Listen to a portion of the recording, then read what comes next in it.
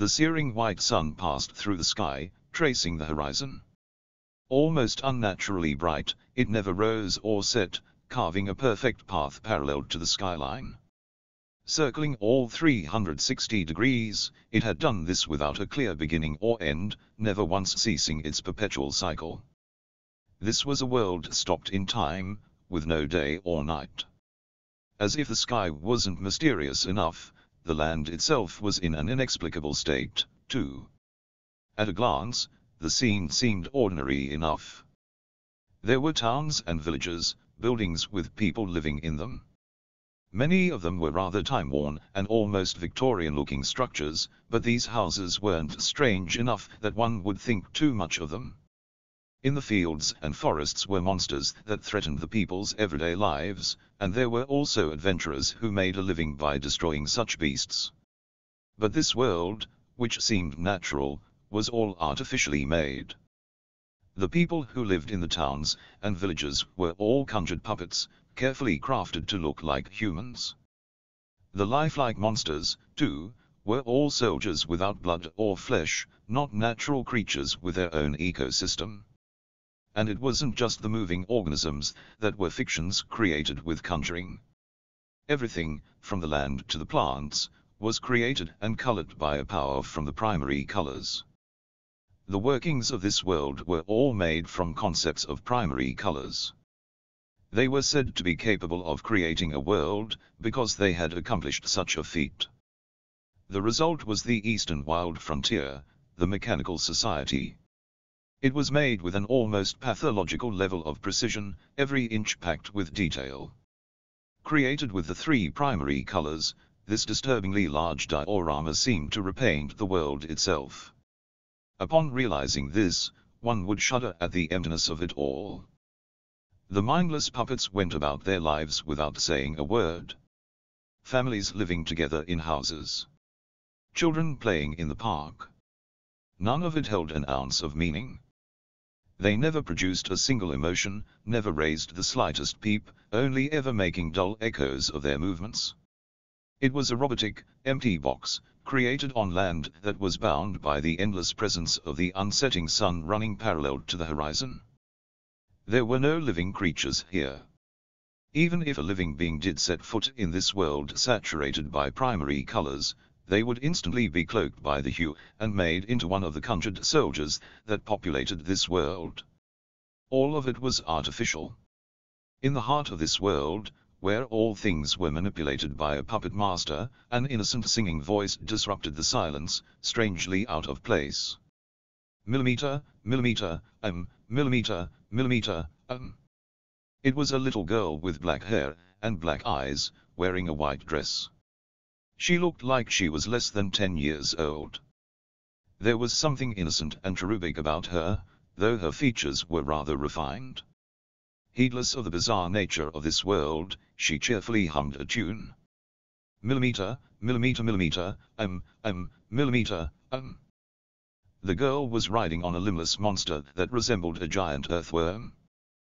Though it had no arms or legs, its body was covered in very human-like mouths, and it was dragging itself along the ground with its teeth. Like a centipede but with mouths in place of legs. The innocent-looking girl riding atop the hideous monster was even more horrifying. Something was viscerally upsetting about how cheerfully she was humming despite being in a mechanical world, cleansed of any living things, and riding on a frightening creature. The warmth of her flowing blood, the softness of the soles of her bare feet, the intonation of her wordless tune, all of it was far too warm for this world in a way that chilled one to the core. By all appearances, the girl was an innocent cherub, harmless, defenseless, and adorable. It would be difficult for an outsider to understand why such an adorable child seemed so out of place in this world. Only the dress with three holes in the chest gave any indication of the girl's dark nature. She was the worst of all the otherworlders who held unnatural powers. The progenitor of all monsters and demons in this world, Pandemonium. Character name, Pandemonium. Data has been registered. Millimeter. The little girl suddenly looked up at the sky. A voice seemed to ring inside her head. Welcome to Container World. Your ability to level up is. As the voice continued to speak in her head, the little girl tapped the monster she was riding with a finger. It was a signal for the monster to bite down on the girl's body, using its many mouths to tear her flesh and crush her bones, devouring the little girl within moments. As a few of the mouths smacked their lips with satisfaction, a slender arm burst out between another set of teeth. How rude. You're getting on my nerves.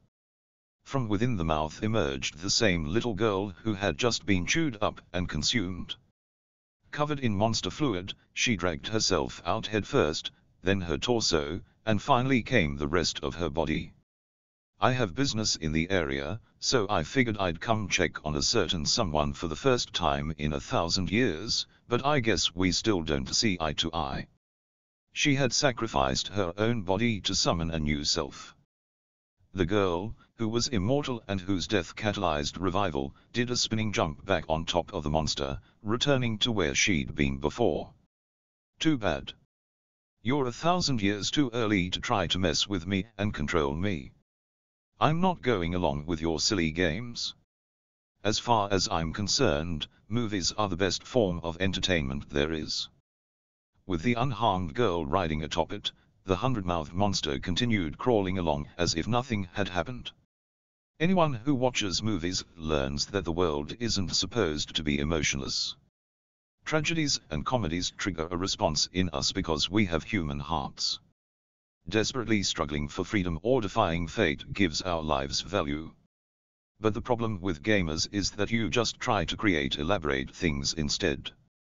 Shaking her head in a show of utter exasperation, she gazed up at the distant sun. In this world painted entirely with primary colors, the only pure white object present was the sun in the sky. Who would ever suspect that the white sun was man-made? That was the one element that wasn't part of this world's creation, an artificial sun, made by the ivory hero to seal away the endlessly multiplying vessel a thousand years ago. It really is so grand, wonderful, and white. The ultimate, unbeatable, most powerful pure concept, ivory.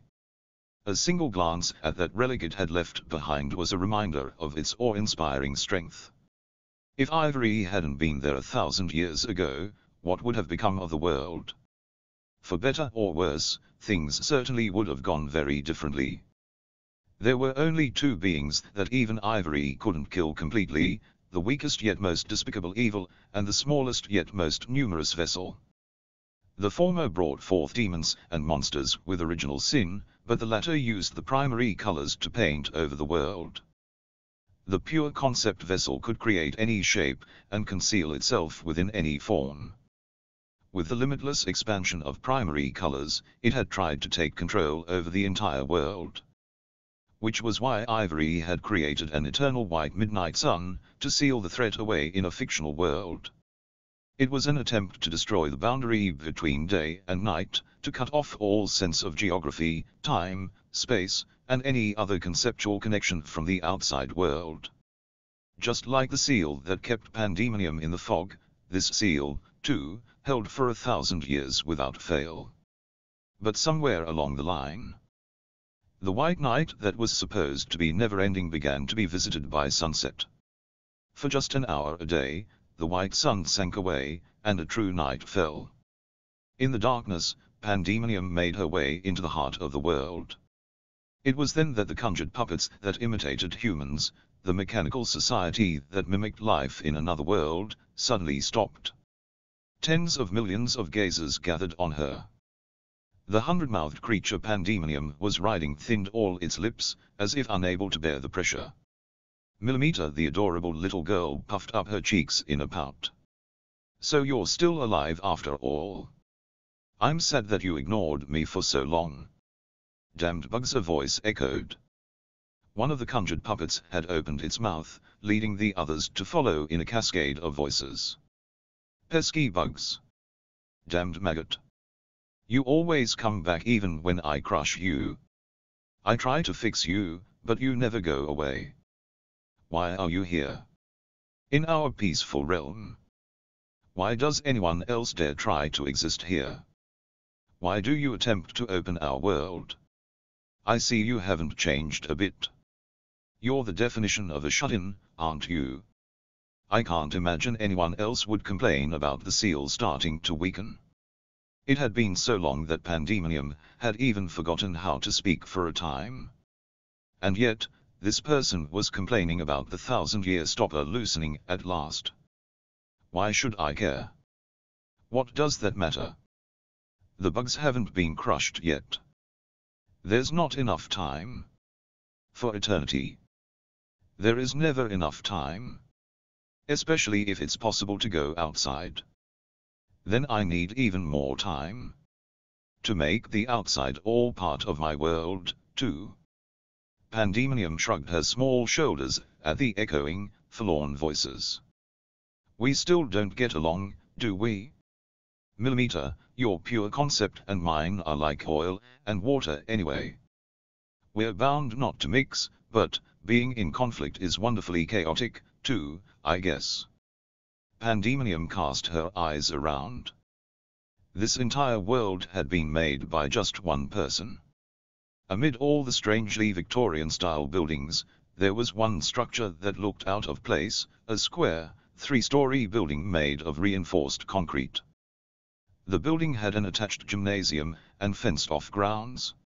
Its architecture was unfamiliar in this world, but any Japanese person would recognize it at once. It was a school building. You're in there, aren't you? You never change, even if you pretend you do. I think that's really quite typical of you. Looking at the heart of the mechanical society, which continued producing its strange world, Pandemonium shook her head. But if you're in there, then I'm not coming in. I'm sure it'll be much more fun to leave here, meet up with Manon, and play with her. There was only one reason she wasn't going in to see her old acquaintance for the first time in a thousand years. I always hated school. At least, I think I did. Letting the remnants of her memories and personality drift away on the wind, Pandemonium twirled around to walk away. Then she blinked in surprise. Suddenly, someone was right in front of her. A faceless man stood in front of Pandemonium. Holes riddled his body, especially his head, where it looked like his facial features had been hollowed out. And yet, he was alive. The guiding force that overflowed from his wounds was serving as his body. Millimeter. Pandemonium, it seemed, had never seen the likes of him before. She exclaimed in surprise and spread her arms wide. Nice to meet you. So, who might you be? The traitorous vessel. The world was frozen over. The cold, dry air blew over the pale moon, which was the only light source in the silent desert. The chilly beams of light were faded in places, shining down on the ruins that sank into the sand, as if to seal them there for eternity. This was the middle of the wild frontier in the central part of the continent. It was especially remote even for the enormous desert, where no one was ever likely to tread. The quiet moonlight illuminated the ruins of what was once a residence. Humans had abandoned this structure in the face of the harsh climate, but now shadows flitted through in silence like spirits of the dead. There were three of them. One was shouldering a sack large enough to contain another person. A muffled groan escaped from the closed top of the sack. Judging by the way it was squirming around in protest, there had to be a person inside. The three men were unmoved by the resistance, which seemed more irritating than anything, as they ran along their hidden route through the desert. Even in the dark of night, with only the moonlight to guide them, they moved with trained precision, never hesitating or sinking into the sand. As further proof that they were highly experienced, they were all cloaked in faint light that drove away the pitch-black night, a power called guiding force that could be drawn from the soul, the root of life, to boost their physical strength. The guiding enhancement made their strides fast and strong. Eventually, a metal gate appeared in their path. The gatekeeper approached and had a brief exchange with the men. In the guard's hand was a weapon that the Faust forbade to be produced, distributed, or possessed, a guiding gun.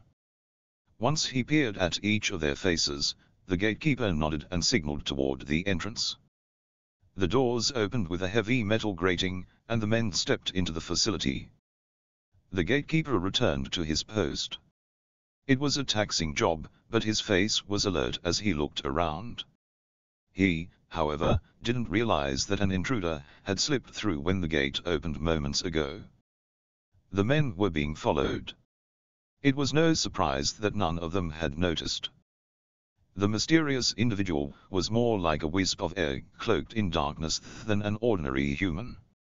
In the already low visibility, someone who was disguised in the color of the night would be all too easy to miss.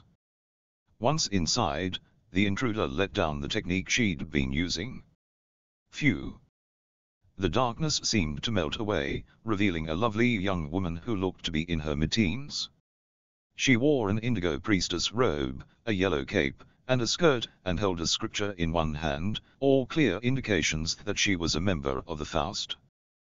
The right side of her skirt had a slit that exposed her leg, but it was by no means a fashion choice, it was a modification so she could access the dagger belted to her right thigh. Let's see. Having followed the men and infiltrated the facility, Menou licked her lips. As she looked around, her light chestnut hair swished behind her, secured in a ponytail by a black scarf ribbon. Guiding camouflage, a technique that involved changing the color of the phosphorescent light produced by guiding enhancement to fool the eye, required very precise control of guiding force. It was an incredibly difficult technique that only a few people could use, but recently, Menou had mastered active camouflage, the art of matching her color to her surroundings. Using this to transform into someone else was an even more difficult feat. With her current abilities, Menou could cover her face with a mask, but changing her natural features was harder. Even keeping up guiding camouflage, while following the men in the dark of night, was not easy at all. They are skilled, all right. I'll have to be careful.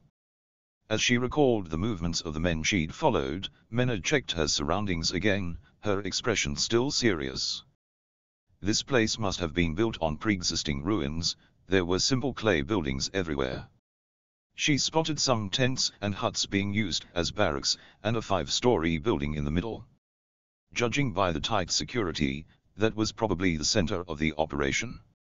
It was all surprisingly thorough for something in the middle of the wild frontier. Menou scowled, annoyed to have to infiltrate such a place without any prior research. And it was all because of the contents of the sack those men were carrying.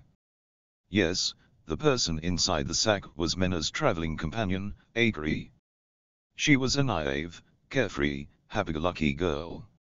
But she was also a lost one, a person summoned from another world, with a strange and formidable power attached to her soul called a pure concept.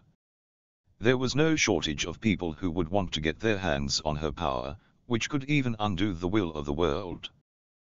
The men had attacked as they were crossing the desert to escape the wild frontier. There were a total of five in the party who jumped them in the middle of the night. At first, she'd assumed they were just some delinquents who thought they'd stumbled across two defenseless women, but they turned out to be far more skilled than expected. While Menou was cutting down two of them, the other three captured Akari, and fled from under her nose. It was Menou's fault, even if it had been a surprise attack. She was motivated by the urge to destroy their base, it was the reason she'd continued following the men after she tracked them down. But now that she saw the scale of that base, she was regretting her choice. I should have gotten in touch with Momo right away. Momo was her junior, and her aide. Picturing the girl with the two pink pigtails, Menou sighed. She'd assumed that some desert bandits couldn't be more than a few dozen people, but their headquarters was practically a military base. Judging by the amount of materials and number of personnel in sight, there had to be over a hundred people here, and they must have been part of a bigger organization. There were few towns with bases of this scale, even in populated territories. Bringing it down was a task far too large for one person, including an executioner like Menou. I guess I'll focus on getting Akari back. Who had made a base in the middle of the wild frontier, and why? It was Menou's duty to pass judgment on those engaged in forbidden activities, so she wanted to know what was happening here, but she couldn't investigate until she accomplished her main goal of recovering Akari. Steadying herself, Menou set her sights on one of the buildings, the one the men had just entered with a sack that contained Akari. It was an unrefined single-story building, evidently made with stone from the ruins. Menou drew close to the window, and scratched the glass. With scarcely a sound, she broke the pane near the lock, and opened the window before slipping into the room. There was no sign of anyone inside. A guiding lamp, a vessel for guiding force, illuminated the space. Menou slid down the hallway, her footsteps silent. Conveniently, she soon caught up to the men who were hauling the bag. The men who'd been sprinting in silence outside were now chatting as they ambled down the hallway, their guards down now that they were inside their base. None of them seemed to notice Menou. As she continued trailing them carefully, they reached a room lined with iron bars. It appeared to be some kind of prison. This building must have been for holding captives, then. Menou grimaced, imagining what it might look like if the place were full. The men opened one of the empty cells, and moved to toss the sack containing Akari inside. It was Menou's turn to strike. Her targets were the three men who had captured Akari. And having followed them into the room, Menou was between them and the exit. Guiding Force, Connect, Dagger, Crest, Invoke, Guiding Thread. She stealthily invoked a crest that created thread around her dagger's hilt. Still behind them, Menou matched her breathing to the men's, calculating the perfect timing. How many of them could she take down with a surprise attack? Her focus tightened like a bowstring being drawn. Her main target was the man holding Akari. The last thing she needed was for him to use her as a shield. Concentrating her focus to the tips of her fingers, she pictured a perfect hit on her target. Then she threw the dagger. Gah. The dagger drove into the back of the man's head, and through his brain stem, killing him instantly. He crumpled to the floor with the blade still attached, letting Akari's sack crash down. The other two reacted immediately. TCH. Damn it. We were followed. Despite the fact that their comrade had just died in front of them, the men assessed the situation calmly and shifted into battle mode. Their movements were smooth as they pulled out knives and small guiding guns and pointed them at Menou. They were skilled, Menou had to admit. As she inwardly clicked her tongue, the two fired at once. When they pulled the triggers, the unusual barrels drew out their guiding force, which was condensed into bullets that shot toward her with a bang. Their aim was smart. Rather than trying to hit her, they fired warning shots to try to move Menou away from the exit. Most likely, they hoped to catch her flank when she moved out of their line of fire, and take control of the fight. Since she could tell that was their plan, however, Menou was under no obligation to go along with it. Guiding Force, Connect, Priestess Robes, Crest, Invoke, Barrier. The barrier crest etched into her priestess robes activated. A wall of faint light formed in front of Menou, bouncing the projectiles back. MMPH. Akari squirmed around on the floor like a caterpillar, either out of pain from hitting the floor or alarmed from the sound of gunshots. At a glance, it didn't look like she'd been hit by any stray bullets. If Akari tried to do anything, she could cause all kinds of trouble. Menou snapped at her. Akari. Stay still. MMPH. MMMPH. Though her words were incomprehensible, Akari at least stopped moving. Deciding that she'd be okay on her own for the moment, Menou concentrated on the two men. In a pause between the gunshots, the barrier disappeared, and Menou dashed forward. She yanked on the guiding thread attached to her dagger to pull it back into her hands. As she readied the blade, she closed in without hesitation, keeping the distance short enough that they wouldn't have time to aim. Menou lashed out at one man's throat, and he just barely managed to block with his knife. Their eyes met. While Menou's expression was perfectly cool, the man was clearly panicking. The girl's slender arm was pushing back his thick, muscular one. She was using guiding enhancement to make up for the natural difference in their strength, and even surpassing him in power. Damn, you! The other man snarled and moved to aim his gun at Menou, who shifted immediately to place his comrade between them as a shield. She was positioning herself to stay in a one-on-one -on -one battle instead of one-on-two. They had a visible difference in skill. It would only be a matter of time before the fight would end. The men quickly made a judgment call. Listen. She's too strong for us. Bring out you know what. Got it. Menou didn't know what they were referring to, but given the timing, it was probably some kind of reinforcements. Were they going to sacrifice one man so the other could go get help? She prepared to stop them, but her assumption was wrong. Instead, there was a flash of red light from within the man in back. Menou's eyes widened at the all-too-familiar sign. He had a primary red stone embedded in his body. Are you insane? Menou cried. The man laughed fiercely in reply. The next instant, he contracted inward with a squelching sound. The red stone inside him absorbed his body from the inside. Unlike the terrorists Menou had once encountered on a train, this man didn't seem afraid at all. It wasn't self-destruction. He was giving up his life to transfigure himself into an even more troublesome foe. He'd chosen a sacrificial strategy just to stop Menou. You. Not a chance. Menou tried to destroy the core before it could activate, but the remaining man stopped her. This, too, was a terrifying act of commitment to the cause. The man grimly used his knife and gun to buy enough time. Guiding force, merge materials, primary red stone, inner seal conjuration, activate, primary red, six-armed soldier. A red soldier manifested from the primary hues that colored the world. Shaped like a deity with six arms, the conjured fighter impaled the man who was struggling against Menou with a swing of its swords. Then it brought a red blade toward her from her blind spot. What? Menou knocked away the weapon, and she immediately jumped up high into the air. The man who'd been stabbed from behind by the conjured soldier smirked. Heh heh.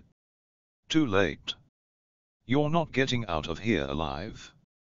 Even with his dying breath, the man never once cursed his fate. His body shriveled. The sword that had impaled him was absorbing his blood as sustenance. And it wasn't just that man. Each of the conjured soldiers' six swords was moving toward the man Menou had first brought down, and toward Akari, who was still in the sack. I won't let you. Menou shouted angrily. If she hesitated at all, she'd never make it. Heedless of the danger, she sprang directly toward the girl as quickly as she could. The red sword sliced through the air, just barely missing her. All six swords swung toward Menou at differing speeds, trying to surround her. As she dived in a straight line, the conjured soldier predicted her movements all too easily. If anyone else was there to witness this scene, they would surely expect to see Menou's innards splattered everywhere in the next moment. But the attacks, coming toward her with triple the limbs of an ordinary human, didn't even graze her. Guiding force, connect, dagger, crest, invoke, gale. Just as the swords moved, there was a burst of wind from Menou's dagger. It was a speedy, expertly used crest conjuring.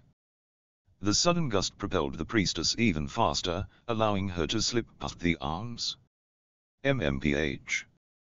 Sliding past the conjured soldier, Menou grabbed the sack without slowing down. The sudden movement must have surprised Akari, who exclaimed from inside, but Menou ignored her. As she shouldered the sack and its pleasantly soft contents, she jumped back to put distance between her and the conjured soldier. The enemy didn't try to chase her down. Instead, it impaled the man Menou had first brought down to absorb the corpse's blood. Menou clicked her tongue. A six-armed soldier? This was one form of autonomous conjured weapons, a knight-like construction modeled after a human. Conjured soldiers were incredibly tough. Their entire bodies were hard, and they could keep moving as long as their core was intact. This was a poor match for Menou, who specialized in sharper, more targeted movements. To make matters worse, the person it was based on had been very strong. If she had to cross blades with those six swords, she might get pushed back. Menou wasn't likely to lose to it in a one-on-one -on -one battle, but this was an enemy base. If she got surrounded by reinforcements while she was fighting this conjured soldier, they would be in big trouble and if she made any big moves, that was likely to bring more enemies running. It wasn't that she couldn't handle the conjured soldier in front of her, it was the overall situation that had her worried. What should she do? Menou was gritting her teeth at her limited options when she heard a loud clang. One of the iron bar doors in the back of the room was rattling. Menou hadn't realized there were any captives here besides Akari. She snapped her head around to look at the cell and saw a girl in a nun's outfit. Nice to see you again, Menou. Nice to see you again. Menou's eyes widened at this greeting, an extremely unexpected one, and the person who said it. The girl was around Menou's age, with eye-catching silver hair in loose waves. Her droopy emerald green eyes made her look drowsy, but that wasn't necessarily the case. It was just her natural eye shape. Menou knew this girl's name. No way. Is that you, Sahara? It is. Sahara nodded and reached her left hand through the bars. I see you're still wearing that ribbon. Had she been captured and locked up, or did she end up here some other way? Menou had no idea, but there was no time to wonder. Could you let me out of here? I'm sure I can be of some help. All right. Menou needed any help she could get. She broke the lock with her dagger, and opened the door. Sahara? I know it's been a while, but catching up will have to wait until. Listen, Menou. Grrrgl. A stomach growled. The possessor of said stomach, Sahara, spoke in a listless drawl. Sorry.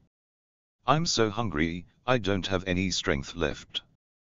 So are you saying you're going to slow me down? The enemy, of course, wouldn't stop and wait for them to finish this silly exchange. Menou quickly pulled Sahara down to the floor to save them both from the soldiers' attack. They've been giving me the bare minimum amount of food so I can't break out. I figured if I didn't say I could help, you'd abandon me. Sorry about that. Of course I'd save you. You're an old friend. In fact, even if she hadn't been a familiar face, Menou still would have rescued any innocent person being held captive by this criminal group. How heartless did Sahara think she was? She'd tried to increase her allies, and ended up with even more baggage instead. At this point, Menou let Akari out of the sack. Oh, hey, cutie cooed Sahara in a voice that was far too relaxed for their current predicament. The person who emerged from the sack was a very cute girl. She had black hair and round, lively black eyes. Though her face looked young for 16, she was far curvier than the average girl. Uh. Um. The air is so fresh out here. Thanks, Menou. Um. Who's this lovely silver-haired lady, whoa, what's with the red guy? As soon as Menou untied the gag, Akari took a deep breath, immediately celebrated her freedom, tilted her head at the newcomer, and finally exclaimed in shock at the conjured soldier pointing its swords toward them, in that order. As always, she was very expressive. Hey, I've seen that kinda thing before. You know, from back when we first met. Am I right? The thing on the train, remember? That's right. This is a similar situation. So I beg of you, Akari, just be quiet. As Menou tried to silence the noisy abductee, Sahara casually interrupted. Nice to meet you, Akari. You have very pretty black hair and eyes. I'm Sahara. I'm a nun, but you could also call me Menou's old flame. Huh? Who are you? Save that for later. Menou had no time to deal with this at the moment. After scolding them briefly, she draped her arms around Akari, whose eyes had gone dark for some reason, from behind. Wait a minute, Menou. I want to hear all about you and, um, Sahara. Right this sec. Akari. This is an emergency. I'm borrowing your guiding force. Guiding force, connect, Akari Tokitou. As Menou whispered in Akari's ear, her guiding force entered the Japanese girl. Akari's shoulders trembled from the sudden sensation. Normally, trying to connect one's guiding force with another person and manipulate their power would be met with painful resistance, but Menou and Akari were an exception. The pain was dependent on the level of trust the giver had toward the person trying to connect to them. When these two synced, the opposition was reduced to little more than a tickling sensation, thus, Menou was able to pull off the feat of using Akari's guiding force. Extract, power, via Menou. HNNG, HMPH. I if you think you can, distract me with TH, um. As she tried to resist the ticklish feeling, Akari squirmed, her eyes damp and her breathing heavy and suggestive. She never quite formed the words, as to what she was protesting.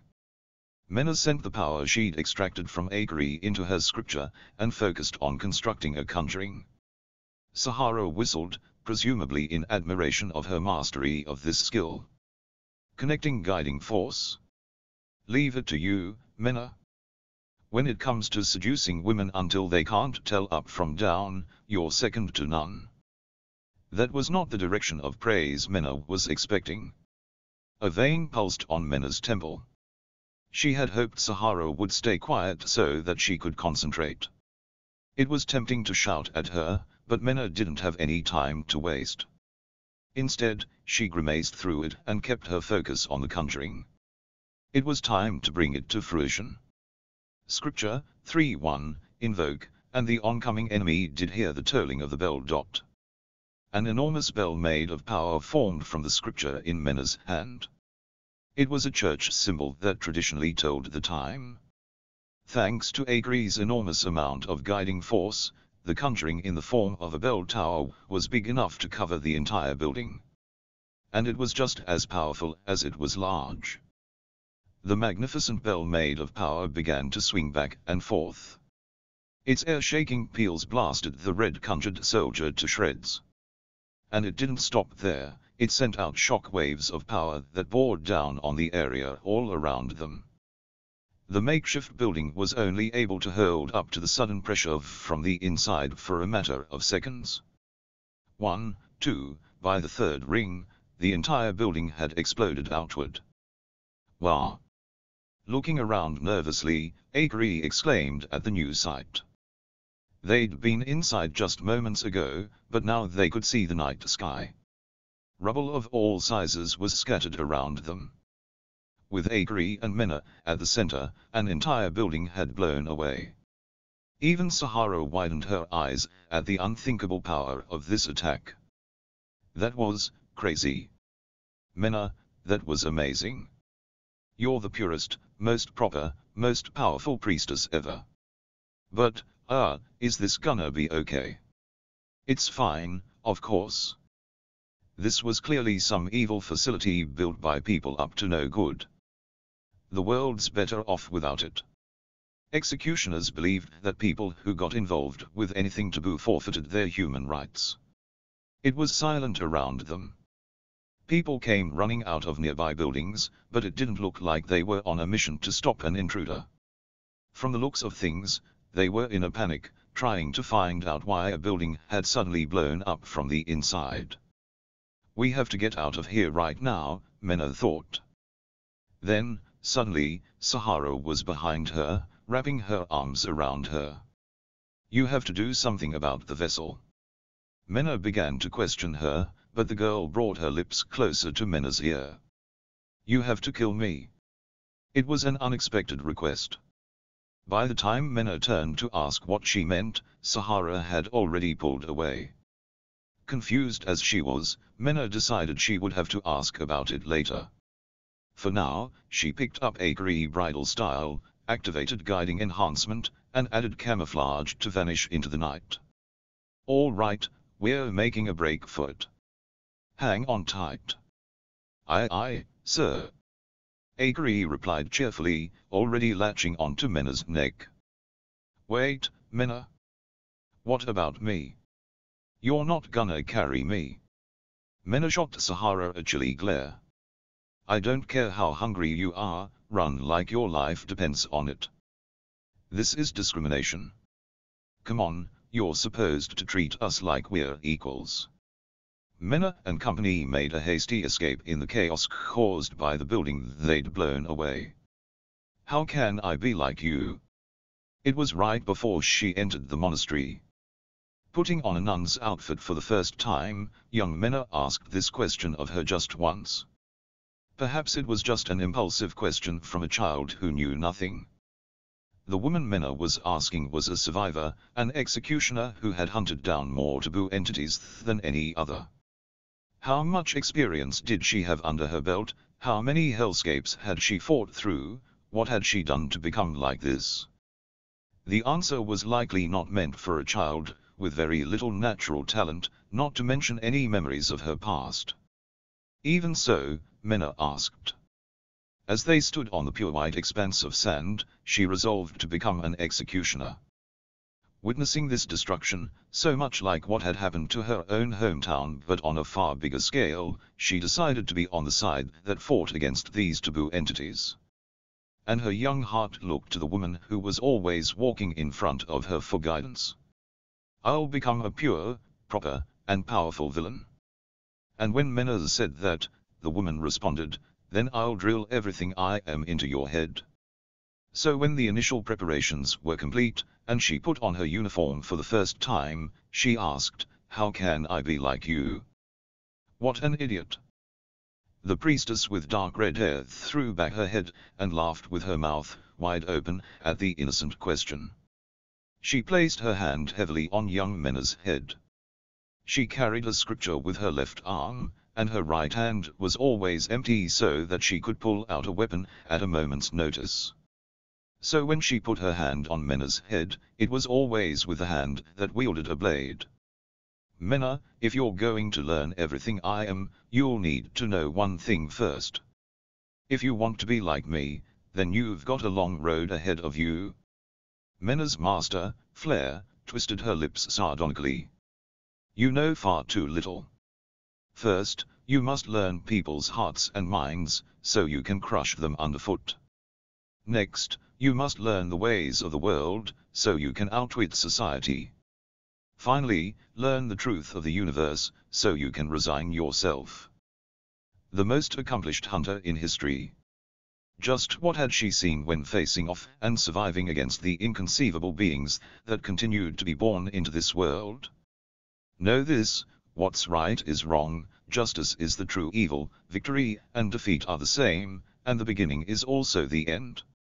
You imagine the world to be fixable, but it's a lot more hopeless than you realize. The master pulled her hand away from Menou's head. She had neither patted Menou's head lightly nor tidied her chestnut hair. And once you've grown up a little and gotten a chance at happiness, you'll probably realize you don't want to be like me at all. That's when you'll finally take your first step closer to being me. With that, she set off. And that's why I'm going to fill your head with everything I am. Menou watched as she walked away. What exactly was her master trying to say? Her head still tilted to the side, young Menou thought about it, but she couldn't come up with an answer in the end. Instead, she trotted after her master, moving forward with that dark red hair to guide her, just as she had always done. and as she looked up at her master's back and chased after her, she knew that would likely always be the case. She didn't know what she wanted to protect. She only had the childish feeling that she wanted to protect people. Thus, Menou began to walk the path that was stained red. The hell happened here? Two men stood in front of the building that had been destroyed beyond all hope of repair. One was near his forties with a well-toned physique. His default expression was one more of ferocity than calm. This man's name was Wolf, and he was the leader in charge of the armed group Iron Chain, that had its base here in the desert. The damned cells keeping our goods are all messed up. How the hell does the base of Iron Chain, the most notorious band in the desert, get into such a sorry state? I heard the team who went out on the attack came back, so I came to check out the products, and what the hell do I find? Tell me, Miller. What's going on here? I don't think it's that hard to figure out. The man called Miller appeared to be a young man in his mid-twenties. He was slender compared to Wolf, but he still looked formidable. His cold eyes were reminiscent of a reptile's. He was crouched down, inspecting the remains of the broken building. While everything was amiss from the explosion, he'd spotted some clearly unusual prints, three different sets that were unmistakably small. All of their underlings at this base were men, and none of particularly small frame. That meant the people who left the footprints had to be outsiders. He narrowed his eyes and picked something up from the ground. It was a long strand of chestnut hair. Wolf could guess the whole story with one glance at the thing in Miller's hand. Oh, I see. Chestnut hair, huh? Means it wasn't the silver-haired nun who blew this building to bits, and the Otherworlder didn't get out of here on her own, either. Otherworlders always have black hair, yeah. Exactly. It's gotta be a priestess. So they let some wannabe bodyguard priestess invade our base, blow up a building, and get away. Well, I'm a generous guy. I'll forgive the dead out of the goodness of my heart. This building didn't factor into our plans anyway.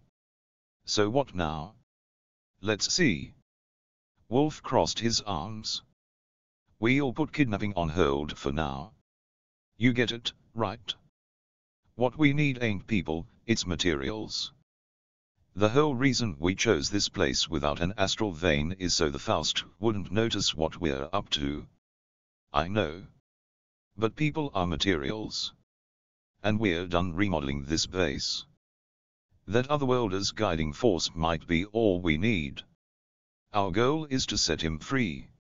If this place can connect to the eastern wild frontier, to the mechanical society, even on a small scale, we'll accomplish our goal soon enough.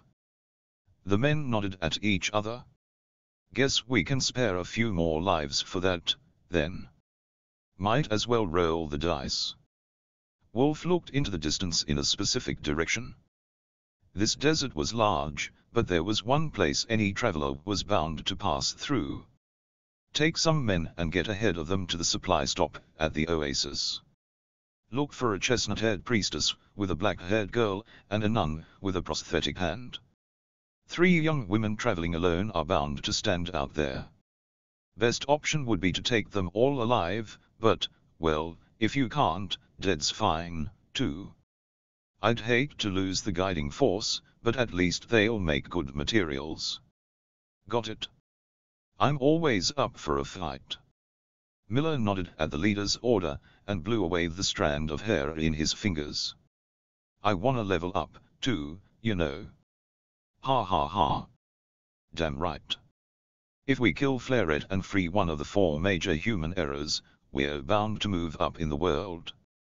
His eyes glittering with danger, Wolf barked out a laugh. The traitorous eyes. Menou awoke to the first rays of the morning sun. Wild animals were just beginning to stir in the light of dawn. As the creatures began to move now that the twilight had broken and day had begun, their calls and cries disrupted Menou's slumber. Ah, it's morning. Menou was quick to transition from drowsiness to full awareness. The night when Akari had been kidnapped, a night when Menou had gotten into a considerable scrape to rescue her, was over. Once they got away from the base, Menou had slept lightly enough that she could wake up and react accordingly if anything were to happen.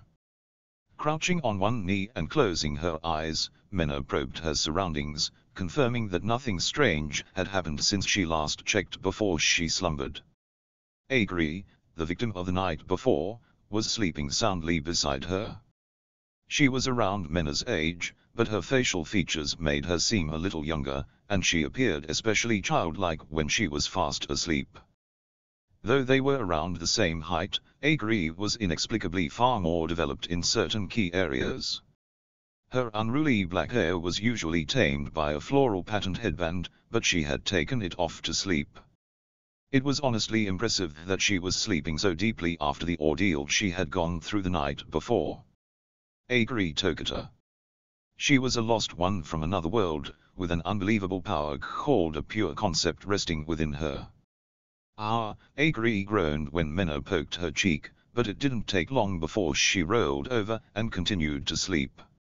Determining that she wouldn't be waking up for a while, Menou turned her attention to their other companion.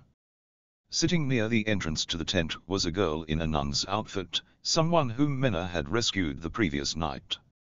She had wavy silver hair, and a serene aura about her. Her nun's habit was primarily black, as was traditional. What Menou hadn't noticed the night before was that her right arm wasn't flesh and blood. It was a highly unusual prosthetic, almost like a silver gauntlet. A guiding prosthetic. It was no ordinary artificial limb. Guiding force drew power from the soul, controlled it with a spirit, and used it to fill the flesh. This was a reverse-engineered use of that nature, the prosthetic limb connected from the body to the soul, and used the soul's power to move it as naturally as a real limb. It was a highly advanced guiding vessel. It was attached to Sahara, who was now snoozing away as she sat at the tent's entrance. Incidentally, it was supposed to be her turn to keep watch at the moment. Menou silently grabbed the nearest object and chucked it at the back of Sahara's skull, landing a perfect bullseye in the middle of her silver-haired head, which bobbed sleepily. Sahara opened her eyes and blinked around in confusion. As the girl shook her head to wake up, she spotted the projectile. Then she frowned and looked at the culprit who appeared to have thrown it. Um, and what exactly was that for, Menou? Sahara yawned as she complained, and Menou responded with a menacing smile. You really don't know why I woke you up. Realizing that she'd nodded off through most of her watch shift, Sahara averted her eyes, looking far into the distance. Eh, it's no big deal. Dozing off during watch is nothing compared to the importance of getting a good night's sleep, if you ask me. Besides, nothing bad happened. That means I didn't cause any harm by falling asleep, right? There wasn't a shred of remorse in Sahara's excuses. Menou scowled, though she also thanked her lucky stars that no one had come after them right away. Maybe that group was too busy dealing with the parting gift they'd left, an exploded building. Or were they planning to get ahead of Menou and company instead? Either way, at least they hadn't attacked them in the night. Well, let's put that aside, for now. Menou stood up and checked on Akari. Just as she'd suspected, the girl showed no signs of waking even while Sahara and Menou were conversing next to her. She was generally a heavy sleeper. Let's step outside for a moment, shall we? I'd like to hear a full explanation from you.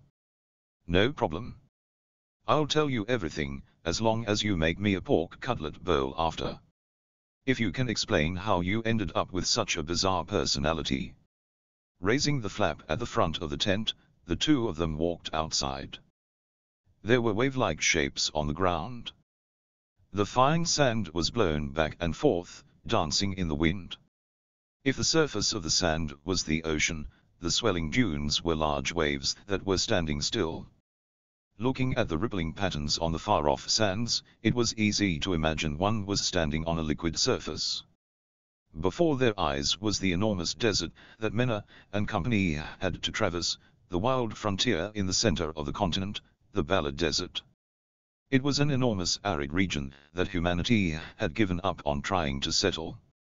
Since what little rain fell there evaporated faster than it could accumulate, it was virtually uninhabitable even by plants. The environment alone had made it impossible for people to live there. Golden sand stretched out in every direction, dotted with ancient ruins. It was likely the desert of purest sand anywhere on the continent. Menou and Sahara stayed a short distance away from the tent, far enough that Akari wouldn't overhear them even if she miraculously woke up. At any rate, it's good to see you again, Sahara. Yeah. You too, Menou. Neither smiled as they exchanged formalities. Sahara, the nun. Menou still remembered her beautiful silver hair, her sleepy-looking eyes, and her aloof tone. Sahara was raised in the same monastery as Menou and Momo.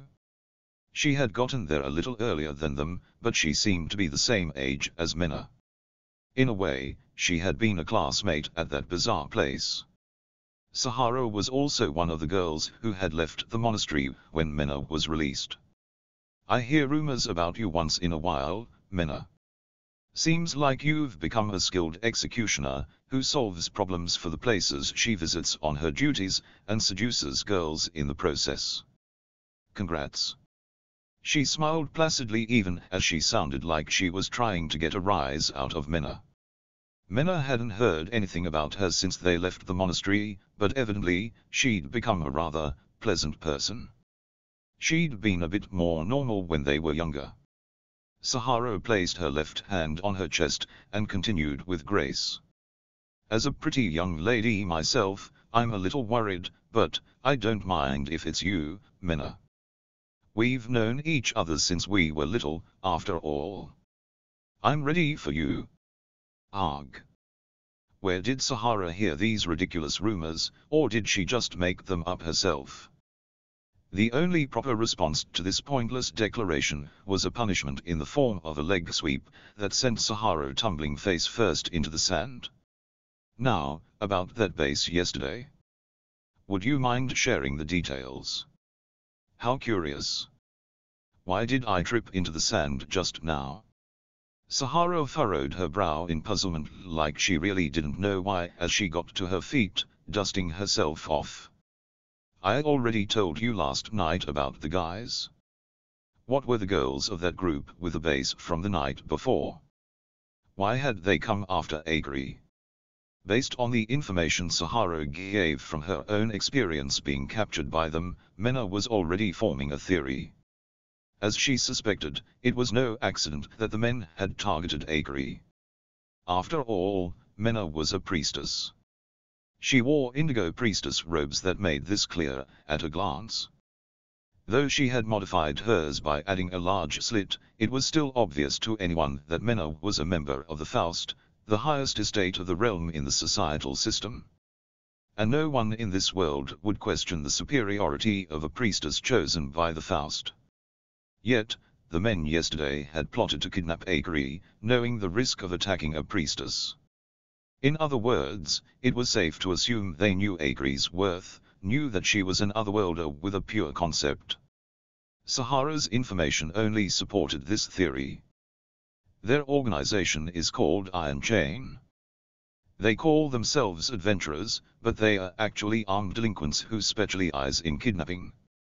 They target and abduct individuals from various cities, and sell them out here, they are the scum of the desert. Human trafficking was strictly forbidden in all nations. However, it hadn't been wiped out completely. In the shadows, people were still being bought and sold like objects.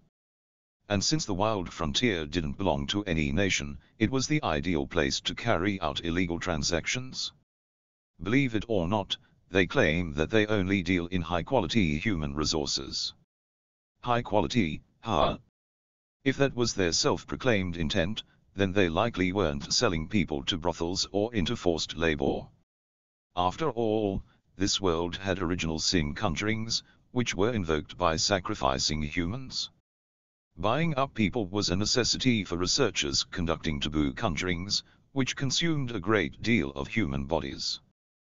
Those with unusual qualities that might serve well for conjurings were sold at high prices. I see. So that's why they are after Akari. Uh-huh. The information must have leaked to them somehow. These guys have their eye on you too. The boss of Iron Chain is a nasty criminal who's wanted all over the continent. Otherworlders from Japan were considered the highest quality materials for conjuring. Unfortunately, there was no shortage of people who would buy them for enormous sums. Menou's trip with Akari, an otherworlder, had already gotten them caught up in some elaborate schemes. In the ancient capital of Garm, Archbishop Orwell, a woman who had been nearly at the highest position in the Faust, turned out to be an enemy, targeting Akari for her otherworlder's pure concept, and even Menou, who had her own unique qualities, to conduct a taboo conjuring. A formidable foe, she'd nearly captured them both. When they'd arrived in the port city of Libelle, they got caught up in an incident centered around Monstrin, brought about by Manon Libelle of the Noblesse, and ended up having to fight the legendary human error Pandemonium. As one of the four major human errors that once destroyed a proud and prosperous civilization, she was incredibly powerful despite having the appearance of a little girl, making for an extremely intense battle. So why were you captured? Because I'm pretty. Because, I'm, pretty Sahara repeated, but Menou didn't bother to react. When Menou flashed her a death stare, Sahara reluctantly spoke again. It was because of this. Your arm, Menou looked at the nun's right hand. She'd been wondering about this since they were first reunited. It appeared to be a highly functional prosthetic limb that moved almost perfectly with her body, but it was still clearly a temporary solution. Sahara didn't have a prosthetic when they were in the monastery, she must have somehow lost her arm from the shoulder during the time they were apart. Sahara moved her right arm, looking nonchalant. There was a small, proud smile on her face. Oh yeah. Pretty cool, right? What's up with this new personality? Is it your newest coping mechanism? Don't be silly. I've always been this way. That was obviously a lie. Menou frowned, looking at the artificial hand, which formed a peace sign. Anyway, this arm's the other reason I asked for help. See, I was on the line of defense against the Mechanical Society in the Eastern Wild Frontier. That's how I lost my arm and ended up with this one. Menou caught her breath. The Mechanical Society. Is that arm a piece of a conjured soldier, not a guiding prosthetic? Yep. So I want you to destroy the vessel that's attached itself to me. If nothing is done, this right arm is going to consume me and turn me into a conjured soldier. I gotta do something before that happens. And deal with those guys who captured me because of this arm while we're at it. Menou silently got her thoughts in order. She knew what happened in the mechanical society. People were sometimes transformed into conjured soldiers there. Accepting Sahara's proposal wasn't the proper choice as an executioner. What she should do was kill Sahara, here and now. Are you gonna kill me? Sahara looked back at her steadily. For some reason, this disturbed Menou. Do you have some other idea how to fix it? I wanted to ask you that. I was hoping an executioner might know something. I think you're aware, but, after another moment of silent thought, Menou took a deep breath. My top priority is Akari. I know. Sahara must have guessed by Akari's appearance that she was a lost one with a pure concept power. She knew as well as Menou that activity related to otherworlders was higher priority than any other crime. But here's the thing, Menou, you two are going to be targets either way. Sahara minced no words when pointing out the problem Menou was facing. She was right, of course. Those men had attacked Menou before they came here. Not getting involved with them was no longer an option. Now that Akari had already been captured once, it would be unwise to try to keep moving without knowing what their enemy was planning. I found out while I was their captive that some knights are on the move investigating Iron Chain, too. If you team up with knights, then the bad guys will only have two options, abandon their base and run or fight back for all they are worth. Executing Archbishop Orwell in Grisarika Kingdom. Fending off Pandemonium. With these accomplishments, which seemed larger than life, Flarette's name was becoming widely feared in the dark side of society, for better or worse. If this group found out that this executioner had her eyes on them, they wouldn't be able to ignore her. If they try to run, you can chase them down. The top brass might get away, but you'd still deal them a heavy blow. And if they go on the offensive, then they'll come at us with everything they've got. These guys don't do things halfway, so if you play your cards right, you could probably wipe them all out. If they ran, that was more than acceptable. Even if the bosses were likely to escape, they could do enough damage to seriously hinder their activities. If they chose to fight back instead, it would be a tough battle, judging by what Menou had seen of their base. But Sahara was saying that if they teamed up with the Knights, they should be able to win. Either way, it certainly wasn't any worse than Menou and Akari acting alone. This seems to be our new routine ever since I started traveling with Akari. Menou was an executioner, this meant that she was usually on the offensive, hunting down taboos, but now she was on defense. It's like I'm a bodyguard now, she thought with a sigh. Of course, there was also the option of just making a break for it without looking back, but they weren't in a great position to make that choice right now. As long as she was traveling with Akari in this environment, it would be difficult to buy enough distance. If there was a chance they'd be targeted by another group of skilled attackers while trying to traverse the desert, they were better off stopping and dealing with the problem directly. Which meant there was only one place they could go. Sahara? We'll worry about your arm later, but for now, I imagine we should go to the oasis to find the knights investigating Iron Chain. That seems reasonable.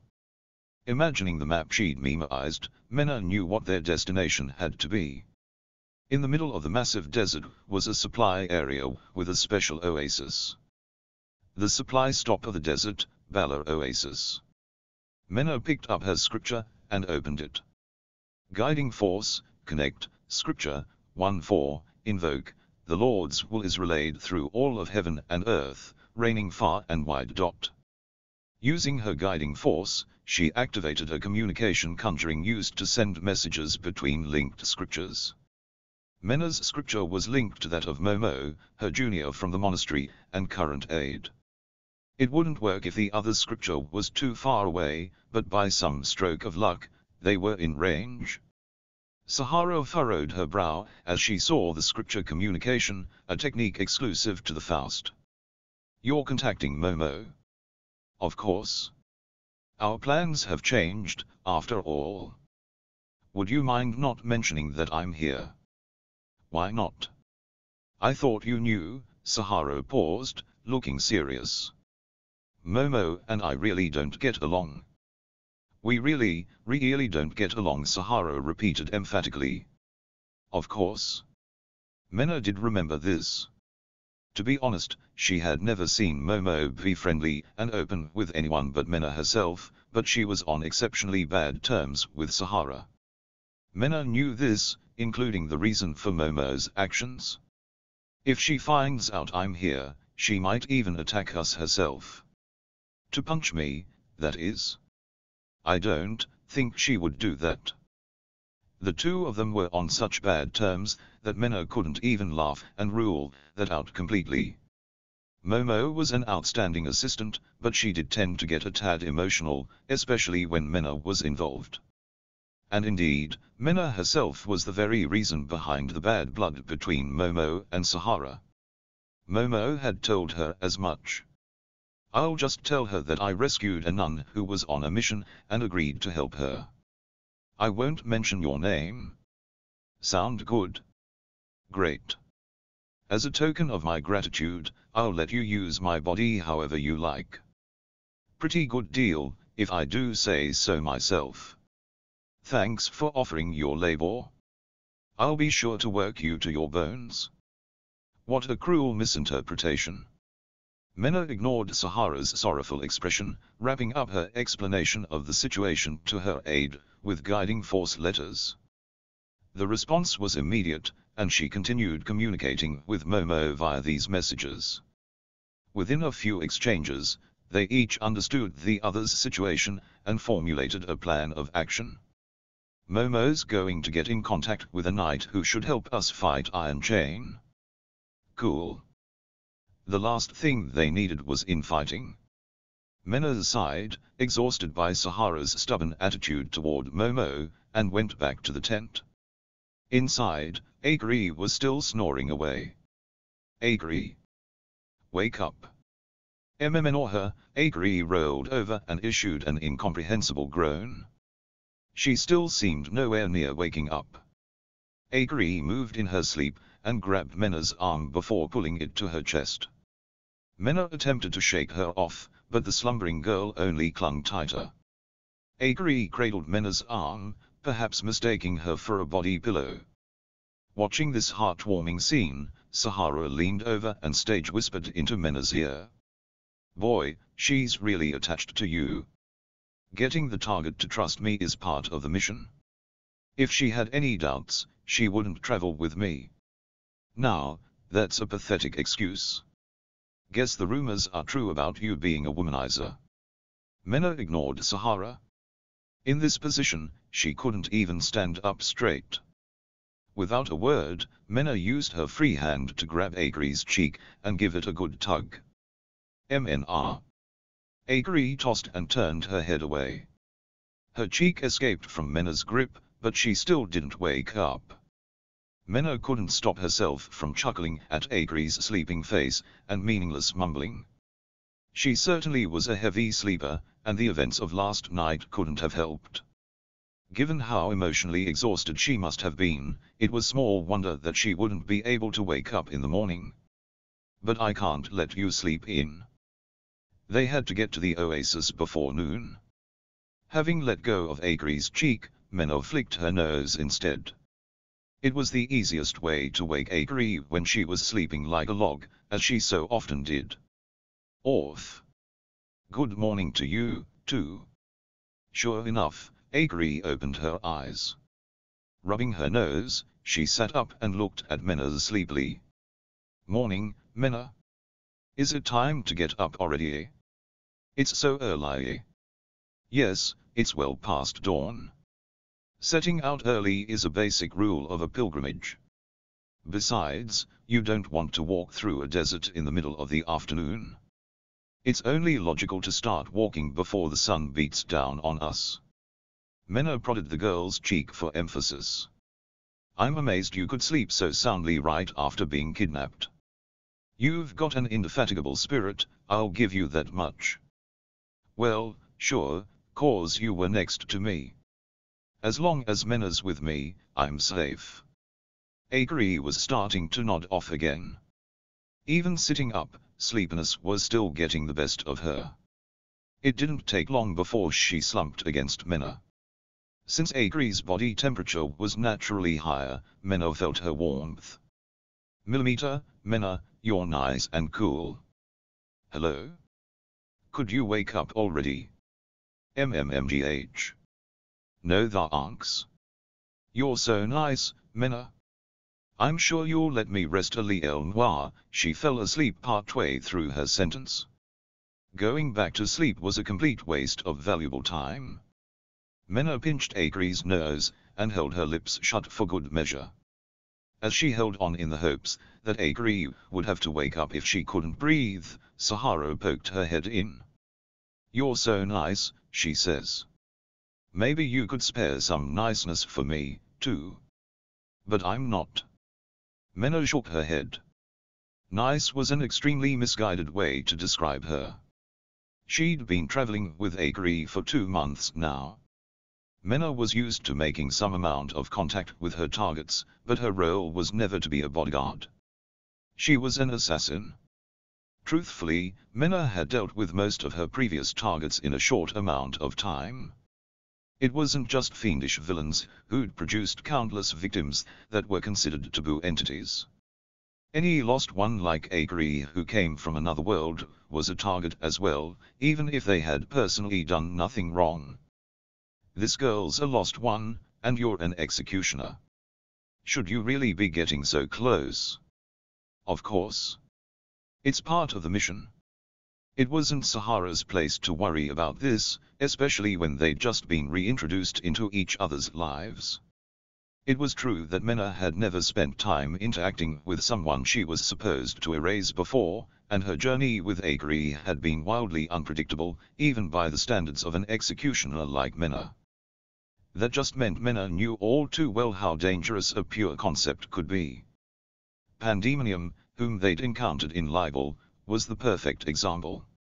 She was the very incarnation of evil, a human error that had forgotten even her own name. Even she was once an ordinary girl. Pure concepts mercilessly ate away at the otherworlders who hosted them, stealing their memories and robbing them of personhood.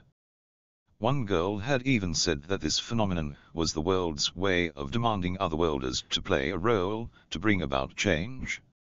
Menou had to kill Akari. She had to put an end to everything while the girl was still herself. She had to kill her for her own good. But all that being said, she refuses to wake up. Menou was starting to worry a little that Akari might die of suffocation as she stubbornly clung to sleep. Meanwhile, having received the message from Menou, and arrived early at the oasis to set about her business, Momo was in a foul mood. Everything about her small frame radiated displeasure. Her eyes narrowed, her lips pouted, and she made no effort to hide it. Churning within her was the conflict between knowing what she had to do and wanting to do literally anything but that. Generally speaking, Momo hated other people. It might even be accurate to describe her as misanthropic. She had never trusted anyone but Menou, and never liked anyone but Menou, either. Momo's job was to follow Menou on her journey, and support her from the shadows. As a member of the Faust, an executioner's aide, and most of all, as Menou's junior, Momo had never questioned her role. She had just finally managed to make up for the time she lost being injured in Libelle. Now that her schedule was back on track, she was eager to do her job, and do it right. She would never refuse a request from Menou. Momo wasted no time in rolling up her sleeves, and getting right to work. It didn't take long before she collected enough information to identify these knights who would supposedly help them fight Iron Chain. And what's more, their leader was an acquaintance of Momo's. In short, it was none other than Ashuna Grisarika. Momo was torn. She and Ashuna had history. Putting aside her questions about what Princess Pooh was doing here to begin with, Momo couldn't quite bring herself to approach her. The reason was mostly that Momo simply hated Ashuna, but there was something else on her mind. I can't be the one to talk to Princess Pooh first. It was a matter of pride. Thus far, every one of their encounters had been initiated by Ashuna. So what would happen if Momo, who had always expressed her displeasure about it, was the one to approach Ashuna this time? No matter how Momo made contact with her, no matter what reasons she gave, she could imagine Ashuna's delight all too clearly, and that was simply unbearable. Who would want to make someone they hate happy? Momo hated other people, especially Ashuna. If anything, she wished all the misfortune in the world upon her. But she had no choice.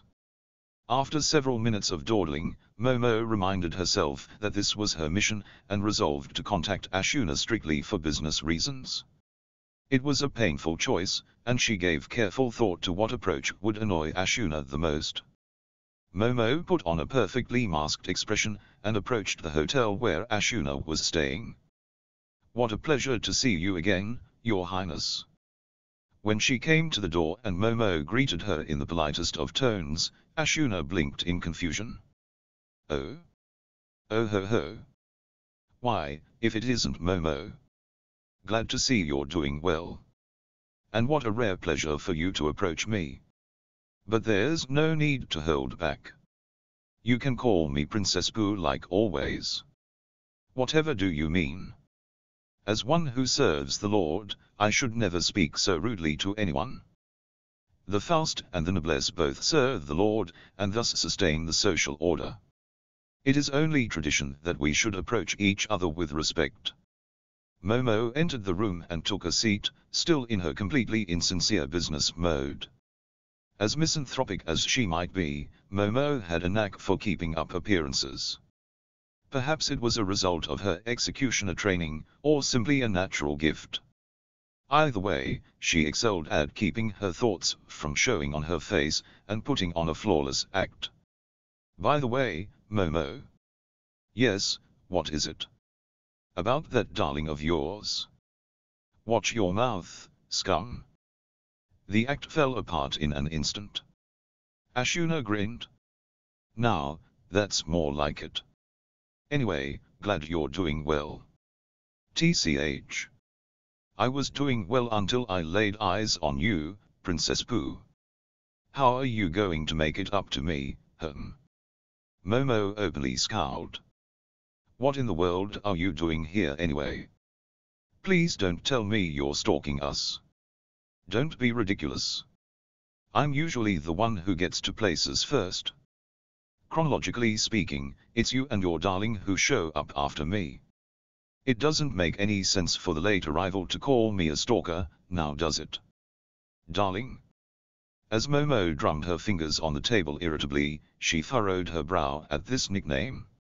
She knew that Menou and Ashuna had fought together in Libelle, the city where Momo fell victim to poison.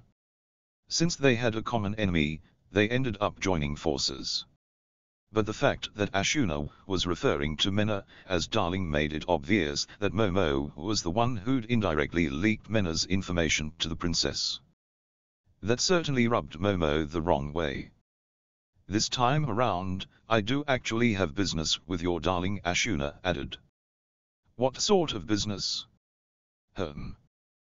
Well, I suppose I can tell you, Momo. Ashuna thought for a moment, then explained her goal.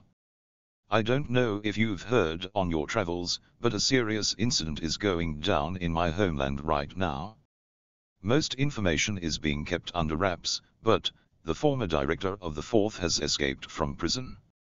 And the person who orchestrated the escape was a girl of 16 or 17 with indigo hair in a braid, wearing a kimono. But that sounds like... I know. Seems we should assume that Manon Libelle is still alive. Momo's frown deepened. But I was told she's dead. Manon Libelle. The mastermind who had wreaked havoc in the port city of Libelle. Momo, too, had gone through a considerable amount of stress because of her.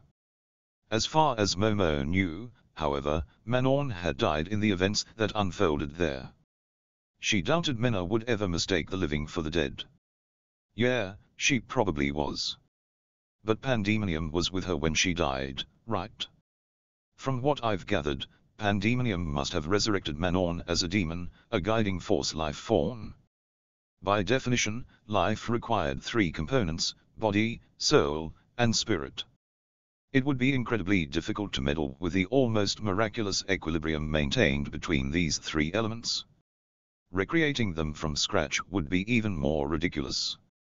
But if anyone could do it, it would be Pandemonium, one of the four major human errors. With her pure concept, she was capable of meddling with the body, soul, and spirit like it was clay. I see. So she managed to preserve Manon Libelle's soul and spirit from her corpse, and create a new body with something else. Seems that way. HRM Momo nodded, acting disinterested. On the inside, her mind was churning, trying to figure out what effect this fact would have on Menou. So, I wanted to meet your darling to give her that information, among other things. Could you contact her for me? Excuse me? Why should I let you see my darling, Princess Pooh? If you've got a message for her, just spit it out. I'll pass it along. Well, I've got the perfect spot. The Grisarika kingdom owns some land right along the waterside of Bala Oasis. Want to come, Momo? Momo was already scowling at Ashuna's suggestion, but that changed upon hearing where the land was located. Her attitude completely flipped, and she grasped Ashuna's hand tightly. This is the first time I've ever been grateful for your existence, Princess Pooh. In the western part of the continent was a beautiful city. At the top of the Tower of Water, the source of the clear spring that provided for the residents of the city, was a garden. The structure was stunning enough from the outside, with a waterfall that flowed from all sides of it, but inside, the view was almost mystical. A little farther above the stone floor of the rooftop, water arched over the surface, and created a ceiling, seemingly produced from thin air. Through the blessing of the heavenly vein, not the earthen vein, this facility became a water source.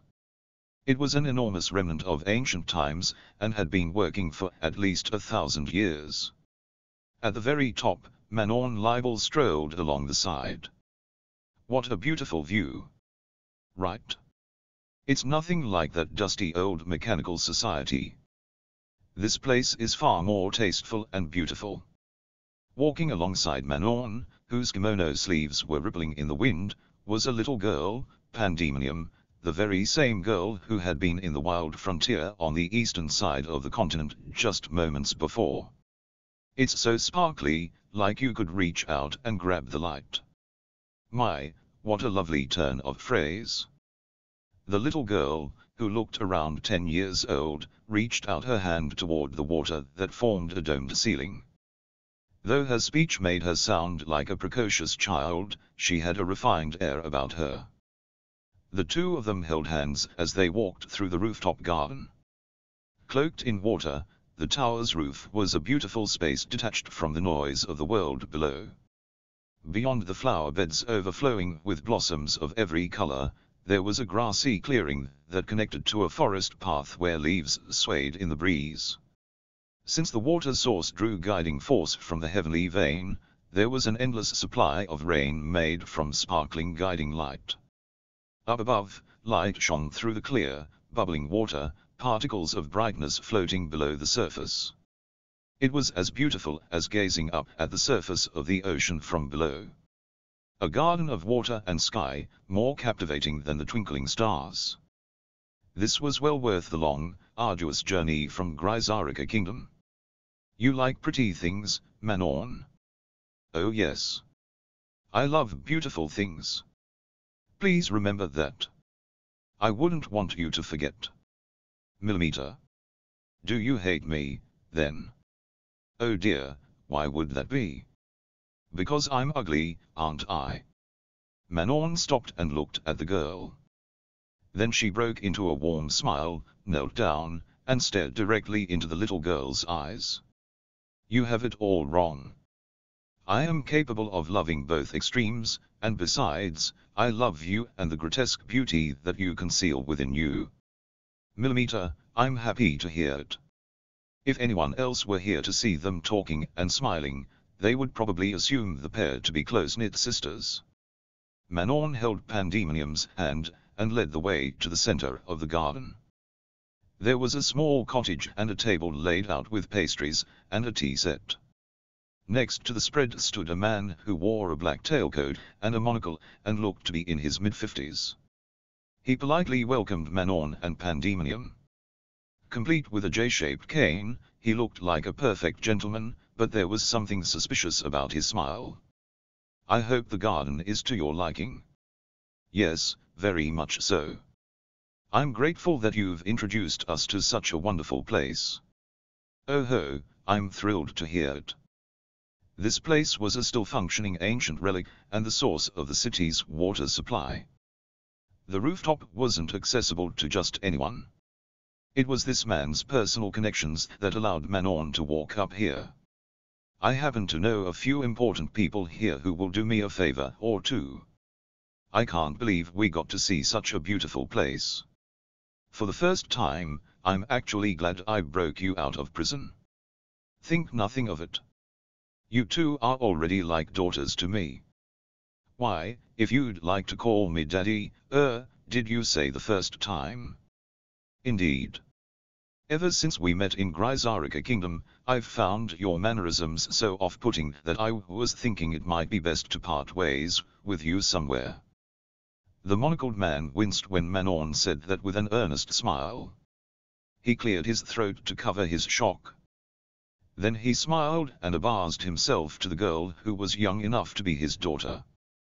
Please refrain from saying such things, Miss Manon. Were it not for you, I would still be locked away in that dark prison. I only wish to repay you by showering you in all the love I would give my own daughter. Yes, that's what I find creepy. Her response was instant.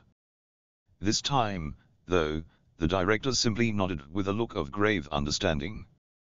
Ha ha, I see now. You're in your years of teen rebellion. It's the duty of every father to see his daughter through such a phase, so I accept the challenge head-on. Millimeter home. That's not even remotely the problem. Perhaps the people who locked away this perverse old man had the right idea. Uncharacteristically, Manon found herself slightly regretting her actions.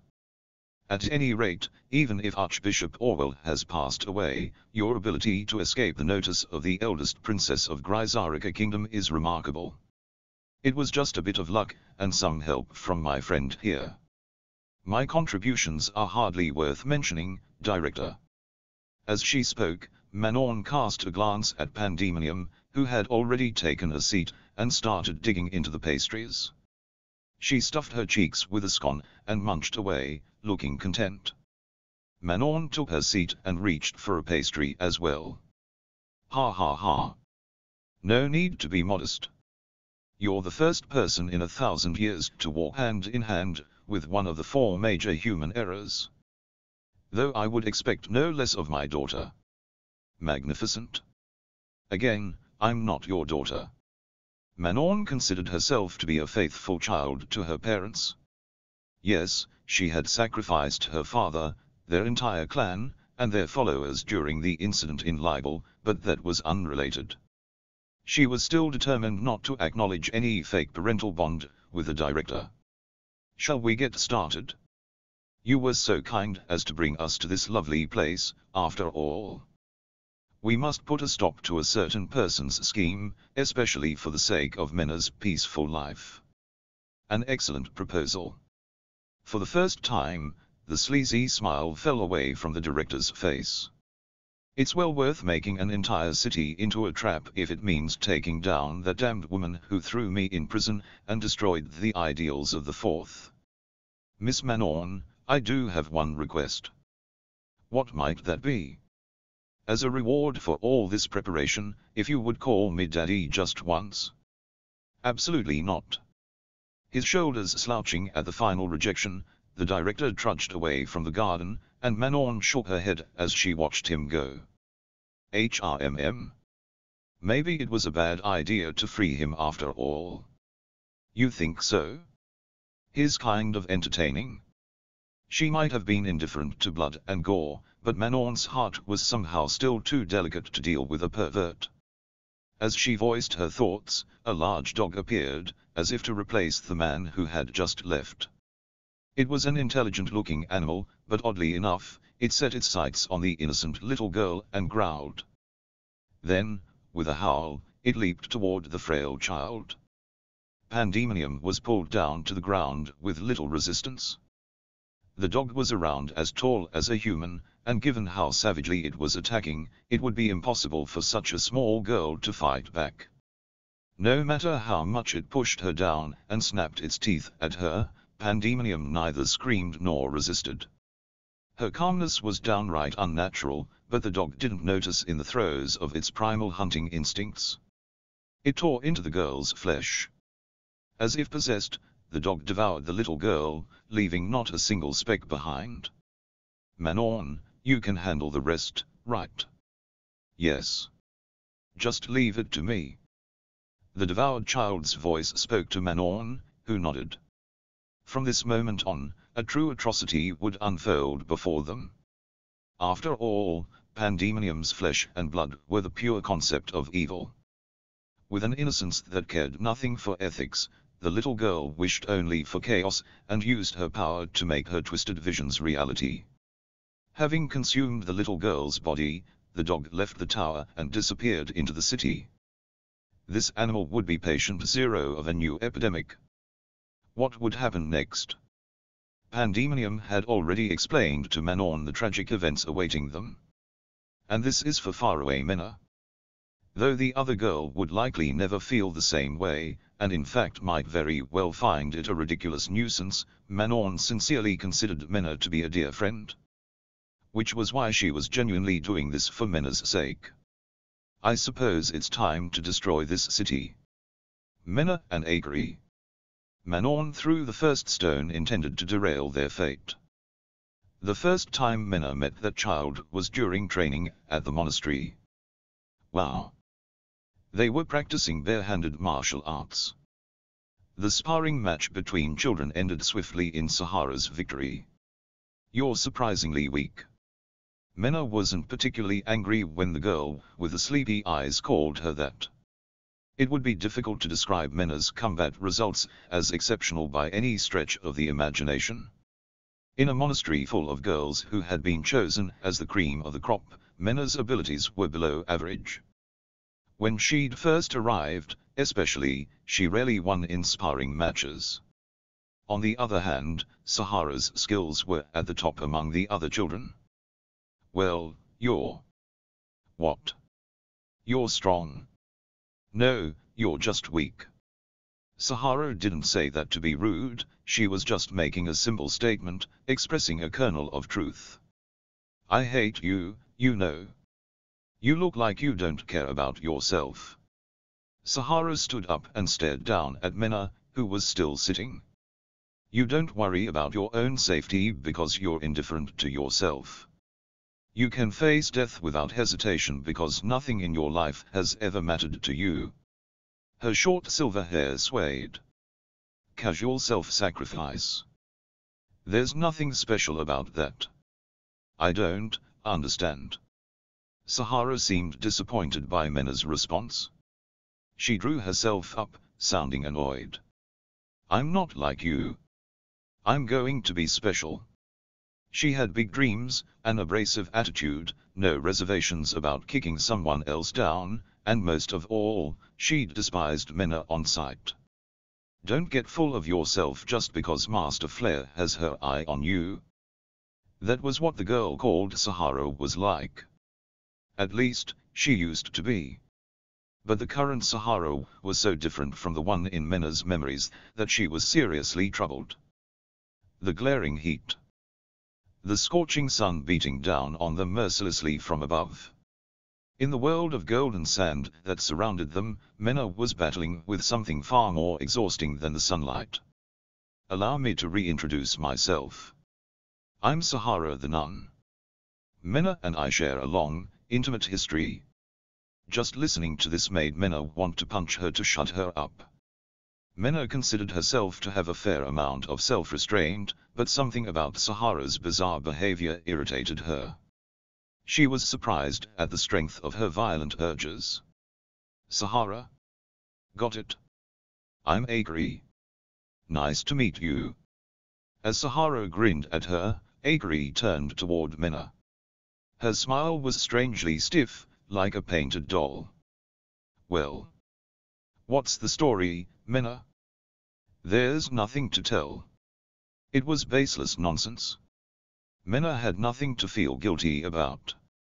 You can't take anything Sahara says seriously. Just ignore her and... Don't worry, Akari. Every time Menou tried to resolve things peacefully, Sahara butted in and made things more complicated. I know lots of stories about Menou's younger days. So I'm sure we can get along. Let's be friends, Sahara. Akari took the obvious bait hook, line, and sinker. This newfound alliance spelled all kinds of trouble to Menou. If she left them to their own devices, things might take a turn in the wrong direction, so Menou forcefully interrupted the two of them. Hey, Akari, are you holding up all right? Eh? I was excited about the desert at first, but it's pretty clear that this is no place for humans. I'm beat. They trudged through the desert, the sand sinking even under the girl's light weight, and leaving behind footprints. Well, of course. It's part of the wild frontier because people can't live here. Ruthrit. Since the air was so dry, the heat wouldn't be unbearable if one could only avoid the sunlight. To put it another way, though, the sunlight was what made things bad.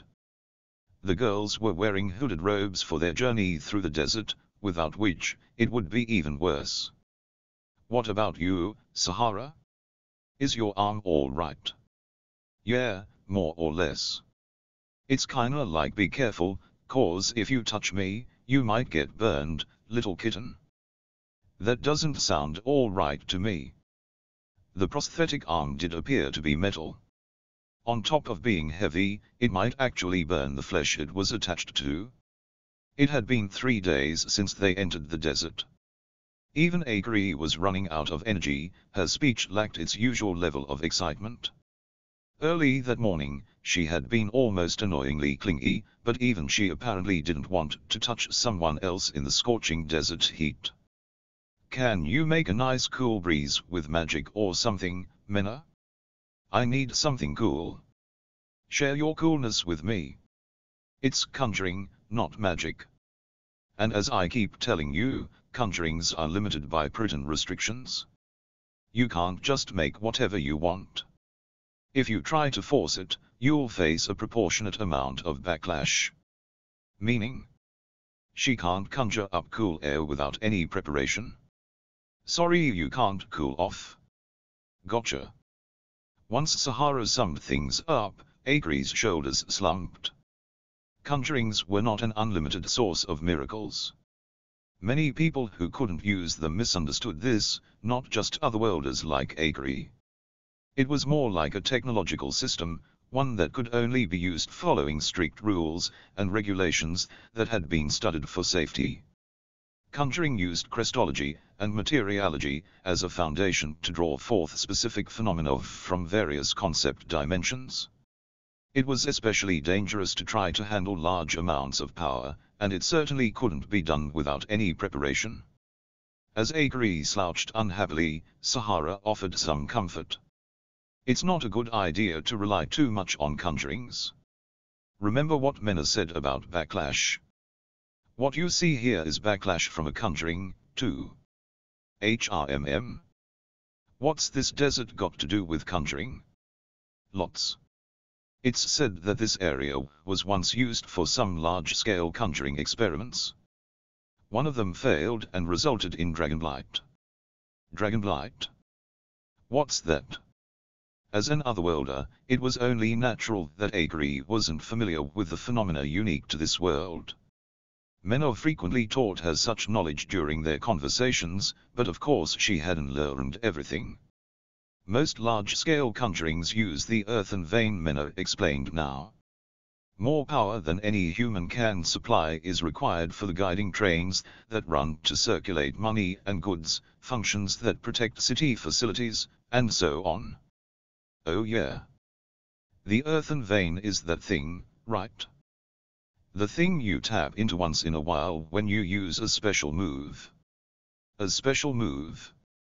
Well, I suppose that's close enough. Akari's understanding seemed a little off, but it wasn't worth the effort to correct her.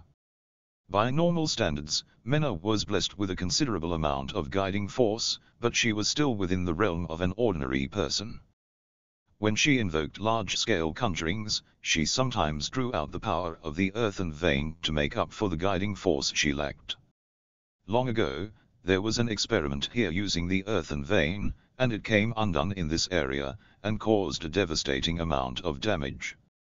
The result is this barren desert. There's no flow of the earthen vein around here anymore, you see. It was said that without the power that flowed through the earth, this area had become an infertile wasteland. Naturally, that also meant Menou couldn't access the earthen vein to provide extra guiding force like she had in the ancient capital of Garm or the port city of Libelle. So without the earthen vein, areas become deserts. Akari looked even more confused, evidently, that explanation didn't get through to her. I suppose that's fair enough, Menou thought, looking for another way to explain things. Dragonblight was a universally understood phenomenon in this world, but it was uncharted territory to someone who was summoned from another world. It's more like not having the earthen vein makes it difficult for life to exist here, which reminds me, have I explained the definition of life in this world to you yet? The definition of life? That sounds philosophical. Here, it's fairly straightforward. The definition of life is a soul and spirit contained within a body. The three elements can be configured in any way, the definition is unchangeable. Question, Professor Menou? Yes, my student. I understand the body, but not the soul or spirit. I thought as much. Menou had already taken that into consideration. The role of the soul is to produce power, and the spirit's role is to independently control that power. Incidentally, a body is the vessel that contains those two things. In this world, the source of life is thought to be power, meaning guiding force. All life activity was the work of guiding force. The soul is the source, the spirit is the helm, and the body is the vessel of that power. In this world, anything without guiding force isn't alive at all. This still didn't seem to click with Akari, who screwed up her face and tilted her head to the side. Menou smiled wanly as she watched this and moved on to her conclusion. So even if the body is inorganic, if it has a spirit and soul, it's still considered a life. And a dragon is formed when a soul and spirit dwell in the earthen or heavenly veins and become autonomous without a body. I guess that kinda makes sense, but how big of a scale are we talking? How big? Well, let's see. Menou had never actually witnessed a dragonblight for herself. In fact, even Menou, who had witnessed many horrific scenes in her life, didn't want to encounter one. Well, how can I explain this? She tapped her chin. We talked about the monster in Libelle, right? Yeah, Akari replied. Menou's example was an enormous monster that had destroyed an entire island just by appearing. It was so huge that one couldn't even look at the entire thing from up close.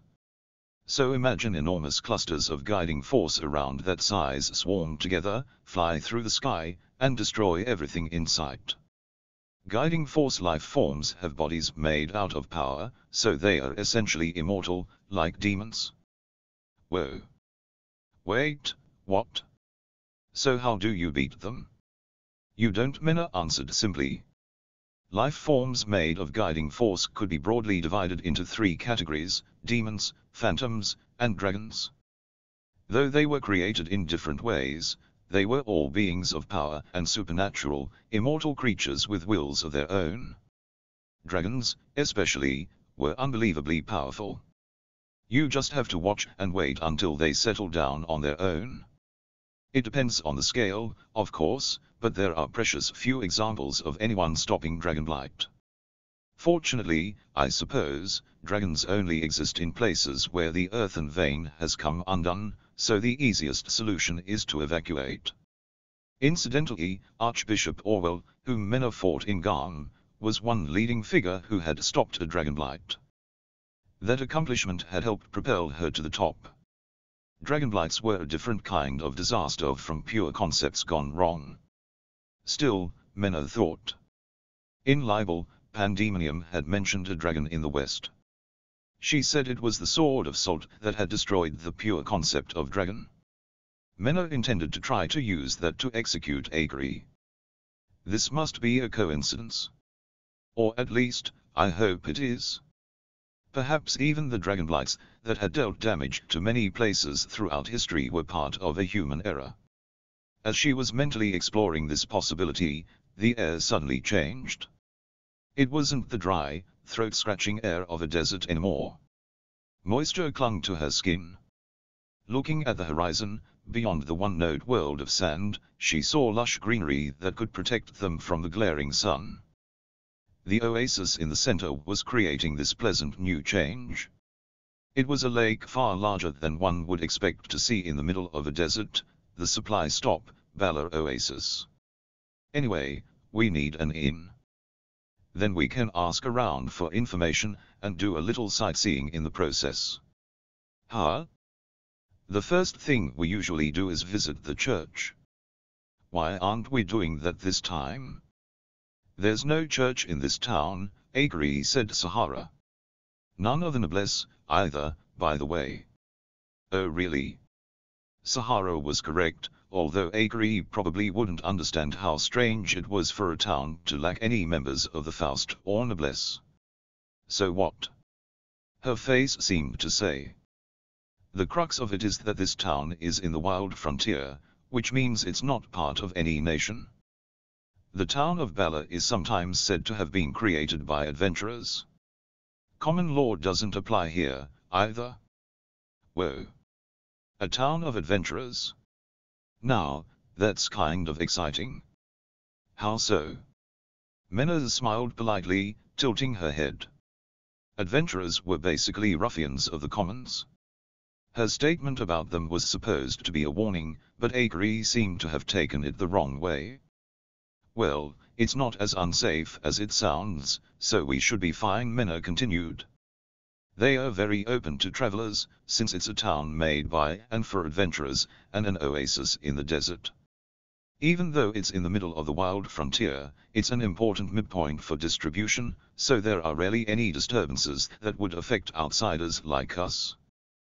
Well, now you've jinxed it. We better be careful.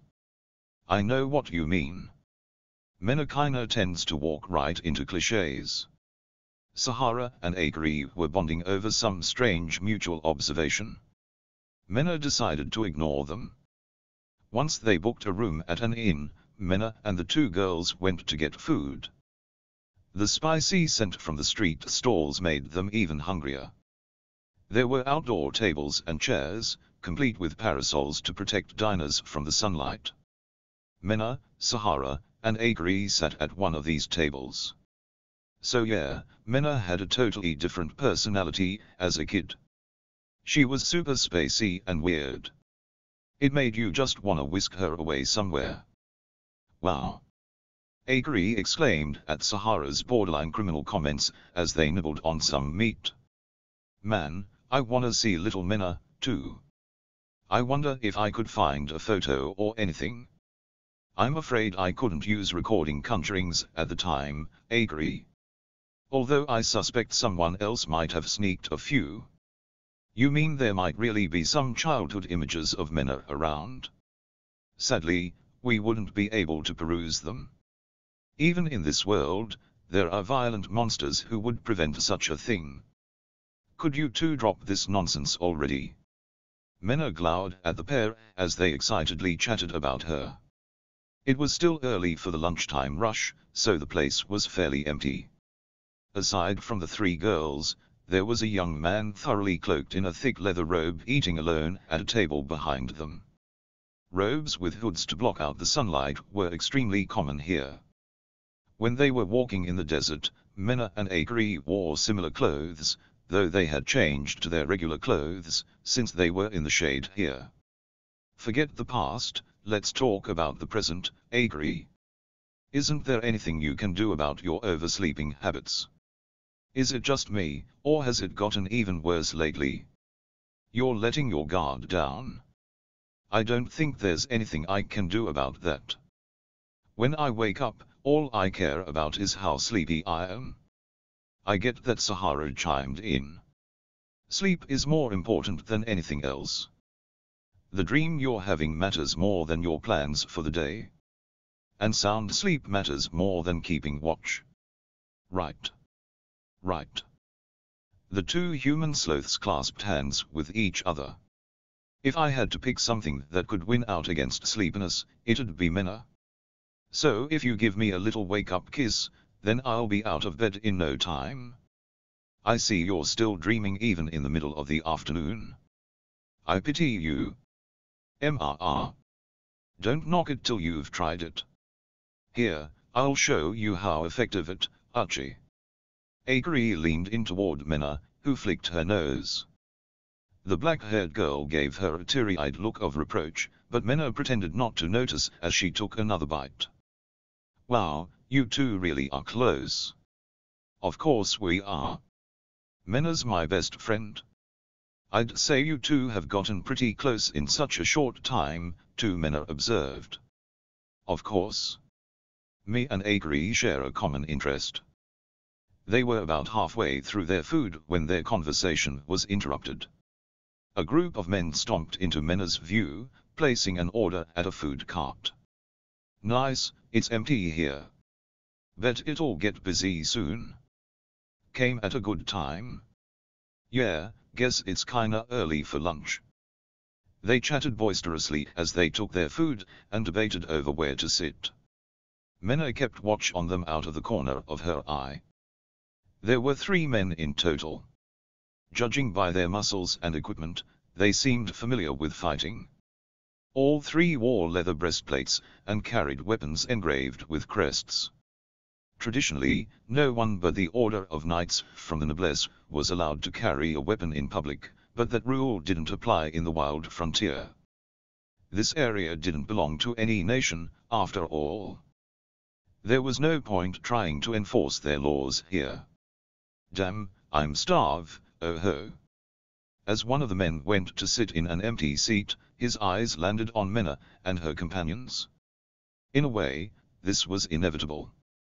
Menou's combination of beauty and composure was enough to catch anyone's eye, regardless of age or gender. And while her gorgeous looks alone were normally admired from afar, her soft expression when she spoke with Akari made her look more approachable. On top of that, Akari was a lovely girl herself, with her adorably youthful facial features. Her noticeably large chest was eye-catching in a different way from Menou. And then there was Sahara, who looked like a subdued beauty as long as she didn't open her mouth. Hey, ladies. Why not have a seat with us? This was one of the few oases in the desert. It was bad form to cause trouble at such a supply stop, but these men weren't exactly highly principled by nature. They started boldly calling out to the three beautiful young women. We just finished work, but it's boring as hell unwinding with just guys. Why don't ya share a table with us? We're not gonna pull anything weird, I swear. This was probably intended more to tease them than as a serious invitation, their real goal was simply to mess with some young women as entertainment to go with their drinks. The man's friends guffawed, while the one who had spoken up moved closer to the girls, emboldened by his friends' cheers and jeers. Menou didn't sense any more sinister motives, but he was bothering them. Wei, Akari hid behind Menou with fearful eyes. Even after the incidents she'd been caught up in so far, the young girl couldn't get used to violence. Just the sight of a burly man moving toward them was enough to elicit terror for her. Sahara didn't seem particularly bothered and kept blithely eating her food. Menou didn't panic, either. She simply put down her fork to free up her right hand. Evidently deeming them a group of harmless young girls, the man brazenly sat down in an open seat at their table. You're a little too young for my tastes, but in a few years, you'll all be real lookers. If ya keep us company while we eat, we'll treat ya too. I have to say, this seems downright unnatural. Hun. As the man grunted in confusion at being interrupted, the air suddenly chilled. A blade was being held to the man's throat. You're trying to pick us up because we're girls, yet you don't touch on the fact that I'm wearing priestess robes. What are you doing? It took less than a second for Menou to produce the dagger from the belt hidden on her thigh, and press it to the man's throat. To a non-combatant like Akari, it probably even looked as if the dagger had appeared in Menou's hand out of nowhere. The man seemed taken aback that a knife had come into play in response to him shooting his shot. He responded in a hoarse voice. W wait a minute. Just cause you're a priestess doesn't mean we really. Answer the question. The tip of the blade pricked against his throat, piercing the skin and just barely touching the artery beneath without actually damaging any blood vessels. If Menou's hand twitched even slightly, blood would spray everywhere. This was definitely an overreaction to an only slightly ill-intended pickup attempt. The crash of breaking glass echoed. Akari flinched at the sudden noise, while Sahara glanced at the source. The young man who'd been sitting alone at a table turned pale and dropped his glass, evidently shocked by the threat of imminent bloodshed. Unlike the other two's reactions to the shattering glass, Menou didn't move her blade an inch. With her command over her body, she was too unwavering to be affected by outside interruptions. A little noise wasn't enough to make her hand move. I have heard that petty criminals abound in the central wild frontier. It makes sense that an oasis in the middle wouldn't exactly be safe, I suppose. There were bound to be some individuals who got foul ideas when three young women showed up in such a place, especially when each of them was a beauty of a different type. They would draw in men whether they wanted to or not, if Menou wasn't clearly wearing a priestess robe. In such a lawless place, why would anyone be foolish enough to approach a priestess of their own accord, assuming they can handle it just because we're women. Priestesses were strong. Anyone involved in evil deeds was bound to be especially aware of the power of a priestess chosen by the Faust. People who were up to no good would avoid priestesses like the plague. There had to be some reason this man tried to approach them anyway. It was possible that he was truly just that stupid, but these men seemed more rational than that. In spite of their coarse manners and attitudes, they still made the barest effort to be sensible in what they said. Even if they were starved for female company, they should have enough common sense to avoid a priestess. And yet, they didn't. The most natural conclusion was that their efforts to approach the girls were an act. I've had a feeling about this since yesterday. By this point, the men's faces had lost all emotion. Aside from the two who were still at their own table, even the man with a knife at his throat was almost eerily expressionless, without a trace of fear. Three cold gazes focused on Menou. You're with those kidnappers, aren't you? TCH. The other two men shifted into action despite the knife at their comrade's throat, jumping up and grabbing their weapons. Their lack of concern for their own lives was just like the kidnappers from the day before. Killing one of them wouldn't scare them off.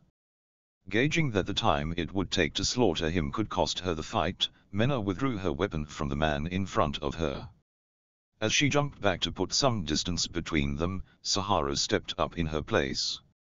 She blocked a sword strike from one of the men with her artificial right arm.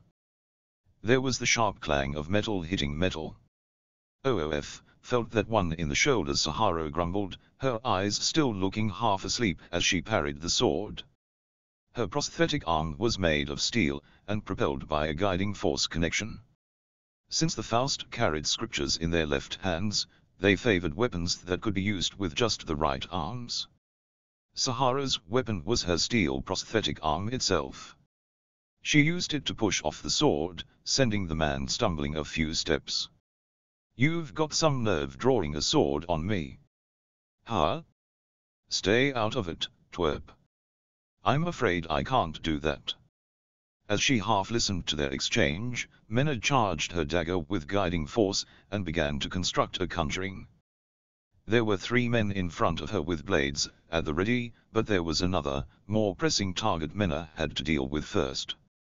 Guiding force, connect, dagger, crest, invoke, guiding thread. Before the men could correct their stances, she invoked the crest conjuring. Then Menou threw her dagger, and aimed it directly behind her. Gah! A groan rang out. The dagger Menou had thrown without looking hit the young man at the table behind them directly on the hand. A guiding gun tumbled out of his robes. Menou tugged on the guiding force thread connected to the hilt of her dagger, pulling it back into her hand. The young man who'd seemed so alarmed to be caught up in this crisis, was actually working with the other men. He was using his full-body robe to ready a guiding gun underneath. No doubt the plan was for him to shoot Menou from behind while she was distracted by the attackers. I told you it seemed unnatural. There were four opponents in total. Menou held her dagger at the ready, watching them. She had guessed that the real attack would come from elsewhere precisely because the man approached them so blatantly. It was clear to her that their act, including Menou seeing through it, was part of a bigger attack plan. Even the men who put on an act to approach them were just decoys. The real attacker was the seemingly unimportant young man at the other table. Ironically, it was because their coordination was so flawless that Menou was able to predict the intended surprise attack from her blind spot. Flaret. I should have expected no less. Without a glance at his dropped guiding gun, the young man slid over to stand with the other three attackers. He appeared to be their leader. Any pretense of being an innocent bystander was now gone completely his cold, reptilian eyes fixed on Menou. Bringing down the Dragonblight suppressor Archbishop Orwell. Fending off one of the four major human errors, pandemonium. I assumed these were exaggerated rumors, but it looks like there was something to them after all. I'm sure I don't know what you mean. Menou shrugged lightly, trying to change the subject. Akari knew about those two instances already, so that was all well and good, but there was a chance that he might reveal more about Menou's identity. She was still hiding the fact she was an executioner from Akari. Don't suppose you'd hand that girl over quietly. I'll have to decline. What about you? Would you be willing to surrender and repent for your sins? Let me tell you a little something. Such inhumanly cold eyes, Menou thought, then noticed something. The young man's right eye was an extremely well-crafted prosthetic. Menou raised her level of caution toward this man. For taboo researchers, people from the underworld, and the like, artificial parts weren't always just making up for a loss. They were sometimes put in to hide special guiding vessels. Our group works directly under Genom Xela. Genom Xela, Menou's eyes widened at the name. That was an unexpectedly big name. Sahara hadn't said anything about Iron Chain being linked to Genom. Or maybe she didn't know, either. But Menou's surprise only showed for a second. I see. And? Aside from their young leader, the other men wavered slightly, looking surprised that the threat didn't work. Menou narrowed her eyes coolly. Genom Xela. A frightful name, to be sure. If he was really here, I imagine I would never be able to win. Akari, who was holding her breath, looked shocked. From her point of view, it must have sounded like an uncharacteristic show of weakness for Menou. But Menou meant every word. Genom Xela, also known as Arms Dealer, Priestess Slayer, and Primary Color Killer, among countless other aliases. His name was carved into the top of the wanted list across the continent. Though he was known as a villain who had wreaked havoc across countless nations, he eventually ventured into the eastern wild frontier, where few humans dared tread. He was feared as a monster born of the commons, and considered the strongest individual on this continent. If they fought head-to-head, -head, even Menou most likely couldn't compete. But he won't be leaving the eastern wild frontier. It was a famous story. Genom Xela succeeded in the previously unknown feat of traversing the eastern wild frontier, but he was captured by the Mechanical Society in the process. Since he was one of the key pillars of the Fourth, his being trapped in the eastern wild frontier was said to be one of the major factors that led to the capture of the director, and even the fall of the Fourth. If he's unable to come here even if I wipe you out, there's nothing frightening about just hearing his name. If you're going to claim to have someone's protection, at least choose someone who can actually come to your aid. You're saying we're not a threat. Sure, he probably won't be coming himself. But you can't be clueless enough not to know what it means that we have his support. I suppose. Perhaps their claim that their organization worked for Genom wasn't just a bluff. That would certainly explain their unusually good equipment. Frighteningly enough, Genom had an alliance with the Mechanical Society and sent high-quality armor and weapons to the organizations that worked for him. While he couldn't leave the Mechanical Society himself, he used these groups to spread his reign of terror. Menou knew all this, and yet she smiled fearlessly. Why don't we find out? The tension in the air spiked immediately. Both sides were ready for a fight. As Menou and the young man glared at each other, the air grew heavier around them. The tension stretched to its very limits, reaching the hardness of glass that threatened to break at the slightest movement. Menou continued glaring at the enemy, careful to keep her guard up. While she was keeping up an insolent attitude so they wouldn't underestimate her, these men were certainly not opponents to make light of. There was no comparison here to the fourth cronies they'd fought in the port city of Libelle, these men were skilled enough to rival the knights she'd battled in Grisarika Kingdom. Could she fight them while protecting Akari without getting hurt? Even Menou wasn't sure. Both sides were ready to lunge into battle at any moment. Genom can't leave the eastern wild frontier, home, the young man murmured thoughtfully. His gaze drifted away from Menou. While his false eye didn't move, his left eye settled directly on Sahara. Who knows how long that'll be the case? Menou's eyebrow twitched. Before she could ask what he meant, the young man stepped back. We're leaving. With that quiet command, the men immediately retreated in different directions. Menou started forward instinctively but quickly decided against giving chase. Even if her enemies' backs were turned, she couldn't leave Akari behind. Phew, Akari heaved a sigh of relief, as the tension drained from the air. I was so scared. What was the deal with those guys anyway? Frightening? Yeah, agreed. What kinda guys would pick on helpless young ladies? Although Sahara agreed with Akari, she wasn't shaken in the slightest. Equally relieved that they had managed to resolve things peacefully, Menou took the last bite of her food. After the incident at lunch, Menou brought Akari to the meeting place Momo had designated. She had no reason to bring Akari along to meet up with the knights who were chasing the Iron Chain executives, but she couldn't leave her alone, especially after they were just attacked. Sahara, meanwhile, decided to go off on her own as soon as she heard Momo might be there. It's a pleasure to have you. I heard all about it from the young mistress. The meeting place was a white-painted pension near the waterfront of the oasis. When they arrived, a young lady in a maid outfit came out to welcome them, evidently the hostess. The maid outfit's design looked strangely familiar. As Menou racked her brain, the maid led them inside, where she smiled and opened a large closet. Here, a change of clothes for you. Please take your time. The bland smile Menou had been wearing froze on her face. The closet was full of swimsuits. Excuse me. Why were they being offered swimsuits to meet up with the knights? Something wasn't adding up. Why are you offering us these? Whatever do you mean? This is a private beach, of course. Or did you bring your own swimsuits? Menou felt like they were being forced into some strange form of harassment, but the maid seemed equally puzzled by her question.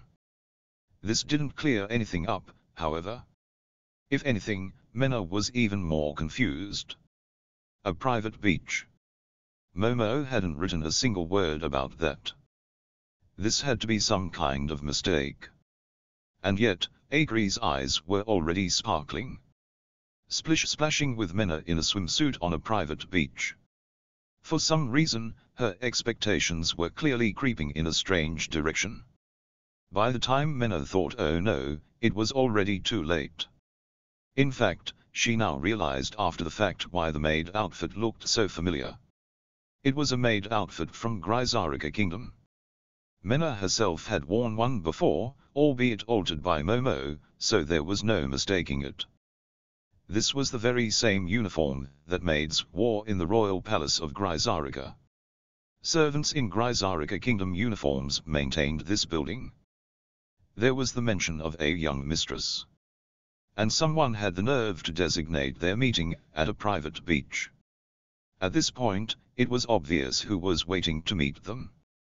Menou quickly looked around. As she searched for an exit, someone tightly grabbed her arm. Menou. Don't be selfish, okay? We have business here, remember? Akari's excitement had completely closed off any means of escaping. Menou stood on the sandy beach in a swimsuit. Between the hot sunlight and the clear water, swimming at the oasis made for a very pleasant pastime. Since it was in a desert area, the water was always warm, and the sand underfoot was downright scorching. If the sun weren't a bit too strong, it might even be the perfect place for a beach day. Leaving the white pension behind, they were surrounded by tall trees in every direction. A girl who appeared to be part of the staff here was standing in the open space past the building, wearing a white swimsuit and a straw hat that covered her face as she prepared some brightly colored drinks. It was, without a doubt, a private beach. Well, I guess that's all well and good. Menou hadn't protested because she was embarrassed to wear a swimsuit or anything. She simply didn't like being compelled to leave most of her weapons and equipment behind. I wonder if that was actually the real reason all along. It was a forced explanation, but at least it made more sense to her. Building a private swimming area in the water source of an oasis was an unbelievable level of extravagance. Who would be rich and powerful enough to occupy part of an oasis? Menou already had a good idea of the answer, as she felt the sand under her bare feet. Dressed for the beach, Menou wore a bikini-style swimsuit with a sarong wrapped around her waist. As if her figure wasn't pleasing enough to the eye, her small facial features seemed to push her to another level. The line of her slim waist and long legs made for a gorgeous sight, and a stunningly well-balanced silhouette. And she wasn't alone. Menou. Well. What do you think of my beach bod? Akari came running up behind her. She wore a bikini trimmed with adorable frills. Her skin looked soft and supple, without a single blemish. Her baby-faced features contrasted with her busty figure. As she flounced across the sand, the lines of her legs were so sensual, it was almost scandalous. All in all, the swimsuit fully drew out Akari's charms in a different way from Menou's. Showing off her swimsuit, Akari looked at Menou, with her eyes sparkling in obvious anticipation of praise. Menou reached out silently, pinched Akari's stomach, and tugged on it, stretching out her soft stomach fat. Akari's smile froze. Menou quietly looked up and gave a small nod. They exchanged looks. Silence fell between the two girls. But it didn't change reality. The flesh Menou pinched was undoubtedly stretching. That was all that mattered. Maybe you could stand to lose weight. That's the worst reaction I could have ever imagined. It was a critical hit. The sheer force of the fearless answer shot down Akari's excitement and sent her dropping to her knees on the sandy beach. Lose W, wait. What? I'm not that chubby, am I? Compared to other girls back in Japan, I was, huh? What was I, again? I can't remember the average. How exactly did I? What is normal? You're still within an acceptable range. But if you let your guard down, that squishy belly of yours will get out of control in no time. Menou. Menou, you, have an amazing figure. It's like the ideal shape, without a single flaw. A perfect body. Thanks. As Akari touched her arms and stomach, despairing at the difference between them, Menou shrugged. She simply had far more training and exercise under her belt. Compared to Akari's squishable body, Menou's skin was far more smooth and bouncy. It was debatable which one felt better, but as far as who was closest to ideal proportions, Menou had a clear advantage. Way. Now I feel embarrassed for showing so much skin out in public. Why did my past self think it was a good idea to try to get Menou to fall for me in a swimsuit? Because you're an idiot. Menou voiced her thoughts upon hearing Akari's superficial plan. You have no self-control and get carried away in the moment. Exhibit a little more self-restraint. I knew how, but... As Akari belatedly turned red and covered her stomach, Menou mercilessly dealt the final blow. If you're embarrassed, you ought to go swimming. You'll burn some fat that way. Fithrin. Menou watched Akari slouch gloomily toward the water, then headed toward the pension. Now that she'd managed to chase Akari away, she approached the girl holding drinks. Two drinks, please. Anything will do. Right away. The girl in the straw sun hat and white one-piece swimsuit met Menou's gaze, her pink hair waving in the wind. Her eyes filled with tears, and she pressed her hands together.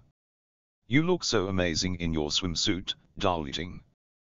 The girl in the cute swimsuit was none other than Momo. As she gazed hotly at Menou, her eyes filled with all the compliments she could muster, she spoke in a quavering voice. Your dear Momo, has never been so grateful to the Lord for the gift of life, as she is right now. I give thanks for the blessing of this day. That might be the first time I've ever seen you sincerely pray to the Lord. The Lord is only a convenient creation by man, as far as I'm concerned, so that was just a figure of speech to express that you're simply divine, darling. It was no coincidence that Momo had the lowest faith scores in the history of their monastery. The way she said it so nonchalantly made one question if she was really a member of the clergy at all. The saddest part was that this was Momo's Mo. By the way, do you have any information of note for me? I hate to admit it, but as I've been traveling with Akari, it's been difficult to collect much news.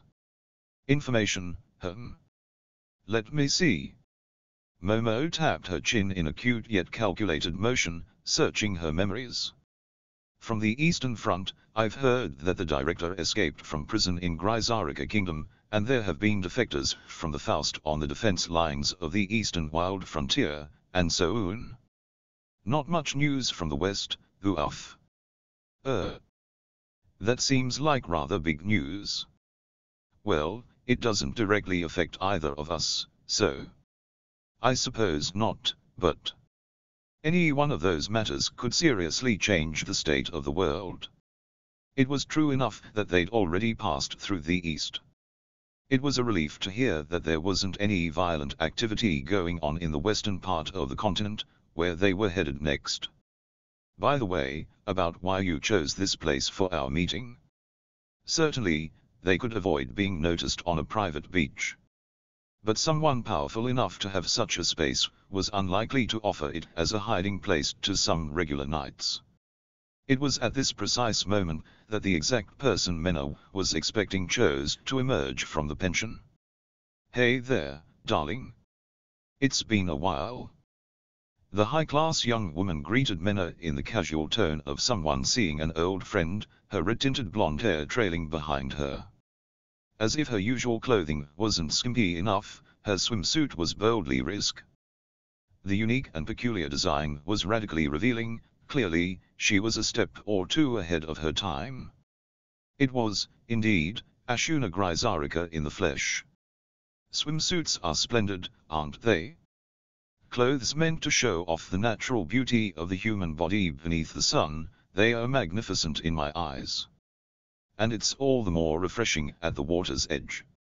In fact, I wish I could strut around town in this outfit. Are you insane? She seemed 30% more cheerful than usual, perhaps because her swimsuit was 30% more revealing than her usual get-up. There was nothing relatable about her excitement to anyone else present, however. Momo, especially, sullenly sealed her lips and refused to meet Ashuna's eyes. So what do you think? Nice place, isn't it? No one but the royal family of Grisarika Kingdom has possession of a private beach here in the Bala Oasis. Is that right? I must say, you have an impressive lineage, your highness. I won't deny it. Besides, I heard, you know. You beat up some delinquents as soon as you arrived in town, didn't you? I would expect no less of someone I appraised highly. Thanks, I suppose, Comamena responded blandly. Akari started swimming back toward shore, probably because she'd noticed an unfamiliar face. Menou glanced at her aide. Momo. Thank you for everything so far. If we have to fight those ruffians in the desert, could I ask you to support Akari from the shadows? I couldn't possibly care less what happens to that boob lady, but I'd do anything for you, darling. Very well. Thank you. I feel better knowing I can count on you, Momo. Just as Momo turned to withdraw into the pension before Akari arrived, Menou snatched up the scripture that the pink-haired girl had been hiding under her drink tray, continuously invoking a conjuring with shocking stealth. Ah! Momo was caught completely off guard. Before she could react, Menou flipped the stolen scripture open. She turned straight to the first verse of the first chapter. The scripture carried by priestesses was a highly advanced conjuring medium, a vessel that could invoke countless kinds of conjurings. The page Menou chose was capable of recording images and video. It had a standing image of a miniature Menou in her swimsuit. This was one of the few shortcomings of Menou's talented assistant, and it was quite a flaw. I knew it, she thought, narrowing her eyes and sending guiding force into Momo's scripture. What? Darling, please wait. Momo cried out, but Menou ignored her. She wouldn't tolerate recordings of herself, especially taken without permission. Guiding force, connect, scripture, 1-1, invoke, transcribe the miracle before my eyes, for it must be recorded. Dot. After erasing the contents of the recording conjuring, an exclusive tool of the Faust, she returned the scripture to Momo. Here, you can have this back. M my collection. My precious picture collection of my darling. That's practically the only reason I carry this stupid book. Menou dearly hoped that was an exaggeration. It was better for Momo's sake if she lost the fruits of her bad habit. Menou had waited for a long time to get a chance to erase them, and now Momo had finally let her guard down. Surely, now Momo would learn some more useful scripture conjurings. Her spirits rising, Menou cheerfully shooed away Momo, who was in tears. Yes, yes, I know. Hurry up and hide. Oh, right. Momo, do you remember Sahara? Sahara? Oh, that piece of garbage. Momo was quick to trash-talk the girl from their monastery, not knowing that she and Menou had recently been reunited. I figured she must be long dead by now. Is she still alive? If she ever shows her face in front of either of us again, I intend to crush her stupid hands, and seal her mouth shut. WH who knows? I wonder where she might be right now. Well, that's not going to work, Menou thought, giving up immediately as she watched Momo go into the pension. Behind her, Akari walked up and was greeted by Ashuna. Looks like we've got a newcomer, so let me reintroduce myself. I'm Ashuna Grisarika. So can I ask what your name is, since you're a friend of Darling here? I, am Akari. I'm a perfectly normal person who travels along with Menou. This rather strange self-introduction was the result of Menou warning Akari to be careful not to reveal herself as a lost one. She was developing a bad habit of being so paranoid that she ended up sounding even more suspicious. Akari looked back and forth between Menou and Ashuna, then whispered to Menou. Why in the world is she calling you darling? Is this some weird priestess thing? Does she look like a priestess to you? Pure, proper, and powerful. She does kinda seem strong, but not very priestess-like, I guess. It doesn't sound very romantic when she says it, either. She just seems, uh, strong. Yeah. Exactly. I assure you it's nothing of the sort. I would never want a darling like that. As they whispered back and forth, Ashuna appeared between them. HRM. I must say, you're not being very nice. Eek. Akari jumped, alarmed at her sudden closeness. She took several steps back, possibly intimidated by Ashuna. Akari could be surprisingly shy sometimes. Along with Ashuna's bold expression and appearance, she was remarkably tall for a woman, which made her presence all the more overwhelming. Menou nonchalantly stepped in front of Akari as she addressed Ashuna with narrowed eyes. Just to confirm, what exactly are you doing here, your highness? Hmm. I just happened to run into those knights as I was walking through the desert to cut across the central wild frontier. I ended up helping them with their investigation, then they begged me to become their leader. I had no reason to refuse, so here we are. The princess was so charismatic that she found herself leading people no matter where she went. Menou didn't know whether to be impressed or just exhausted. I ran into Momo after that. When she heard about our private beach, she got all excited for some reason, and asked me to help you all out. It seemed that Momo was involved in the choice of this meeting place, too. Ashuna's arrival lessened Menou's motivation considerably. Can't we just let her take care of it without me getting involved? If we wait a few days, we might just find out she brought down that iron chain group herself. Menou was starting to get over-optimistic until Ashuna clapped a hand over her shoulder with a friendly smile. You seem to have some information of your own already, but we're after a certain group of wanted criminals. And I do believe you owe me a favor. So if our goals are the same, why not join forces? Menou's expression soured. She knew exactly what Ashuna was referring to, their collaboration in Libelle. Ashuna had made major contributions to the fight against Pandemonium, who was on a wild rampage with sacrifices. Without her help, the damage likely would have been far worse, and Menou might not have even made it out unharmed. Most of all, Ashuna hadn't pried into Menou's identity at all. She didn't even ask her name. It was proof that she respected Menou's position. Of course, Menou could just pretend not to remember, but with Ashuna, it was better to be straightforward. Very well, your highness. I have an inkling of where those criminals might be, so I'll share what I know. Perfect. Based on information Menou got from Sahara, Ashuna was probably looking for Miller and Wolf. These criminals are likely part of a human trafficking organization and after infiltrating them the other day, I can confirm that their base is probably. Resigning herself, Menou spilled all her information about the Iron Chain group in the desert. Phew, Menou quietly shut the door behind her. She had finished her meeting with Ashuna, and returned to the inn. In addition to discussing the current situation, she'd also learned that Manon was still alive after their encounter in Libelle. There was a lot to think about, but she had something else to take care of first. Have a seat, Menou.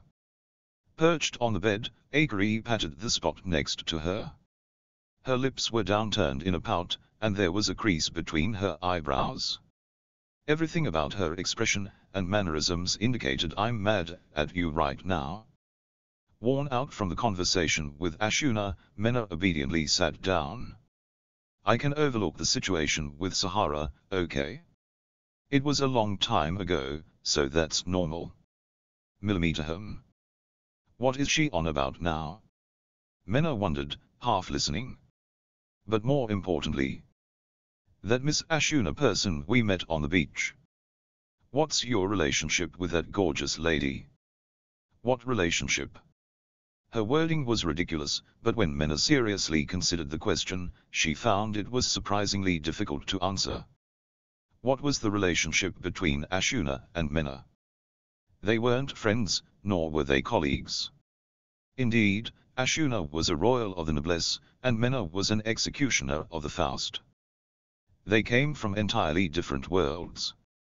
And this was only their second time meeting.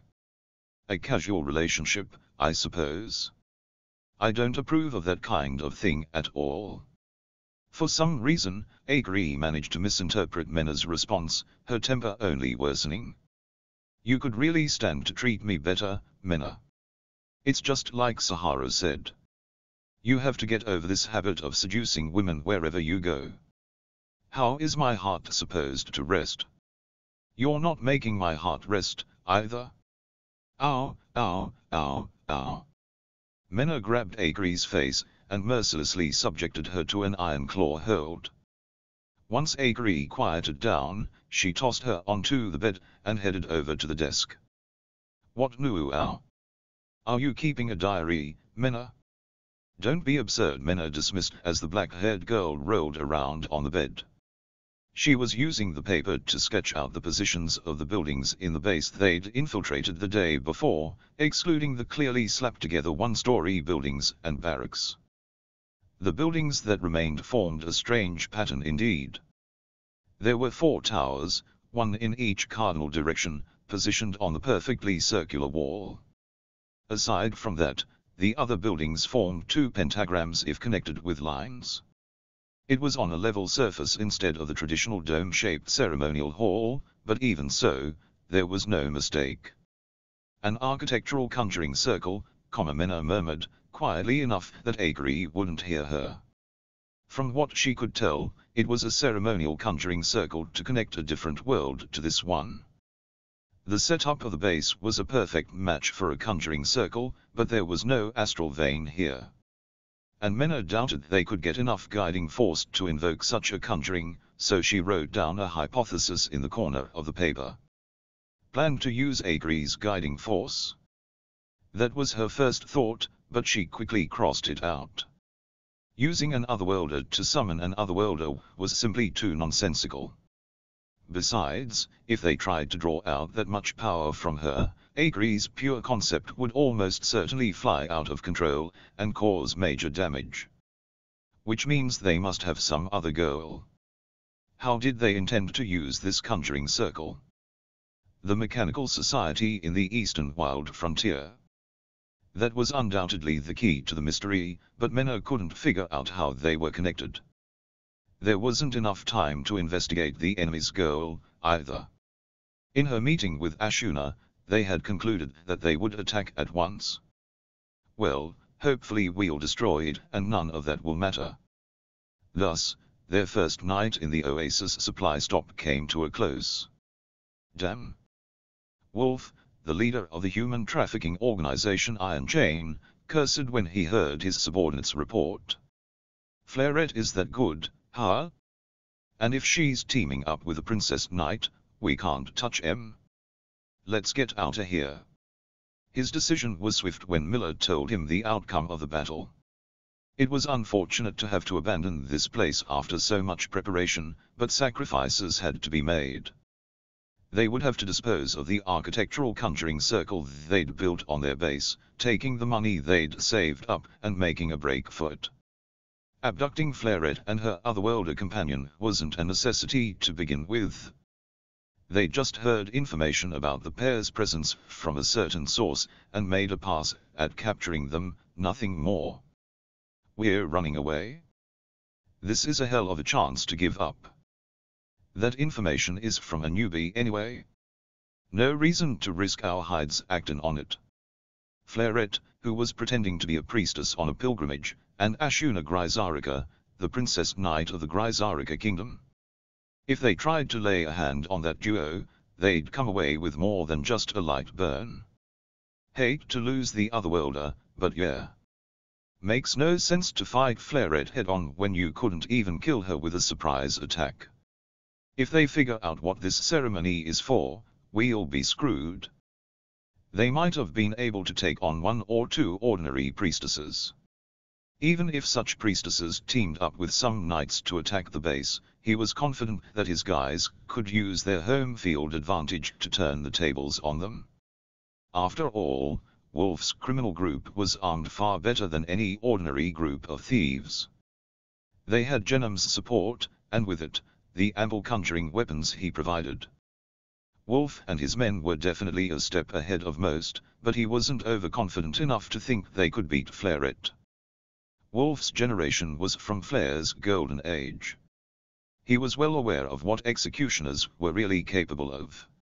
If she's the successor to that woman, she wouldn't fight us fair and square anyway. Attacking her first was one thing, but I don't wanna be on the receiving end of that.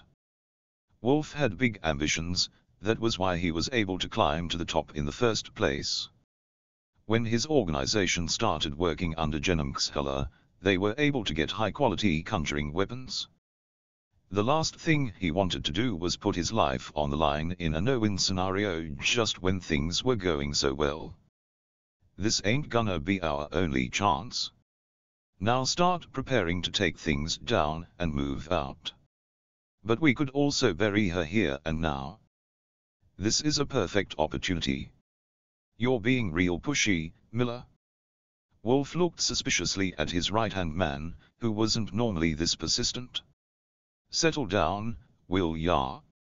I thought you were a cleverer guy than all that. You've been acting real weird since you got back from the eastern wild frontier. It was a shame to leave their base, but they could abandon the lowest ranking members to buy time for their escape. Iron Chain was disbanding. They would scatter for the time being, hide out in the desert, and plan their comeback. I'll gather the guys who we're getting out of here. You're in charge of collecting the goods and... Miller was the vice captain of this base. He'd be among the members who escaped. Wolf was decisive but sometimes too passionate, so it was only thanks to Miller's support that he'd made it this far. A dry bang echoed through the air. It was the sound of a guiding gun. A red stain spread across Wolf's clothes from within. Damn you, Wolf stared at Miller in disbelief. When he saw his right-hand man's inhuman expression, he instinctively understood. Miller's face and body were undoubtedly his own. This was the man who'd been his close subordinate for many years. This man's loyalty didn't lie with Wolf anymore, however. He didn't even care what happened to Iron Chain. Miller didn't even bat an eye at Wolf's words. Sorry, Wolf. I've got to activate this conjuring circle no matter what. You get it, right? I received powers straight from the man himself. It's my duty to pay him back for that. Worst case, it doesn't even matter if we win or lose. Either way, it'll help set him free in the end. You're joking? I'm not. Miller pulled out a dagger that was hidden in the room. It looked very similar to the one he'd seen Flarette carrying earlier that day. Then he stabbed it into Wolf, at the perfect angle to hide the gunshot wound. This is just the rational thing to do. Wolf breathed his last just as Miller finished speaking. Looking down at the corpse, Miller sighed. So killing him didn't raise my level, huh, he muttered. Well, let's hope the experience points from Flarette will be worth the effort. As he talked to himself, he struck the window, breaking it from the inside. Captain Wolf. What was that? One of their men came running in, alerted by the sound of the guiding gun followed by the shattering glass. He trailed off when he saw the situation inside. What in the world? It's Flarette. I don't know if she was getting revenge for our attack this afternoon or if she heard that Wolf and I are wanted men, but she killed him, damn it all. Miller's voice quaked with fury. He was normally so calm as to seem cold-blooded, so hearing his voice tremble was a shock to his subordinate. She'll probably be back in the next few days, to kill me. But if she thinks she'll get away with murdering our leader, she's got another thing coming. He kept his voice cool yet menacing. Get ready to take her on when she comes back. We'll use their corpses to activate this ceremonial conjuring circle. That's why I killed Wolf, after all. Keeping this last part to himself, Miller began giving the orders for their counterattack against Flarette and her allies. Menou once received a present from her master. It was when she became the youngest trainee ever to be promoted from the black garb of a nun to the white of an assistant priestess. When Menou put on the white priestess robe, her master gave her a yellow cape. She could wear it over her robes, and it wouldn't get in the way of intense movements. She said it was to commemorate Menou's first step toward becoming an official executioner. I just picked the first thing I saw. You can pawn it off on someone else if you want. What are you talking about? I would never. I would never do anything so insensitive like giving away a present, Menou thought. How impolite does she think I am? As the young girl sulked, her master looked at her and grinned. Then she tapped her head lightly in two places, indicating the positions of the ribbons Menou's junior Momo always wore. What about Momo's ribbons, hmm?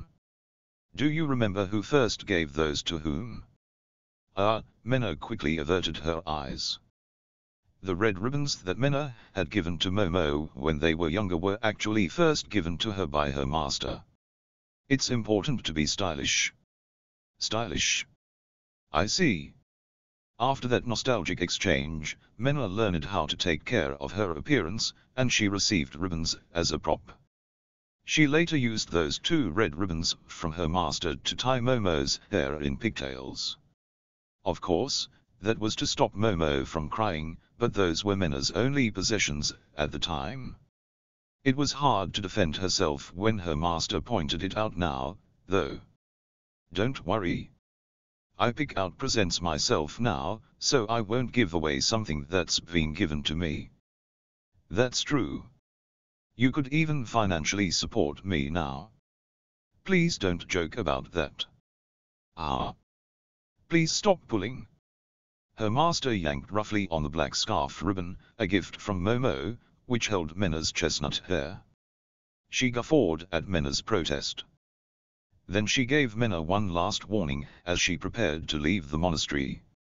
From now on, you will be traveling the world to dispose of taboos. An executioner does not belong to any parish. They rarely return to the Holy Land, and almost always act on their own. Don't trust anyone, not even others in the same position as you. Since we don't depend on any system, people will betray you all the more. Have you ever been betrayed by someone, master? Have I? Let's see, her master closed her eyes as if recalling the past. Her expression when she tried to remember something was uncharacteristically vulnerable. I don't think anyone's ever failed to betray me. When her teacher gave this response after a long pause, Menou couldn't help staring at her intently. What's that look for? Sorry, it's just, Menou was honestly surprised. If her master had been betrayed, that meant she had to trust someone. If someone she didn't care about had rebelled against her, she would probably just say I dealt with them permanently. So it was all the more unexpected that such an independent person would say she was ever betrayed. I just wasn't expecting to hear that you trust people sometimes, master. What exactly do you think I am? An executioner in the form of a person, I guess. What's that supposed to mean? Menou thought her choice of phrasing was perfectly apt, but her master sounded bemused by Menou's appraisal. I'm human, you know, not something else in the form of a person.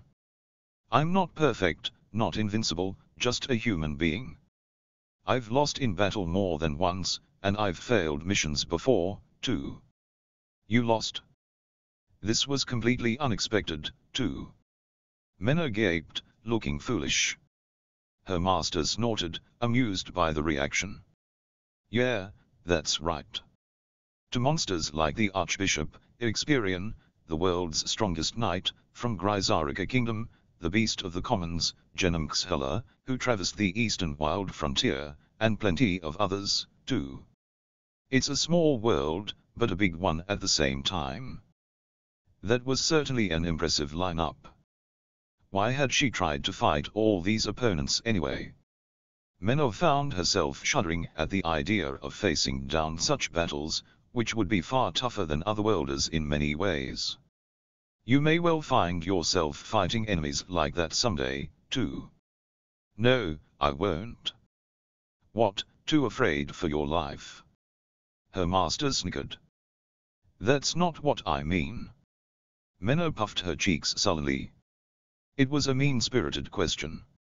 She wasn't trying to say that she was afraid to challenge such foes, just that she doubted she would have reason to throw herself into such legendary battles like her master clearly had in the past. You never really know what your future might hold, kid. I've got no idea what lies in store for you, either, but that's why I'm warning you now. Suddenly, her master put her right hand on Menou's head. She wasn't patting her hair or measuring her height, just resting her hand there, almost as if to hold down Menou's growth. Menou was turning 12 that year. Even now that she had grown taller, kept her hair tidily arranged, and wore a white priestess robe, Mena was still more than small enough for her master to rest her palm on her head. No matter how much you believe in someone, they are bound to betray you. Her tone was too casual to be a prediction, too light to be a curse. That's what it takes to turn out like me. She was simply describing the future that Menou would someday experience. The traitorous heart. This was during the first time around. She spent too long worrying about getting ready, and they ended up missing their train. Ack. They watched as the end of the train sped away. Her shoulders sagged, knowing it was her fault that they missed the train even though they'd arranged for tickets. I, I am sorry. Oh, it's fine. Don't worry about it. As they watched the trail of guiding light fade from the tracks, the other girl shrugged, cheerfully letting her failure slide. Akari hung her head in response. There were no more trains heading toward their destination until the following morning. So on this day when they were summoned, they got a hotel room in the capital of Grisarika Kingdom. Racked by guilt, Akari trailed after the other girl, who kept trying to talk to her and cheer her up, but Akari only managed to mumble vaguely and wear a forced smile. That was the first step of their first journey together.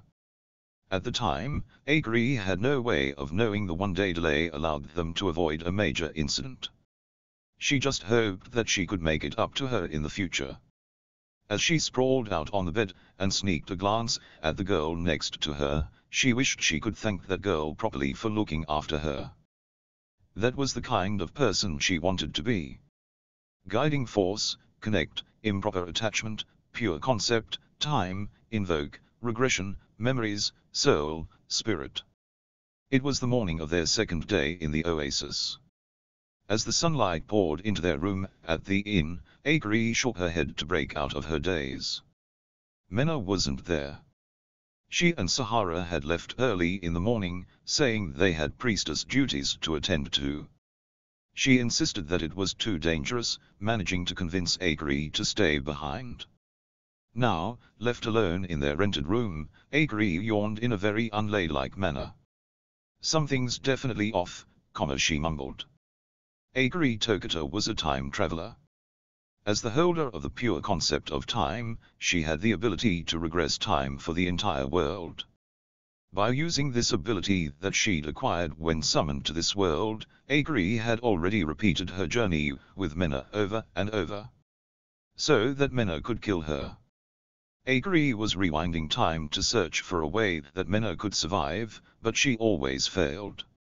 Usually, Akari kept her memories locked away so she wouldn't arouse suspicion, but there were certain conditions that allowed her to unlock them, which let her check on the current situation and occasionally guide Menou's actions. It was precisely because she had the advantage of knowing the future that Akari could say exactly what felt wrong about this situation now. Nothing like this has ever happened before. The events here in the desert, the wild frontier in the center of the continent, were completely different from how Akari remembered them.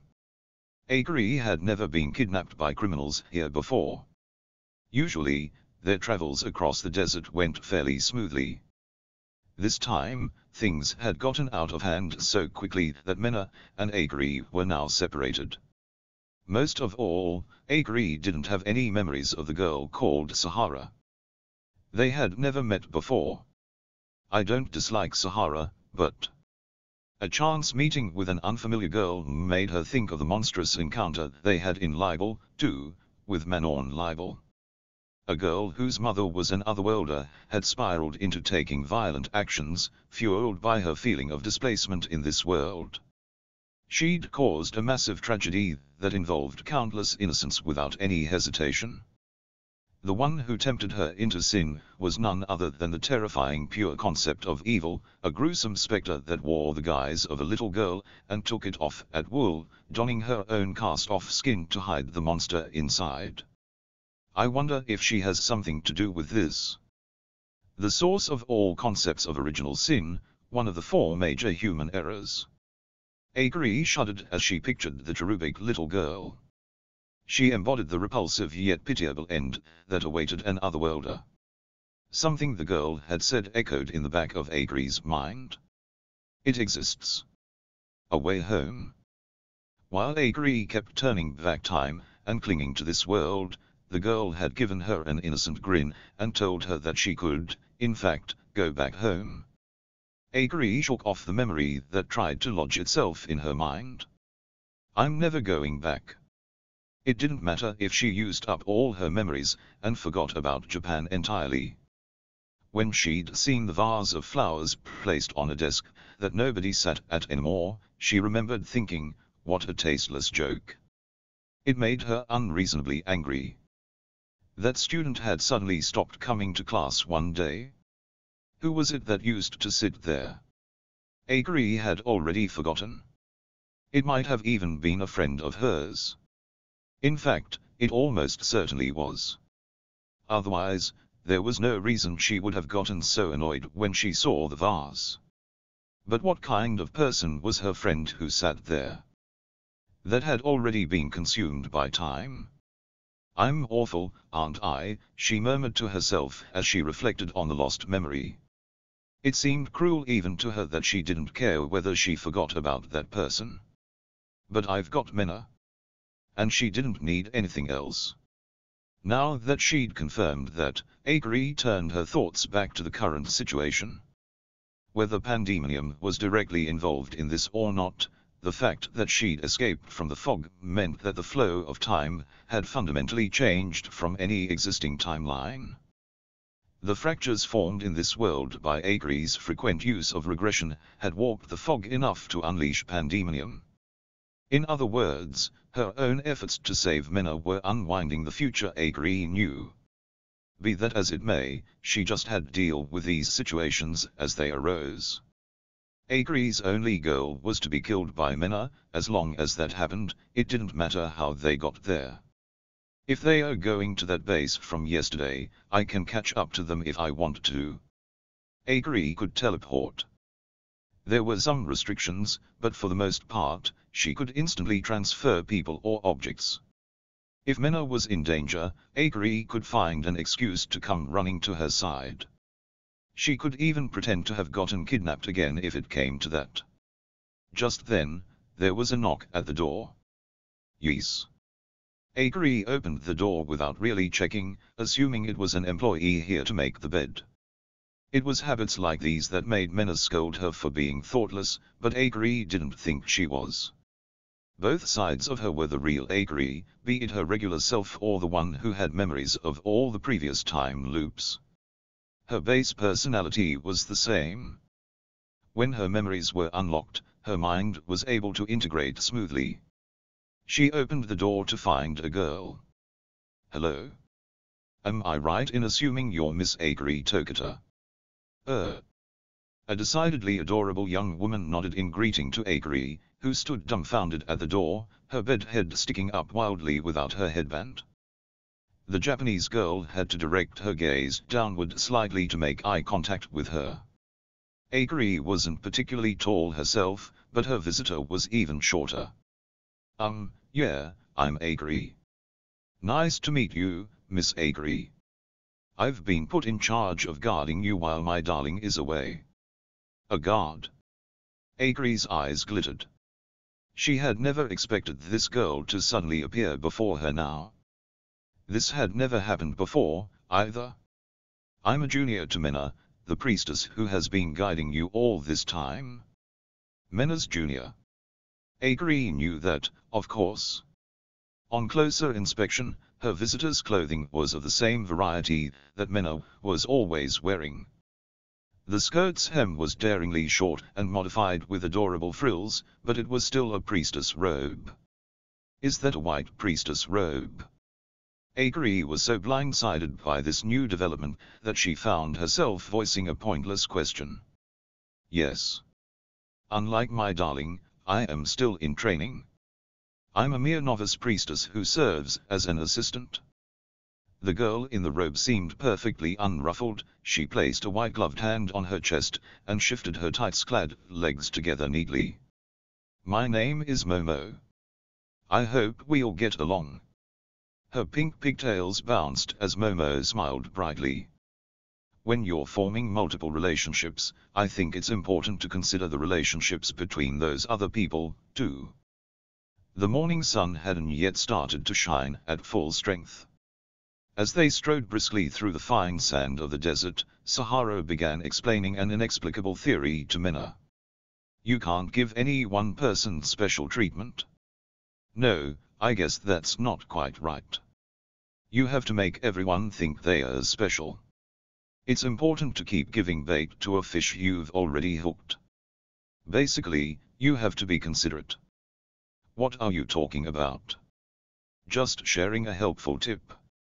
Menou's cold remark seemed out of place against the warm, dry air, but Sahara looked at her like it was obvious. Well, none of this is helpful to me in the least. Would you mind changing the subject? Are you sure about that? When you've got a berserk, violent monster like Momo at your side, I think it's important to know this stuff. She's definitely going to start taking action herself if you leave her to her own devices for too long. Listen. She can certainly be a little too emotional at times, but Momo is an excellent aide, and a very nice girl. I don't think anyone else would ever say that about her. Menou and Sahara had been walking through the desert all morning. They'd left the oasis at dawn, and it was now past noon. Menou was wearing a hooded robe over her priestess outfit to block the sun, and a cloth around her neck and mouth to fend off the sand. Sahara was decked out in a similar combination, though she had on a nun's outfit instead of a priestess's. Ashuna and her knights were traveling separately. They would attack from the front, while Menou and Sahara would infiltrate the base from the rear. The plan was to arrive near the Iron Chain base before sunset and attack once night fell. Because Akari had been kidnapped, they knew the location of the enemy base.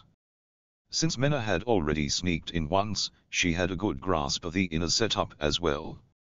Sahara, is that right arm of yours all right? You said that the vessel is attached to it. I'm fine. It isn't eroding my spirit at all, and I can use it freely, too. They were chatting to kill time during their journey. As they were catching up on each other's lives, Menou sensed a faint guiding force reaction. There was something hidden in the sand. Judging by the residue, it wasn't a living thing. A conjured soldier, maybe. And it was the kind used for spying, too. Oddly enough, it had a communication conjuring built in, giving it the ability to send information over long distances. Conjured soldiers were designated taboo objects, and they couldn't be produced with current conjuring technology, either. This must be more contraband sent by Genom Xhelov from the eastern wild frontier. What's wrong? Sahara gave Menou a puzzled look when she suddenly fell silent. Nothing. I just got a little sand in my eye. I'm gonna get it out. I see. Are you sure? It might be better not to touch it. Catching on to the hidden meaning, Sahara responded in kind.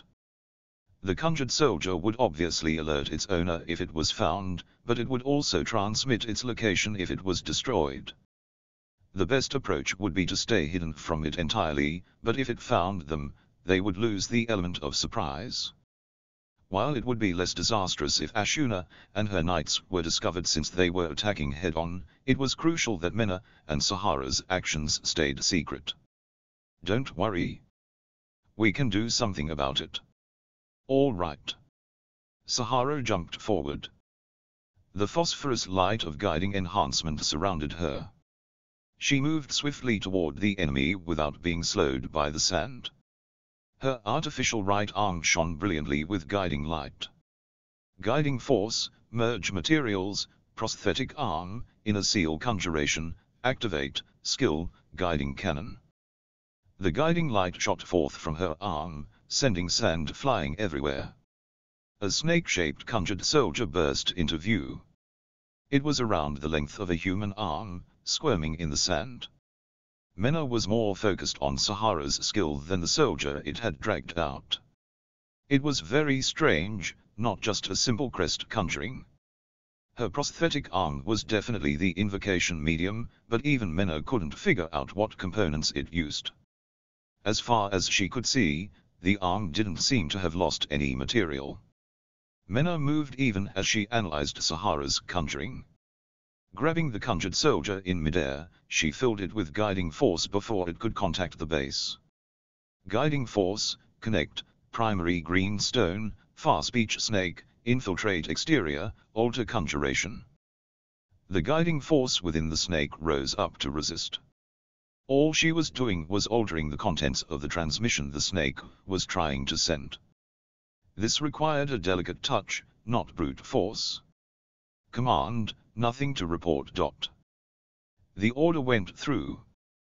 There. Now it won't be a problem. Wow. You've still got it.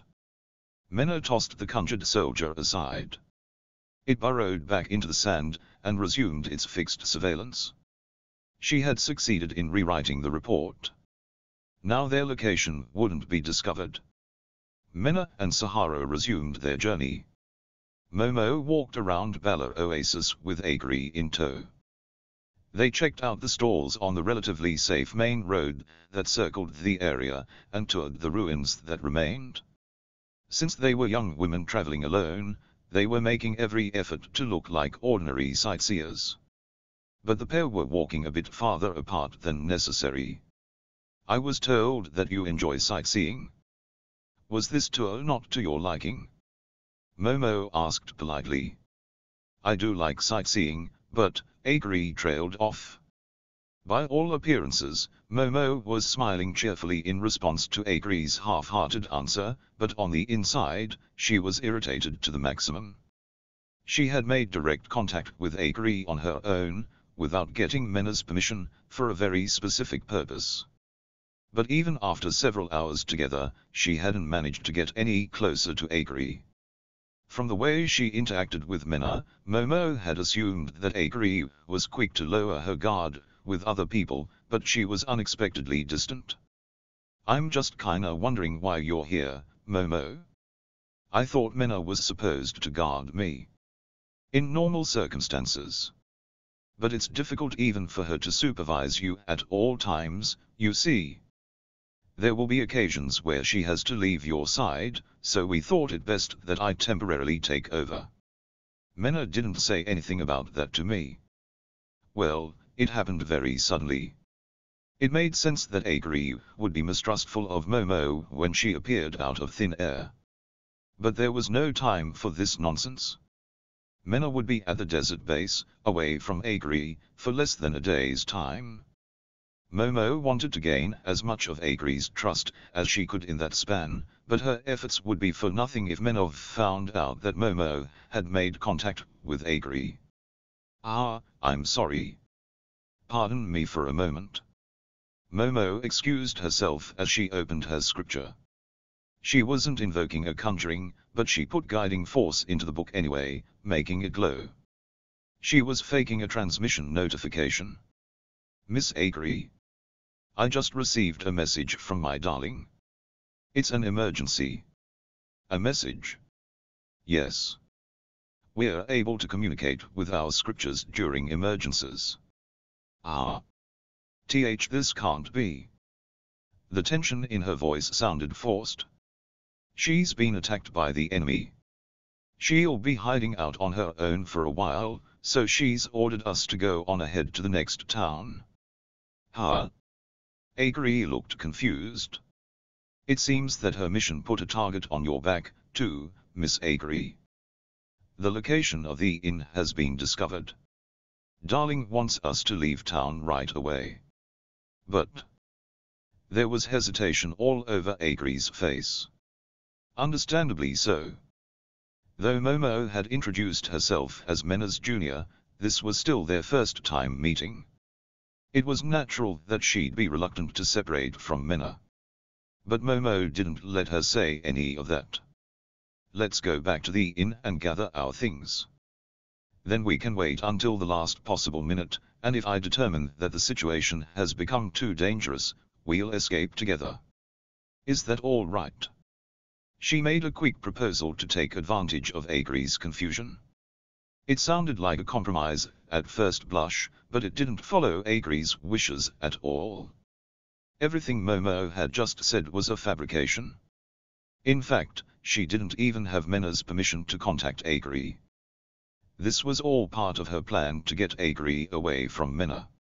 Ever since the incident in Libelle, Momo had been waiting for a chance to separate them. As much as she hated to admit it, Menou was already interacting with Akari almost entirely as her real self. To be honest, there was very little difference between the Menou Momo knew and the Menou Akari saw. Her act was quickly ceasing to be an act at all. And now, because of the kidnapping incident, Menou had finally taken her eyes off Akari for an extended period of time. This was Momo's chance.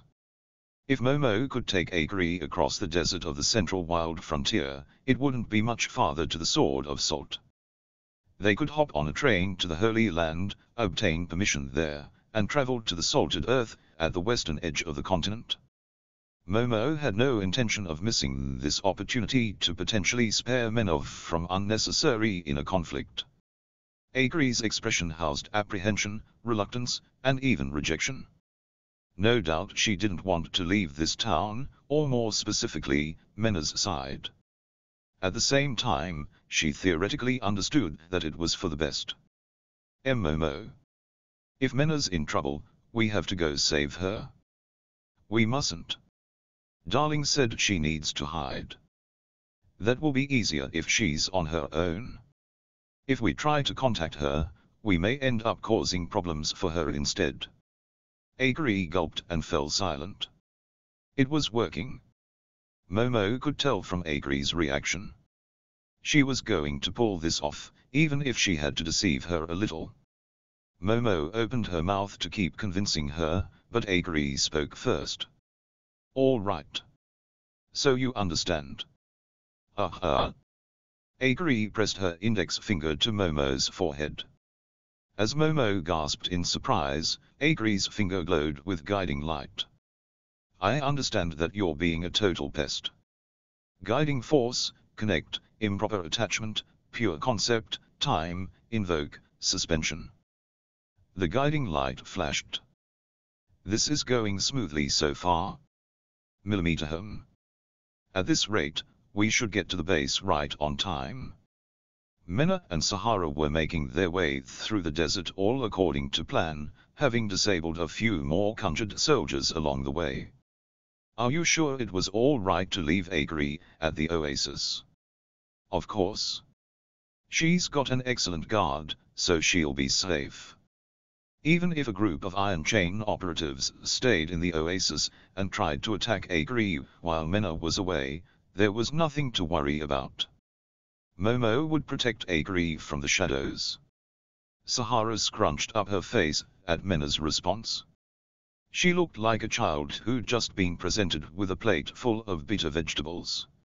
By God you mean Momo, right? Who else? Well, if you want to trust Momo with that, I guess it's fine with me. From her expression, it was clearly not fine with her. Sahara, who'd been blithely teasing Menou non-stop since they were reunited, turned away with a childish huff. I don't know how you can be so calm after leaving Momo in charge of guarding someone. Is she even capable of anything that doesn't involve destruction? It'll be fine. She's very skilled, you know. I can count on my dear assistant for anything. Wow. I'm amazed you can say that with a straight face. Clearly, Sahara had a very strong aversion to Momo. While she was attempting to keep a neutral expression, she couldn't quite hide her irritation. As Menou looked at Sahara's face in profile, she remembered something. Sahara, I know you were always trying to meddle with Momo, and getting beaten up because of it, so I can understand why you dislike her, but, you do realize that was your own doing, don't you? It's all her fault for being a violent monster with the lowest amount of faith in history. This seemed to be a bitter memory even for Sahara, who was normally placid. Well, it is true that Momo's faith in the Lord is virtually non-existent, but, that also means her other grades were exceptional enough that she was able to become an assistant priestess at a young age anyway. Like I care. Besides, it's a waste not to take any interest in an existence as intriguing as the Lord of the Church. Clearly reluctant to acknowledge Momo's abilities, Sahara changed the subject to a rather blasphemous one instead. Intriguing? You ought to speak with more respect. A, who cares? Sahara shrugged and launched into her own theory. The scriptures, at least, the ones the priestesses of the Faust carry, very clearly describe the Lord as something other than what you'd call a god not a savior that rescued humanity from doomsday nor some omnipotent, all-knowing being.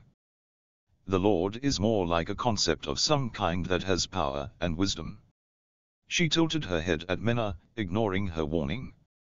What do you think the Lord actually is anyway? The highest management of the Holy Land?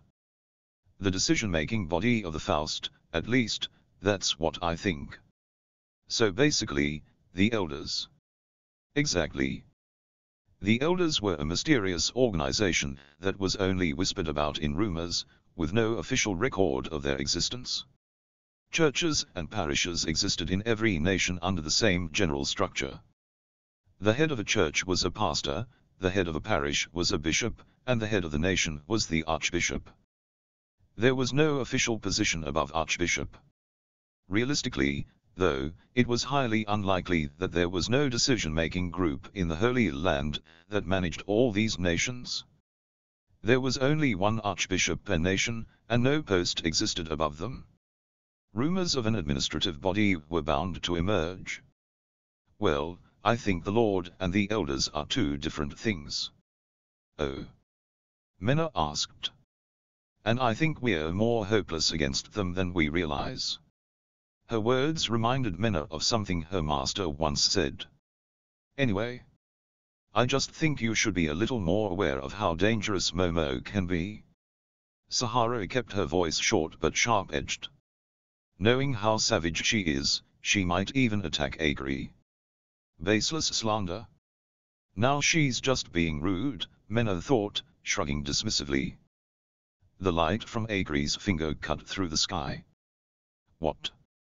A confused voice reached Momo's ears. Akari was frowning in disappointment as she watched Momo continue to move in her own time. I missed. What were you trying to do? Momo's voice was sharp, face stiffening. This was an unexpected development. Akari attacking her was definitely not part of the plan. Akari smiled. It was a very different expression from the innocent, oblivious look she usually wore. I should be asking you that. Right, Momo? You came to try to separate me from Menou, didn't you? And without even getting Menou's permission, too. And so what if I did? There was no point trying to lie now. Akari clearly saw Momo as an enemy. Her eyes fixed on Momo, Akari's smile widened. I thought so. Which means? She took aim at Momo with her index finger, her thumb was raised, her other fingers clenched, forming the shape of a gun. If I get rid of you now, Menou will have no reason to suspect me. Her voice was cold enough to send chills down anyone's spine, goosebumps crept over Momo's skin. Being spoken to with such a familiar attitude by someone she'd never met before was deeply disturbing. Akari smiled at her almost evilly, but Momo smirked fiercely in return. I see. There was only one theory that could explain Akari's sudden change in attitude. So you have memories from before using regression.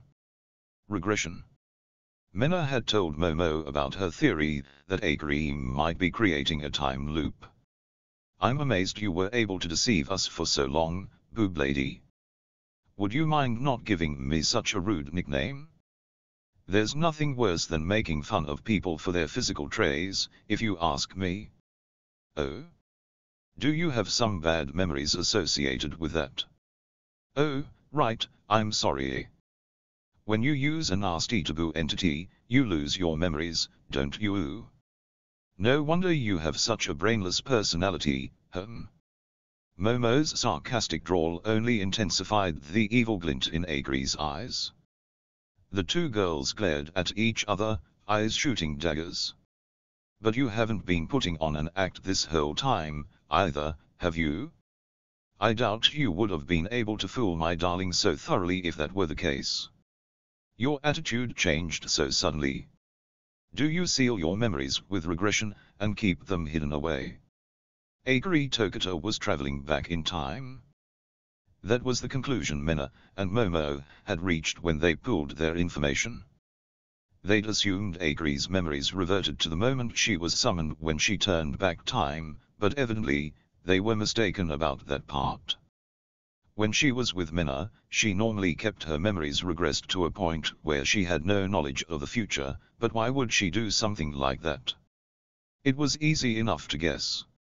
If there was a pure concept user who knew the future and could turn back time, Menou certainly wouldn't be traveling with her. Working together with someone who knew the future would mean they would know what would happen next, which was all well and good if it was someone you could trust. But a stranger with such an ability was not to be trusted. Menou would be suspicious. So Akari erased her own memories to keep Menou from suspecting anything. And what's your goal in clinging to my darling, Vixen? This is why I hate it when people find out I have my memories. You believe that part, but I can never get you to trust me about anything else. Mind explaining that in a way that makes sense. As Momo stared piercingly at her, Akari scowled and stuck out her tongue. No way. You wouldn't believe me anyway, so nope. It was an outright refusal to try to reach an understanding. All expression dropped from Momo's face, and she looked at Akari flatly. She had never liked her to begin with. Nothing was more important to Momo than Menou, and she prioritized Menou's safety above all else, even if it meant the death of some stranger or even the destruction of half the world. She did have a conscience and common sense, of course, but those would never be more important than Menou. Naturally, whether Akari lived or died didn't count for anything on that scale, either. Well, now I'm more certain than ever. Momo pulled out her coping saw from the frilled hem of her priestess robes and gave it a flick. The wire-like saw snapped sharply in the wind. You're not the sort to break down just because of a little rough handling, are you? I'll tie you up, drag you to the sword of salt, and kill you with it. Why don't you go ahead and try? If you think you can do it, anyway. Guiding force, connect, improper attachment, pure concept, time, invoke, suspension. There was no warning, a time conjuring shot out from Akari's fingertip. The beam of light contained a miraculous trick that could stop the flow of time on a conceptual level. It would end the fight immediately if it hit, but Momo managed to dodge it by a hair. Akari's construction was frighteningly fast. It wasn't skillful so much as purely natural, rather than building it up, it was as if she was releasing a construction that already existed in her soul. Her attacks seemed to skip an invocation step entirely. Trying to dodge these instant conjurings would only make things more difficult.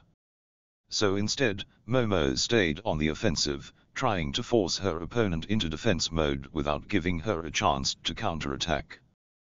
The whip-like saw whistled through the air. Akari wouldn't be able to step out of its range in time. She pointed her index finger at the coping saw and unleashed another conjuring. Guiding force, connect, improper attachment, pure concept, time, invoke, weathering. With a loud swoosh, the saw broke down and fell to pieces. Her attack was incredibly powerful. Momo promptly let go of the dust that remained of her coping saw and analyzed Akari's strikes. The girl had no combat strategy, and only a tiny bit more experience than a total novice.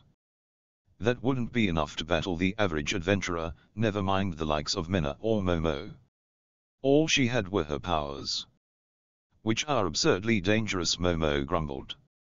She didn't know how many times the Otherworlder had used regression, but given that she was traveling with Menou as her guard, Momo doubted that Akari had many opportunities to fight on her own. Even if she did, Akari could catch her opponents off guard with her abilities and end the battle before it started, so it was safe to assume she hadn't learned any combat techniques. Which was why Momo was able to fight her. If Menou had abilities like Akari's, then Momo probably wouldn't be able to hold her own for longer than 10 seconds. The main reason Momo was an even match for Akari was the Japanese girl's lack of combat knowledge. That, and one other important point, Akari wasn't really trying to kill Momo. I always hated you, Momo. Is that right? I'd be perfectly happy if you died, myself. You don't know anything about Menou, but you go around acting like you understand her better than anyone. It's so annoying. Excuse me. Momo scowled. And what do you know about my darling when you've only just met her, hmm? Her future Akari replied simply. Unlike you, I know about her future. Guiding force, connect, improper attachment, pure concept, time, invoke, acceleration. Akari sped up drastically. Her movements were completely amateur, but her speed was far from ordinary. There were no martial arts, muscles, or magic involved. Though she wasn't throwing her body weight around or kicking off the ground to build up momentum, there was insane speed behind her standard steps, making the timing of her strike difficult to calculate. Most importantly, Momo had to avoid the suspension conjuring at all costs, since it would render her immobile if it hit. At this speed, though, it would be extremely difficult to react in time. TCH. Momo steadied her defensive stance, and tried to provoke Akari. Though the other girl was hostile toward Momo, she didn't seem to want to kill her. Or perhaps the problem was even more fundamental. Momo smiled. She guessed Akari had never killed anyone. The girl didn't have the guts to do it, either. She might be able to hurt someone, but she certainly couldn't kill them. That much was obvious from the fact that she kept trying to use suspension on Momo, even though she'd destroyed her weapon with weathering. Deep down, Akari Tokitou was simply too nice of a person. What kind of creep would pretend not to remember anything and cozy up to my darling while secretly plotting stuff? Could you just die before you cause any more trouble for her, please? You have no right to talk about Darling's so-called future if you don't know about her past, you little know-it-all. Shut up. Akari froze abruptly. Clearly, some part of that had touched a nerve, her shoulders were shaking with rage. There was something very eerie about her in this moment. Stupid Momo. You can't even protect Menou. It makes no difference whether you're here or not, so I might as well just get rid of you. Something inside Akari had snapped. At first, she thought it was a miracle. The stone building. The intimidating level of luxury. She stared blankly at the familiar scene for a moment before she realized it was the summoning room in Grisarika Kingdom. She'd gone back to the time when she was first summoned. The moment she first figured it out, Akari really did believe it was a miracle. But she quickly realized why she had gone back with her memories still intact. Her pure concept was giving her a chance to redo everything. So Akari waited eagerly for the visitor at her window. She watched for the girl in the lightweight maid outfit to appear along with the silvery light of the moon that emerged just after sunset. And Akari welcomed her appearance with open arms. Menou. When they were reunited, she eagerly called out the girl's name and greeted her happily. That was where she went wrong. How, do you know my name? From that first meeting, Menou was clearly suspicious of her. Menou didn't trust Akari. She believed that Akari had come from the future but doubted her motives for making contact with her. Menou brought Akari to Orwell, and she had promptly died there. Her second shot at life ended after the briefest of periods, when she met a terrible end. On her third attempt, she tried to run away by herself. She thought it was their first encounter that was where things went wrong. If meeting Akari was what led to Menou's demise, then it was better if they never interacted at all. But about a month after she went on the run. Oh, you're alone. Akari ran into the red-haired priestess. It was the same woman who'd put an end to their journey the first time, in the land of salt. She knew she couldn't fight her or run away. If this was how it ended, that was fine, as long as Menou was alive. Also Akari thought. That apprentice of mine died, too. Guess it makes sense that you're by yourself. Akari's eyes widened as she realized who the priestess must mean. It can't be. Hum. Yep, old lady Orwell killed her. My apprentice was going to get taken in with the holder of the pure concept of null and got done in instead. Orwell's a powerful conjurer, you know. If she sets her sights on you, it'd be tough to get out alive. As soon as she heard Menou was dead, guiding force was drawn out of her soul, and rewound the world. It was at the end of that third time that Akari knew, if they weren't together, Menou would die. Ah, I see. That was when it occurred to her. When they met, Menou would be less suspicious of her if Akari didn't know her. If she did, that would put Menou on guard again. In other words, her memories were getting in the way. Menou had been raised to distrust other people. If she was suspicious of Akari when they first met, she would ask Orwell for help. After all, she trusted the Archbishop more than an otherworlder, basically a stranger. And then Menou would die. So why wasn't Menou suspicious of Akari the first time? How was she able to travel for close to three months, when she would die in less than a week if Akari wasn't with her? It was simple. It was because Akari was so oblivious and easily fooled that there was no reason to be wary of her. It was because she was traveling with this oblivious girl that Menou was more conscious of her surroundings than normal. It was the ignorant Akari who allowed Menou to live. Then all she had to do was travel with Menou without knowing anything and go to the land of salt, where there was a method that could kill her. Akari made her hand into the shape of a pistol and held her finger against her temple. Her memories of their travels together? If they are going to hurt Menou, then I don't need them. Guiding force, connect, improper attachment, pure concept, time, invoke, regression, memories, soul, spirit. Akari erased her own memories. Thus, the journey was able to continue, but they still weren't able to escape the clutches of the priestess with dark red hair. Not even once. You've never once been able to protect Menou. Memories flashed through her mind. The corners of her eyes grew hot at the thought of all those wasted pasts. Akari lashed out in anger at Momo, who was always with Menou, yet was never able to save Menou's life. You can't do anything, so don't talk down to me, Momo. If there's a future where my darling dies because of this mission, in contrast to Akari's emotional cry, Momo's tone was chillingly calm. Then that would be your fault. Akari trembled, because she knew it was true. The fourth time, the fifth time.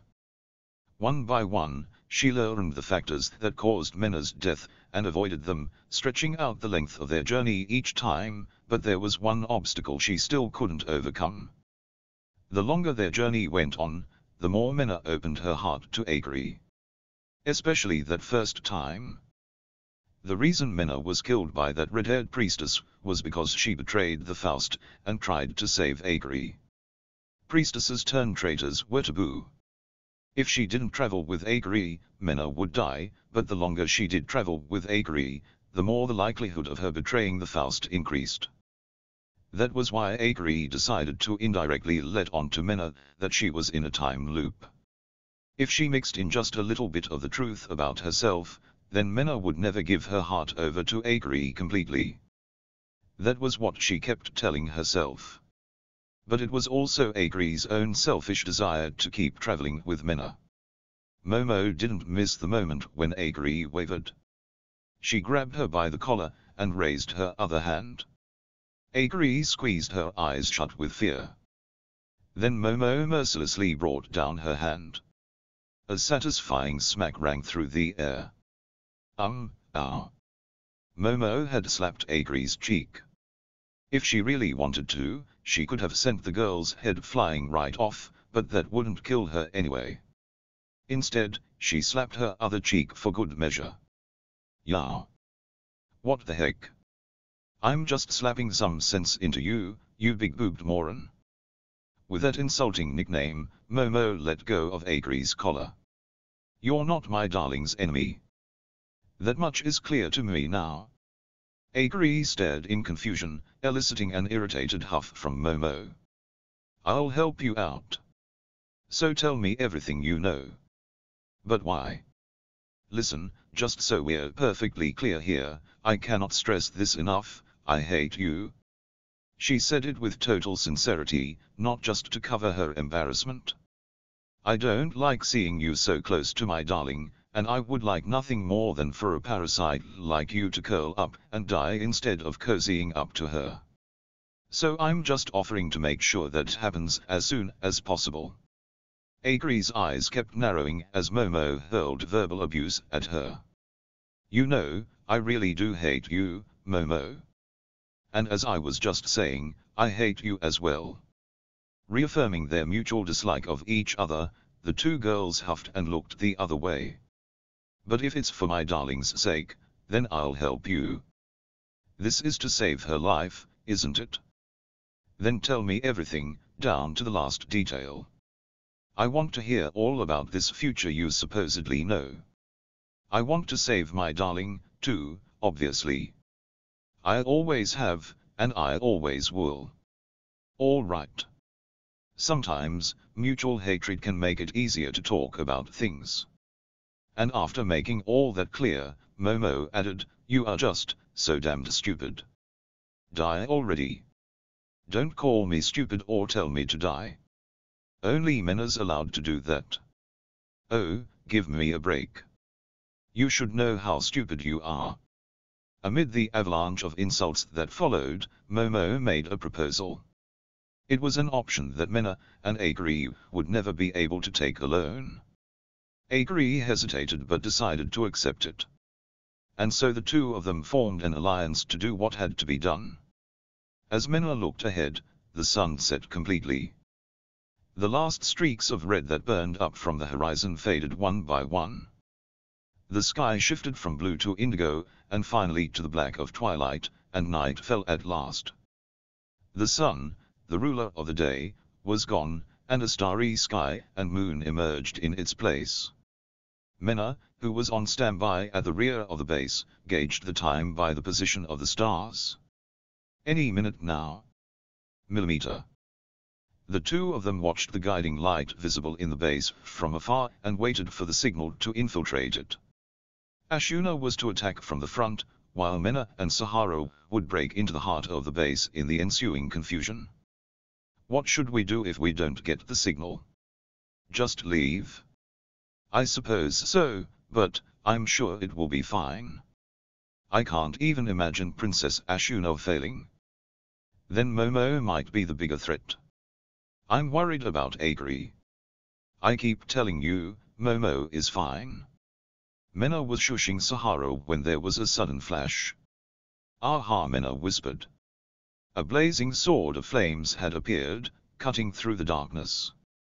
It certainly didn't look natural, yet it was almost laughably hard to believe that such a phenomenon could be produced by one person. This was Menou's second time seeing it. As it was Sahara's first, her eyes went round. The Princess Knight Ashuna Grisarika had flashed her sword as the signal to start the battle. A rumble that threatened to demolish the sand dunes roared through the desert. The traitorous Aang. Night was wearing on in the desert. While the air was growing cooler without the light of the sun, it wasn't completely dark. The full moon shone in the sky with nothing to obstruct its glow from faintly illuminating the sand. Beneath the moonlight that was strong enough to cast a shadow, Ashuna threw off the robe she wore to fend off the sun's heat, revealing an airy outfit underneath. Fabric cut into diamond shapes just barely covered the crucial areas on her upper body, and her notched skirt fluttered in the breeze.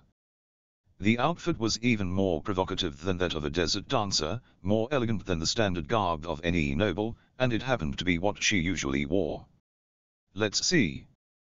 Before the eyes of Ashuna and the knights she led was a decidedly suspicious-looking base. It was hidden in the shadows of sand dunes, built from reused ruins with heightened security. In fact, to deem it suspicious, one would have to find it in the first place.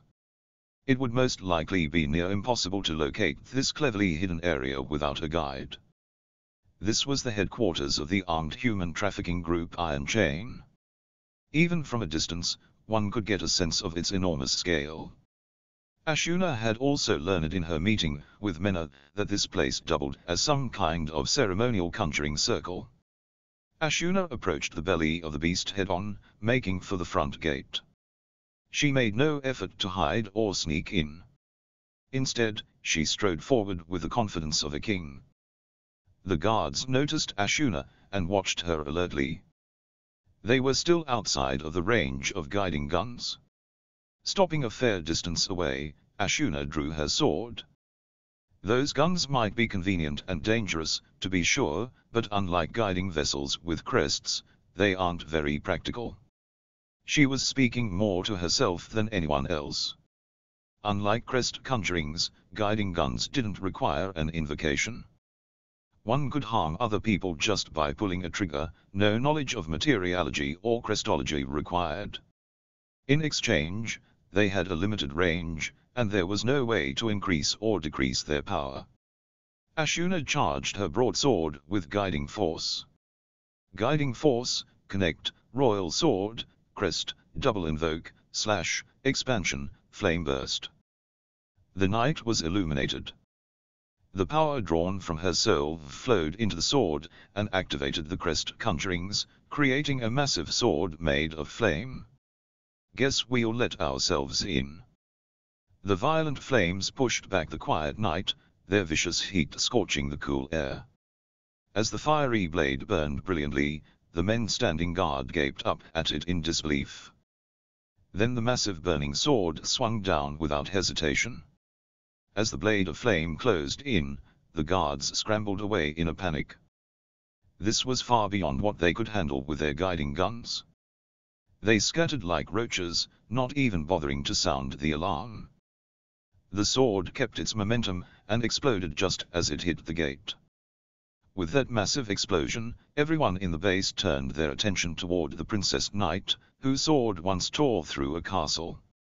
In addition to those who were already on guard, even the people who were sleeping had jumped awake. As the base quickly dissolved into chaos, Ashuna Grisarika walked forward without hiding, without hurrying, and led the knights through the gate she destroyed into the headquarters of Iron Chain. Her plan to deal with the force that came to counterattack them was exceedingly simple. As she bathed in the murderous gazes of the hostiles in front of her, Ashuna's eyes crinkled delightedly. Not bad. The place was turning into a battlefield. Several assailants jumped forward to attack. As she fended them off, Ashuna kept pushing forward. The sporadic nature of the counterattacks was an invitation. They obviously wanted to guide Ashuna somewhere, and she was happy to oblige. They led her into a dead end surrounded by buildings on three sides. The walls had openings for guns to shoot through. Oh ho! Ashuna whistled at what appeared in front of her. The way they'd deployed their resources in response to her attack showed the high quality of their personnel. And more than anything, the three massive opponents in front of her made her heart dance with excitement. Guiding armored warriors. They weren't autonomous conjured soldiers, they were exoskeleton-like conjured weapons that were steered by human pilots. When three of them appeared before her, Ashuna flapped a hand at the knights behind her, gesturing for them to back away. In the short time they'd known her, Ashuna had completely earned the trust of the knights. They nodded at one another and left the area. Guiding Force, Connect, Royal Sword, Crest, Invoke, Slash, Expansion. Ashuna's sword stretched to block the path of the guiding armored warriors as they tried to chase after the knights. Hold it. You're going to decline my invitation? It's a man's duty to dance with a lady who's offered her hand, you know. Good point. A muffled voice responded from within, the man piloting the guiding armor. He pushed Ashuna's blade aside and turned to face her. We can just kill you first, then go after them. Oh. The corners of her lips quirked. Let's see you try. Don't bore me now, all right. Ashuna grinned viciously and struck. The front gate of the base was sent flying with a loud boom. With that explosion as their signal, Menou and Sahara sneaked inside. They were headed for the building that she had guessed was the main stronghold when she rescued Akari. They did a quick sweep of the first floor, then headed to the second to destroy the entrance. Just as they were soundlessly sprinting down the hallway, both girls stopped at once. A conjured soldier appeared from around the corner. It had a spy-like shape, with eight long limbs and a small guiding furnace built in that appeared to be powering it. Its central trunk was about the size of a human torso, while the legs had small claws that allowed it to climb on the wall. Those legs were more than deadly enough weapons to destroy a human. The spider lunged, thrusting two of those legs forward. Ah! Menou and Sahara dodged to the left and right respectively, avoiding the attack by a hair. Failing to stab them, the legs scraped across the floor. It's certainly strong enough to kill, Menou thought, calmly assessing the opponent. As she used her sharp senses to dodge each attack, she thrust her dagger into a joint, then grimaced. The blade didn't break through. Shoot. The joint felt thick and hard, yet elastic as well. Even attacks aimed at the more fragile-looking areas didn't seem to work. A blue spider Sahara muttered without taking her eyes off it. It's an insect-style soldier specialized in indoor combat. You clearly learned a lot on the lines of defense against the mechanical society. So what's its weak point? Doesn't really have one. It moves fast. It hits hard. And it's flexible yet tough, even the legs. Not to mention it has a ton of those. If I had to name a weak point, I guess I'd say it doesn't have any long-distance attacks. Just as Sahara finished speaking, more of the same model of conjured soldier emerged, enough to fill the hallway. Menou, however, had already decided on a plan the moment she heard Sahara's description. Follow my lead, Sahara. Menou charged her scripture with guiding force. If the enemy didn't have any long-distance attacks, she would just have to crush it right away with a powerful conjuring. Guiding Force, Connect, Scripture, 12.1 Menou's construction speed was astoundingly fast, but it still took a few seconds. Sensing that she was about to invoke something, the blue spiders all jumped toward her. But Sahara stood in their way. Millimeter. Guiding force, merge materials, prosthetic arm, activate, skill, giant's palm. Sahara's artificial arm produced a palm big enough to cover the entire hallway. The soldiers bit and stabbed at the palm-shaped guiding light, trying to break through, but they couldn't move forward. It was exactly the backup Menou needed. She used this chance to unleash her conjuring. Invoke, strike the nail, strike the nail, all to give support. Dot. The guiding light unleashed from her scripture took the form of countless nails. As they burst forward, Menou controlled them to fly into the swarm of spiders. Some sent their limbs flying off, while others crushed their torsos, and destroyed their inner workings. They were wiped out in seconds. Sahara whistled. Nice going, Flarette. You've got serious skills. No normal person could control that many nails. Really? Well, I suppose my command of guiding force is the one strength I have to my name.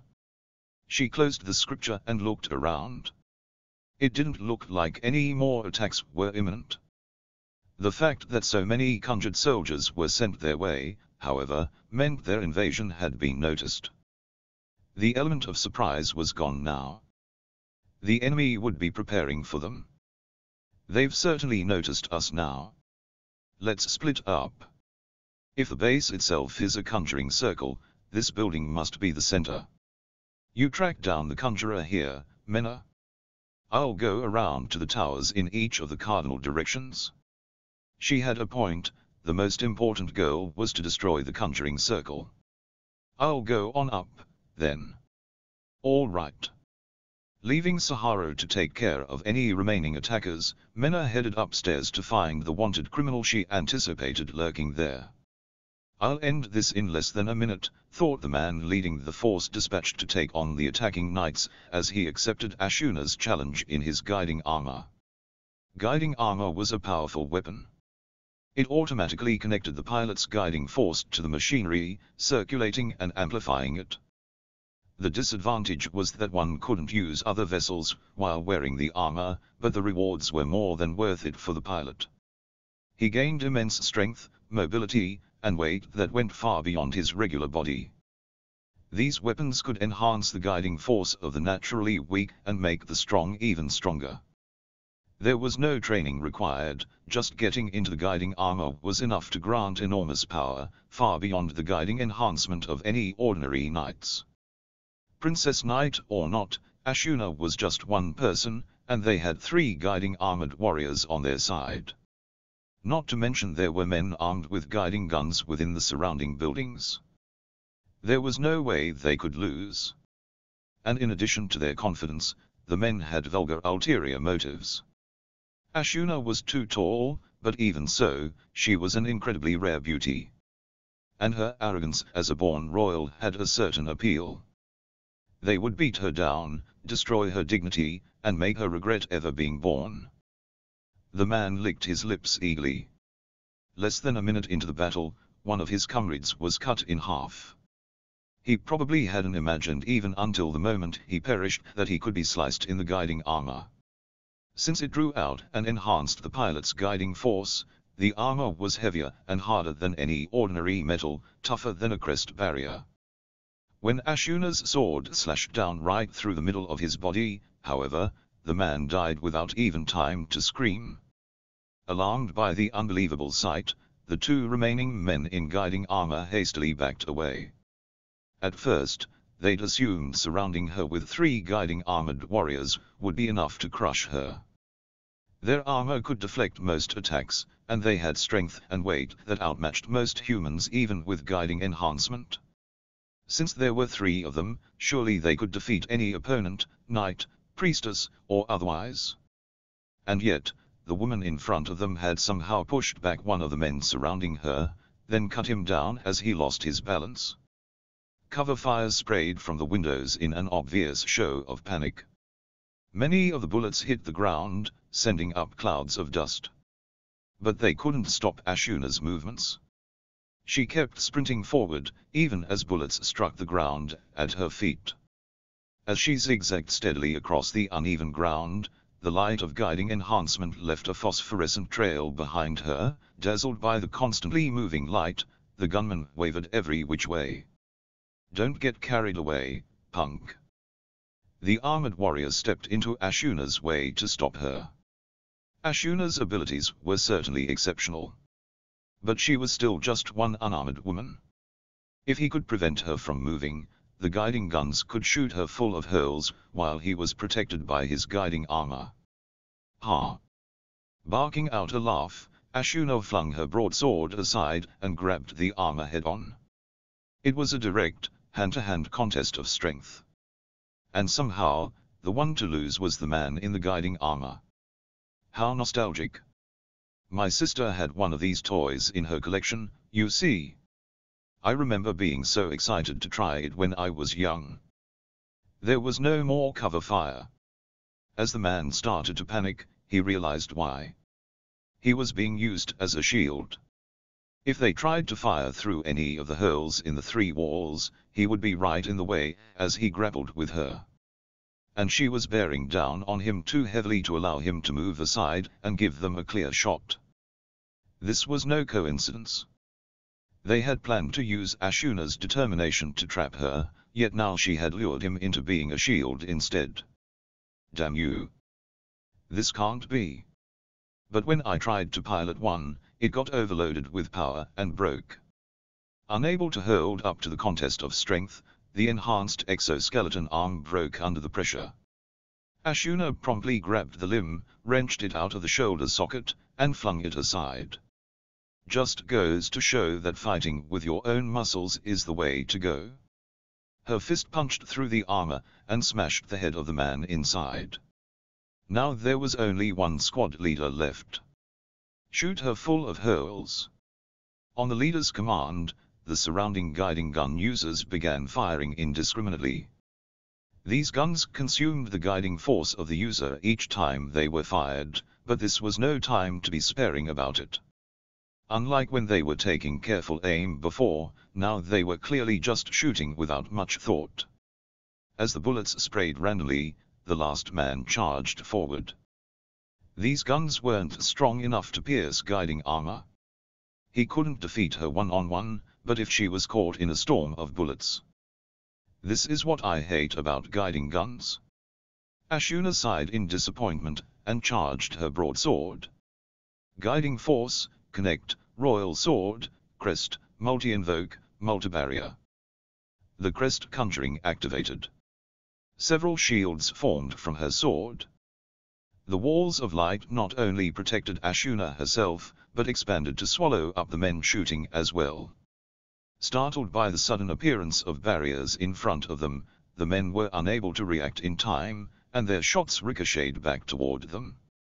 One by one, they went down groaning from their own bullets. Observing this result, Ashuna spat in disappointment. They always go down too easily. Ashuna had figured out the shooters' positions from their firing. The guiding armored warrior who remained stood there stunned. What the, what the hell is happening H, ah? Ashuna appeared right in front of his eyes, swinging her broadsword upward. His face twisted as he realized that the last thing he would ever see was the smile of this woman, enjoying the battle from the bottom of her heart. You monster. Now, those are some choice last words. She brought her blade down without a hint of mercy. It's embarrassing to hear such high praise from someone you just fought to the death. As she grinned with pleasure, the two halves of the guiding armored warrior collapsed behind her. Ashuna let her broadsword whiz through the air, shaking off the blood. The battle was just getting started. Now, who's next? Her appetite for combat still had to be sated, and there were still enemies to defeat. How much of her normally latent power would she be able to let loose today? Wiping blood from her cheek with the palm of her hand, she trembled with the uncontrollable desire to fight. Ashuna Grisarika wore a half-crazed smile as she threw herself back into the fray. The gunshots that had been going on for the past few minutes stopped abruptly. Ashuna must have won that fight.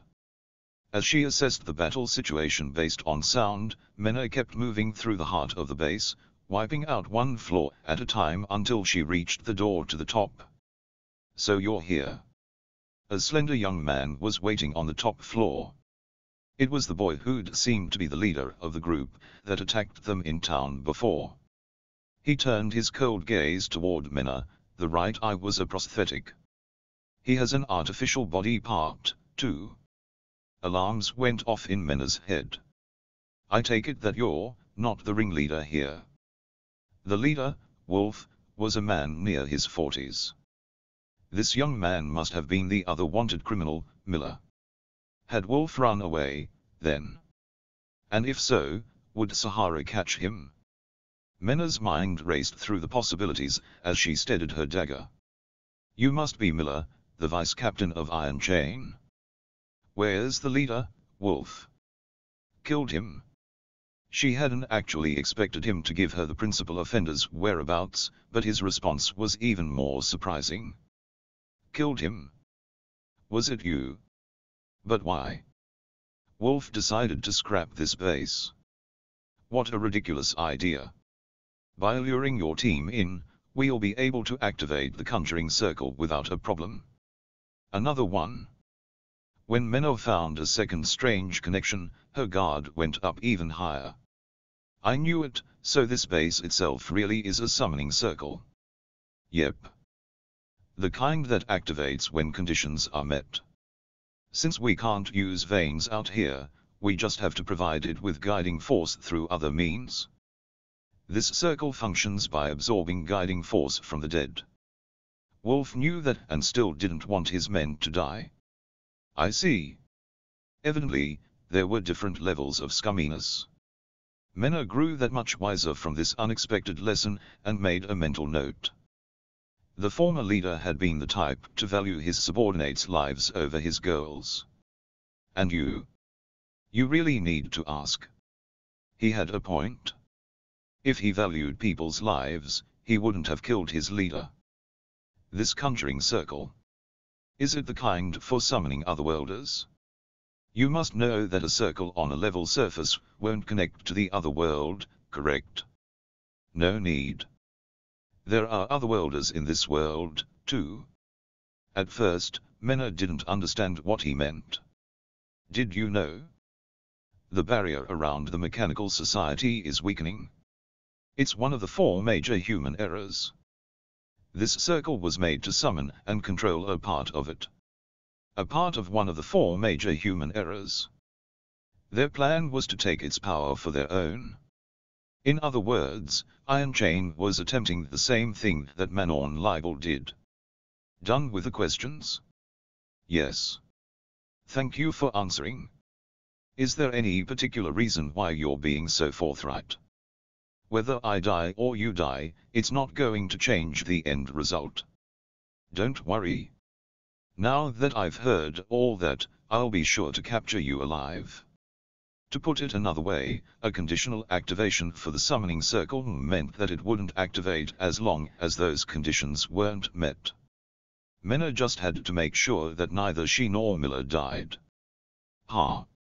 Miller sneered. Go ahead and try, Flarette. If I kill someone like you, my level's sure to go up. Guiding force, merge materials, prosthetic eye, inner seal conjuration. Menou's brow furrowed at the developing conjuring. She'd seen a very similar structure quite recently. But why? As her doubts began to rise, the conjuring activated. Activate, skill, petrifying snake eye.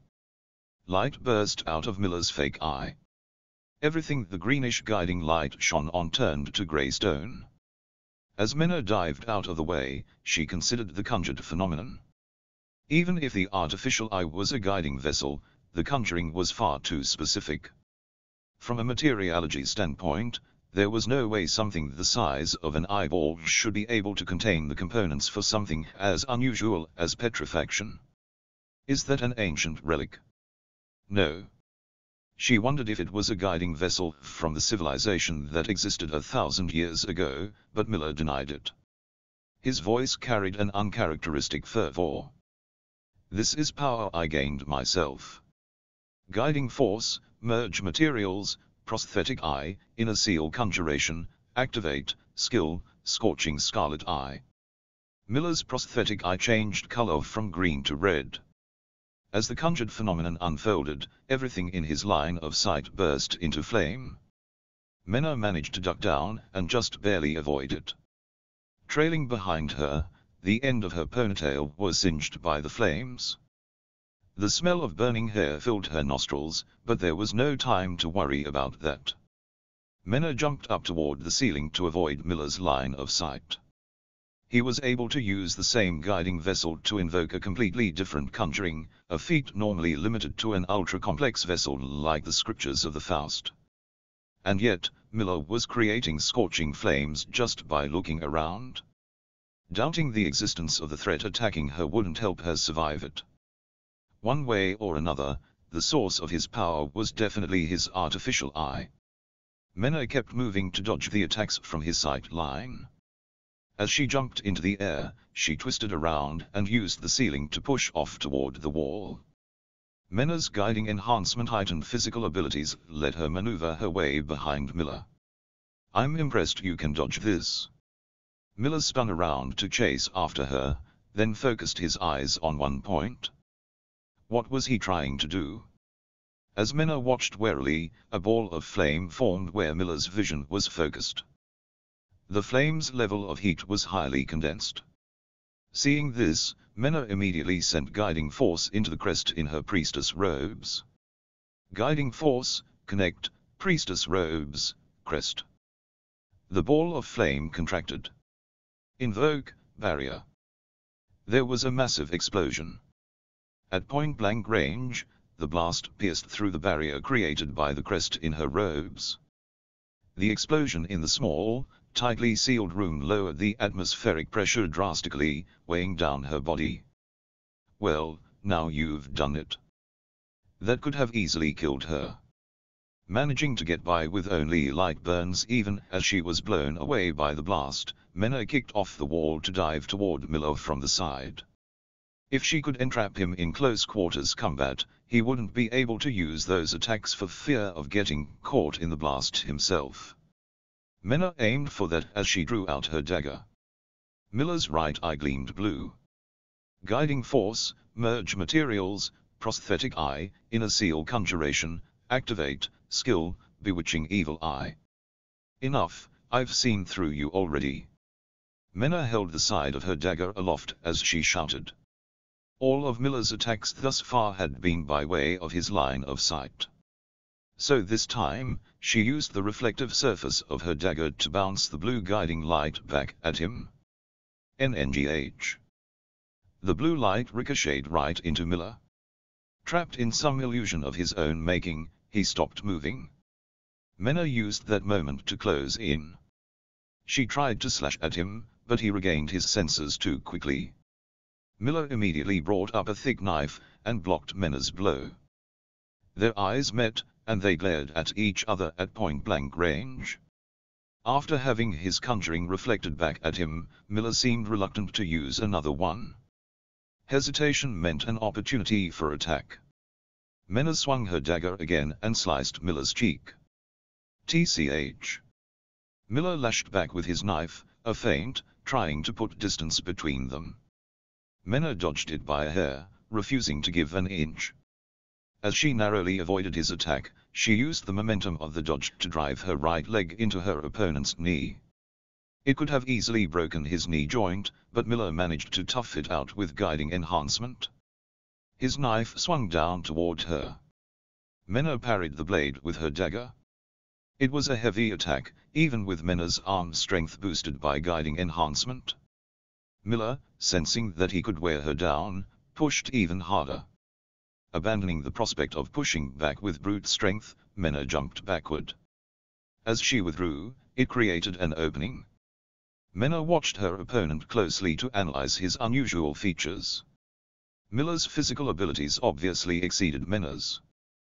Without guiding enhancement, there would be no comparison at all, and even with it at full throttle, he still seemed to be faster and stronger. His movements were polished, and his hand-to-hand -hand combat skills were on par with Menou's, too. With the addition of his unique conjurings from his artificial eye, he was undoubtedly a dangerous opponent. Guiding Force, Merge Materials, Prosthetic Eye, Inner Seal Conjuration, Activate, Skill, Beastly Red Eye. His eye turned red. But it seemed different from the flame attack he'd used before. Miller charged toward her head-on. Even with Menou's advanced kinetic vision, his outline seemed to blur with the sheer speed of his movement. It was on a completely different level from the physical abilities he'd shown thus far. This was no ordinary guiding enhancement. The conjuring from his prosthetic eye was further augmenting his movements. But his trajectory was simple to follow. Menou was about to use a conjuring to counter him when suddenly, Miller shot up into the air. What? It was a vertical jump with almost no build-up, seemingly using only his ankles. Menou's attempts to read his movement were thrown off by the unusual shift, leaving her frozen in surprise for just a fraction of a second. But Miller didn't stop moving. He hit the ceiling, pressed both hands against it, bent his knees, and stored up power. He was aiming directly at Menou below him. Miller dropped straight down, like a spear shooting toward the ground. The floor broke below him. His kick was all the more powerful with the entirety of his body weight and gravity behind it. Menou dropped along with the sturdy stone fragments of the floor. She shifted her position in midair and landed on her feet. But Miller was waiting for that moment. Guiding Force, Merge Materials, Prosthetic Eye, Inner Seal Conjuration, Activate, Skill, scorching scarlet eye. Flames as thick as flowing magma flew toward her. He had aimed for the exact moment that she lowered her guard to focus on landing safely. But the flames didn't reach Menou. Guiding force, connect, scripture, 2-5, invoke, rejoice, for the wall that surrounds a pious flock of sheep shall never crumble. Dot. Unexpected occurrences in the midst of battle were well within Menou's expectations which was why she had an ace in the hole that could be played in the nick of time to deal with any such developments.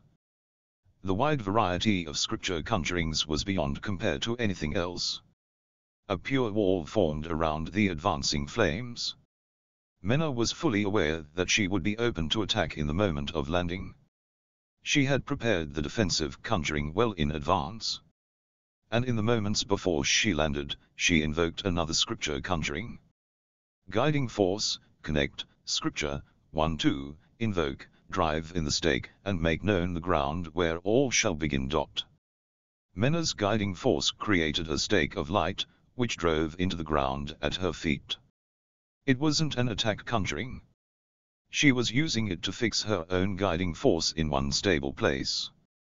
As soon as she finished her preparations, the effects of the barrier wore off. She threw her dagger to fend off Miller, as he immediately moved to close in on her.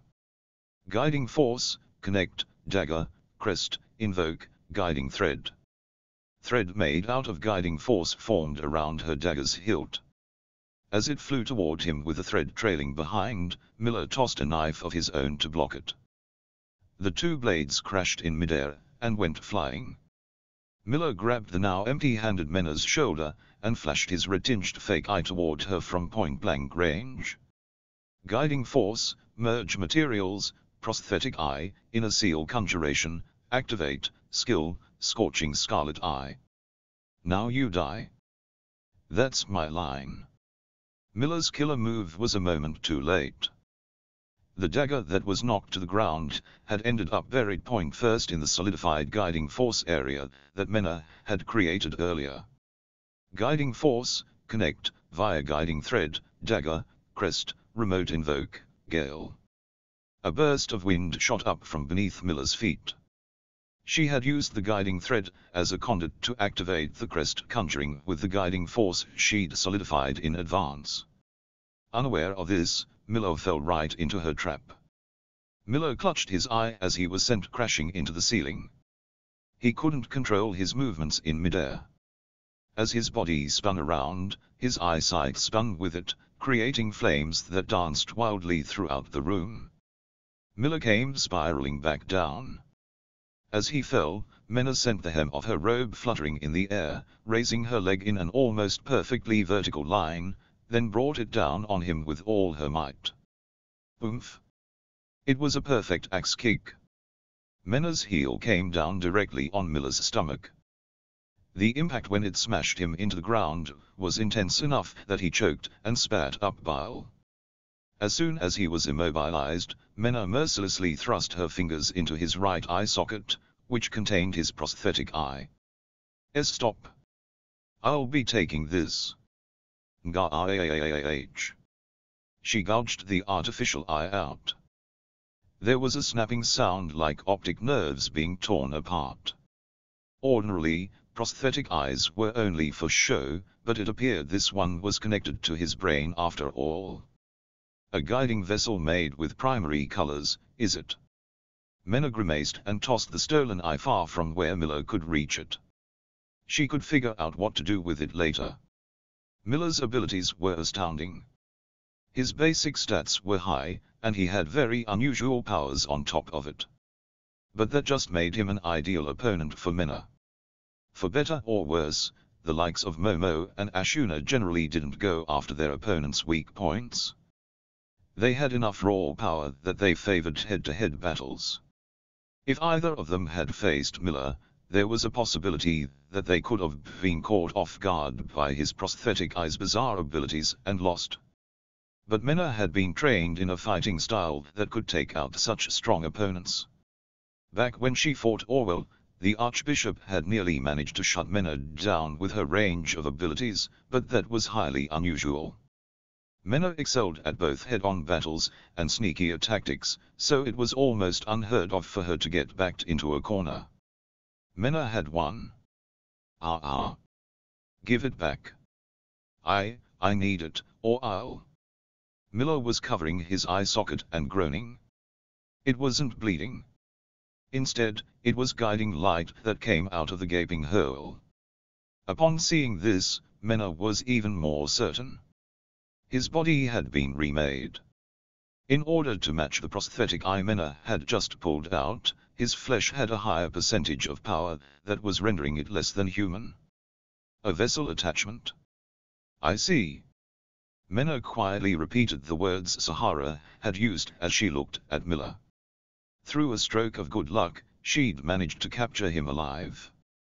He was begging for his fake eye back, but that was important evidence. Since Menou had a strong grasp of Crestology and materiology, she intended to analyze it later.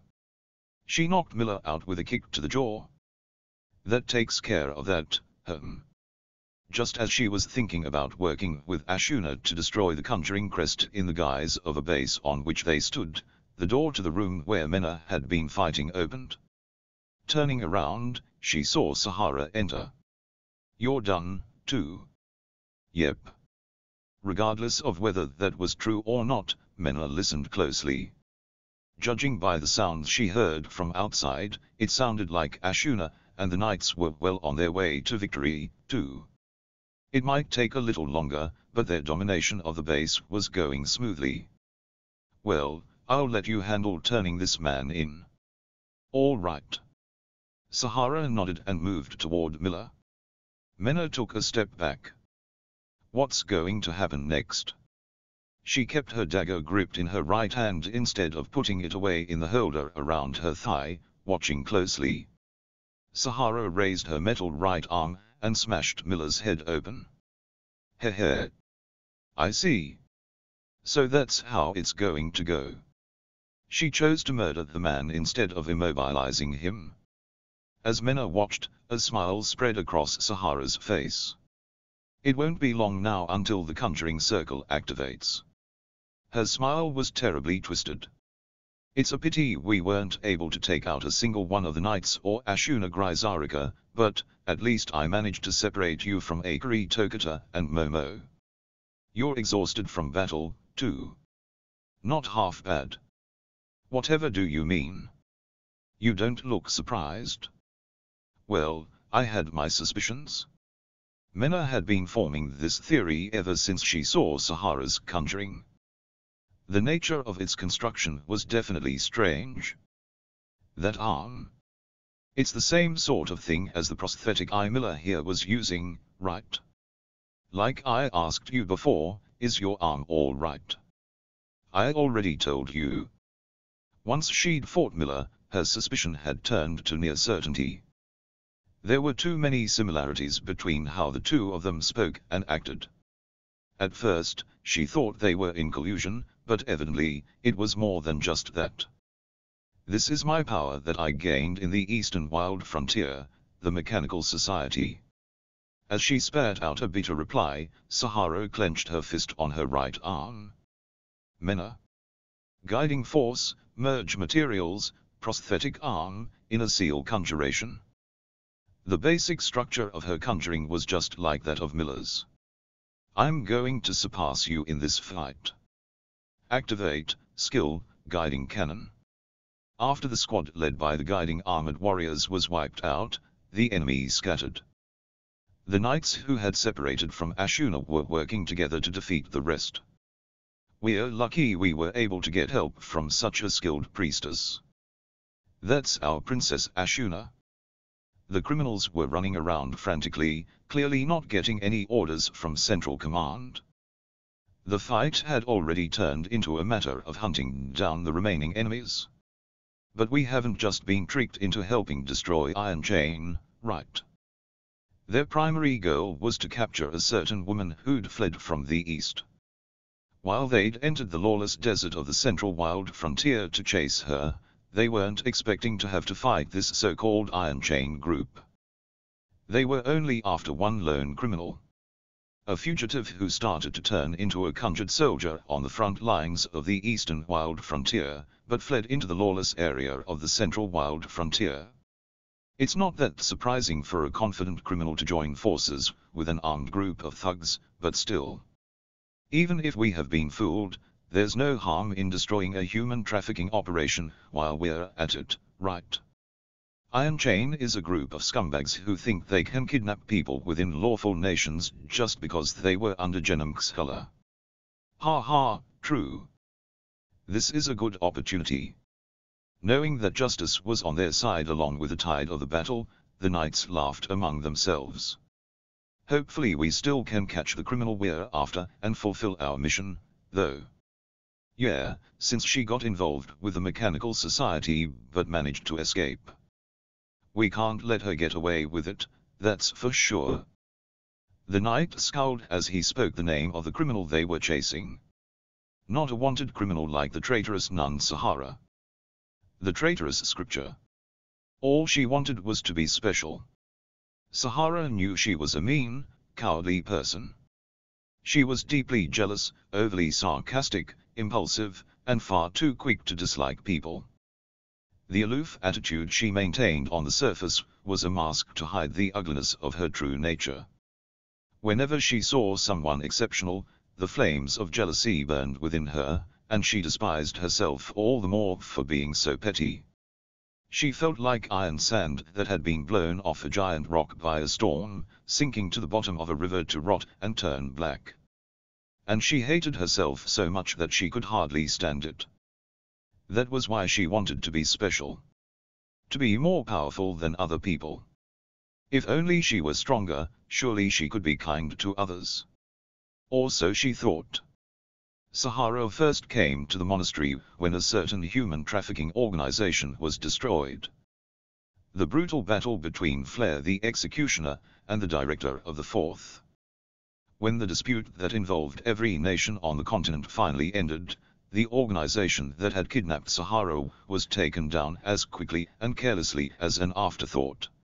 For Sahara, being rescued by Flare was a very special memory. At the time, she had been locked up in a cage to be sold as a sacrifice for original sin conjurings. A kid. Flare barely spared her a glance. But the woman with the short, dark red hair, crossing blades with the enemy using only a dagger, was burned into Sahara's memory. She was so cool. Sahara admired Flare's attitude. She always had a unique air about her and never let others influence her. Sahara wanted so badly to be just like her. Once she was freed, Sahara had nowhere to go. She was originally sold into captivity because her parents, who were part of the commons, were desperately impoverished.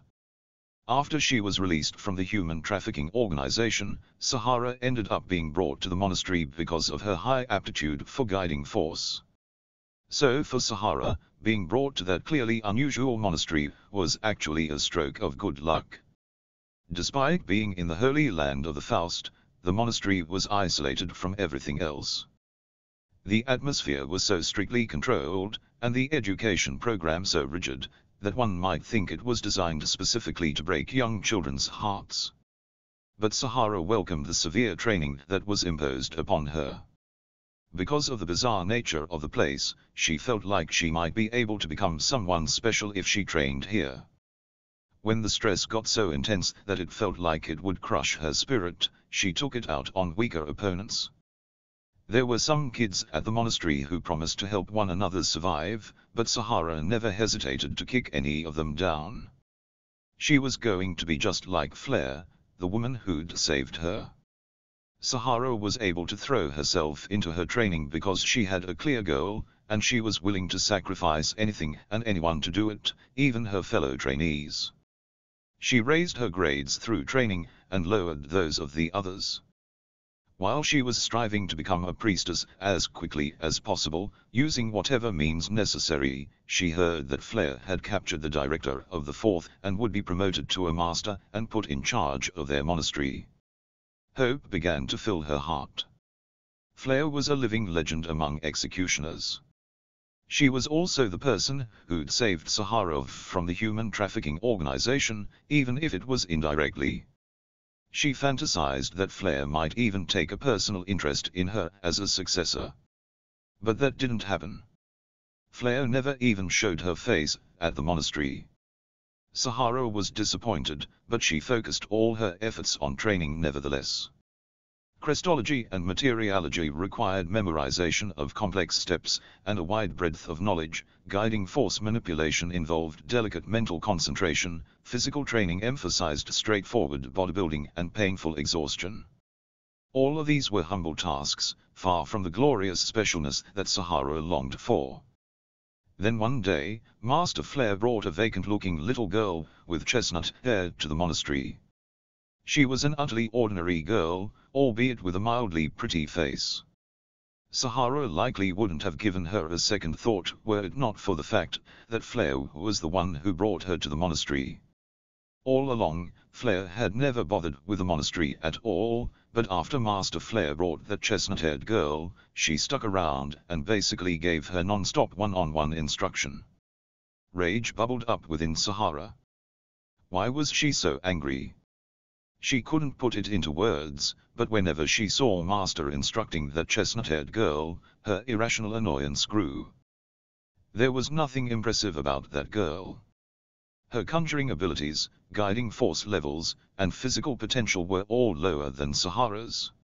If anything, she might have better composure than Sahara, but that was it. In fact, whenever Sahara challenged her to a one-on-one -on -one sparring match, the other girl never won once. Her abilities were average at best, yet she'd somehow caught Master Flare's eye. While Flare never noticed Sahara at all. As Sahara struggled with confusing feelings of frustration, a newcomer arrived who cried constantly. Judging her as an easy mark, Sahara gathered her classmates and surrounded the girl. She intended to make the girl cry even more as an outlet for her stress. Sahara had no doubt that she would be a weak, easy target. Instead, the girl punched her in the face, and beat up all the other girls, then straddled her and punched her repeatedly. It was a highly unexpected counterattack. Her face contorting with tears, Sahara vowed never to approach the new girl again. After some investigation, she committed the name Momo to memory, and carefully kept her distance. That was when she learned that you can't always tell how dangerous someone is by their appearance. Since the chestnut-haired girl was also starting to surpass her in training by that time, Sahara became increasingly frantic to focus on increasing her own skills. Surely, the only reason she was in danger of losing to that slow, spacey chestnut-haired girl was because Master was giving her personal training. So Sahara decided to secretly spy on the pair while they trained together. She saw when the chestnut-haired girl got ribbons from Master. Two thin red ribbons. No other child in this monastery had ever received such a luxurious gift. The flames of jealousy burned even brighter. Why was it always her? Sahara seethed with frustration, but if that was all, then it probably would have smoldered out. But the next day, of all things, the girl gave them to Momo. Even though the chestnut-haired girl was the one who had received them, Sahara saw them in the violent crybaby's hair. She burned with an unbelievable amount of rage. During the group's bathing time, she even attempted to steal the ribbons. Momo sensed Sahara's presence, and promptly caught her, punched her repeatedly until she could barely move, and even tore off her clothes, and stole them. Sahara cried in secret, wondering why she would take her clothes, but decided it was best not to do anything else to her. You kids can leave this monastery now.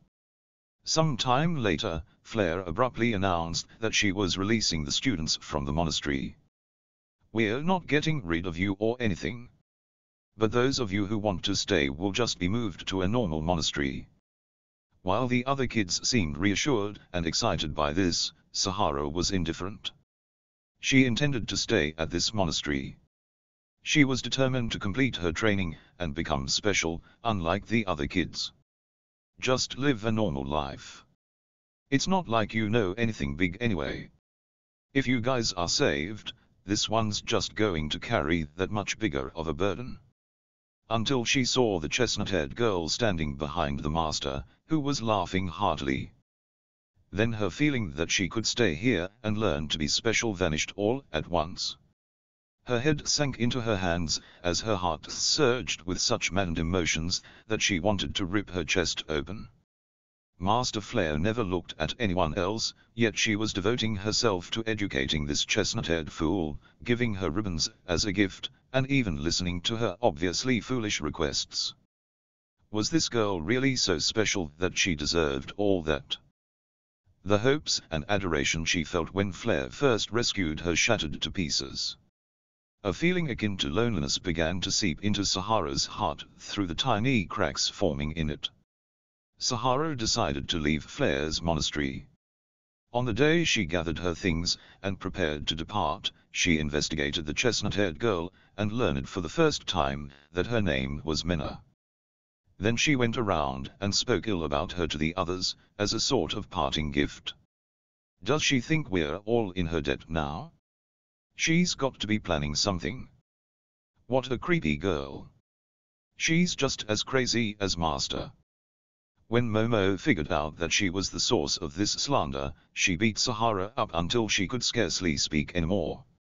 Sahara still just gritted her teeth, and bore it, refusing until the very end to apologize. When she left the monastery, she looked back only once. The chestnut-haired girl, Menou, had her usually unkempt hair tied up in a black scarf ribbon. For some reason, Sahara could tell at a glance that it was made out of her own clothes that Momo had stolen. After that, Sahara transferred to a normal monastery. It was a pure, noble monastery with no ties to the dark side of society.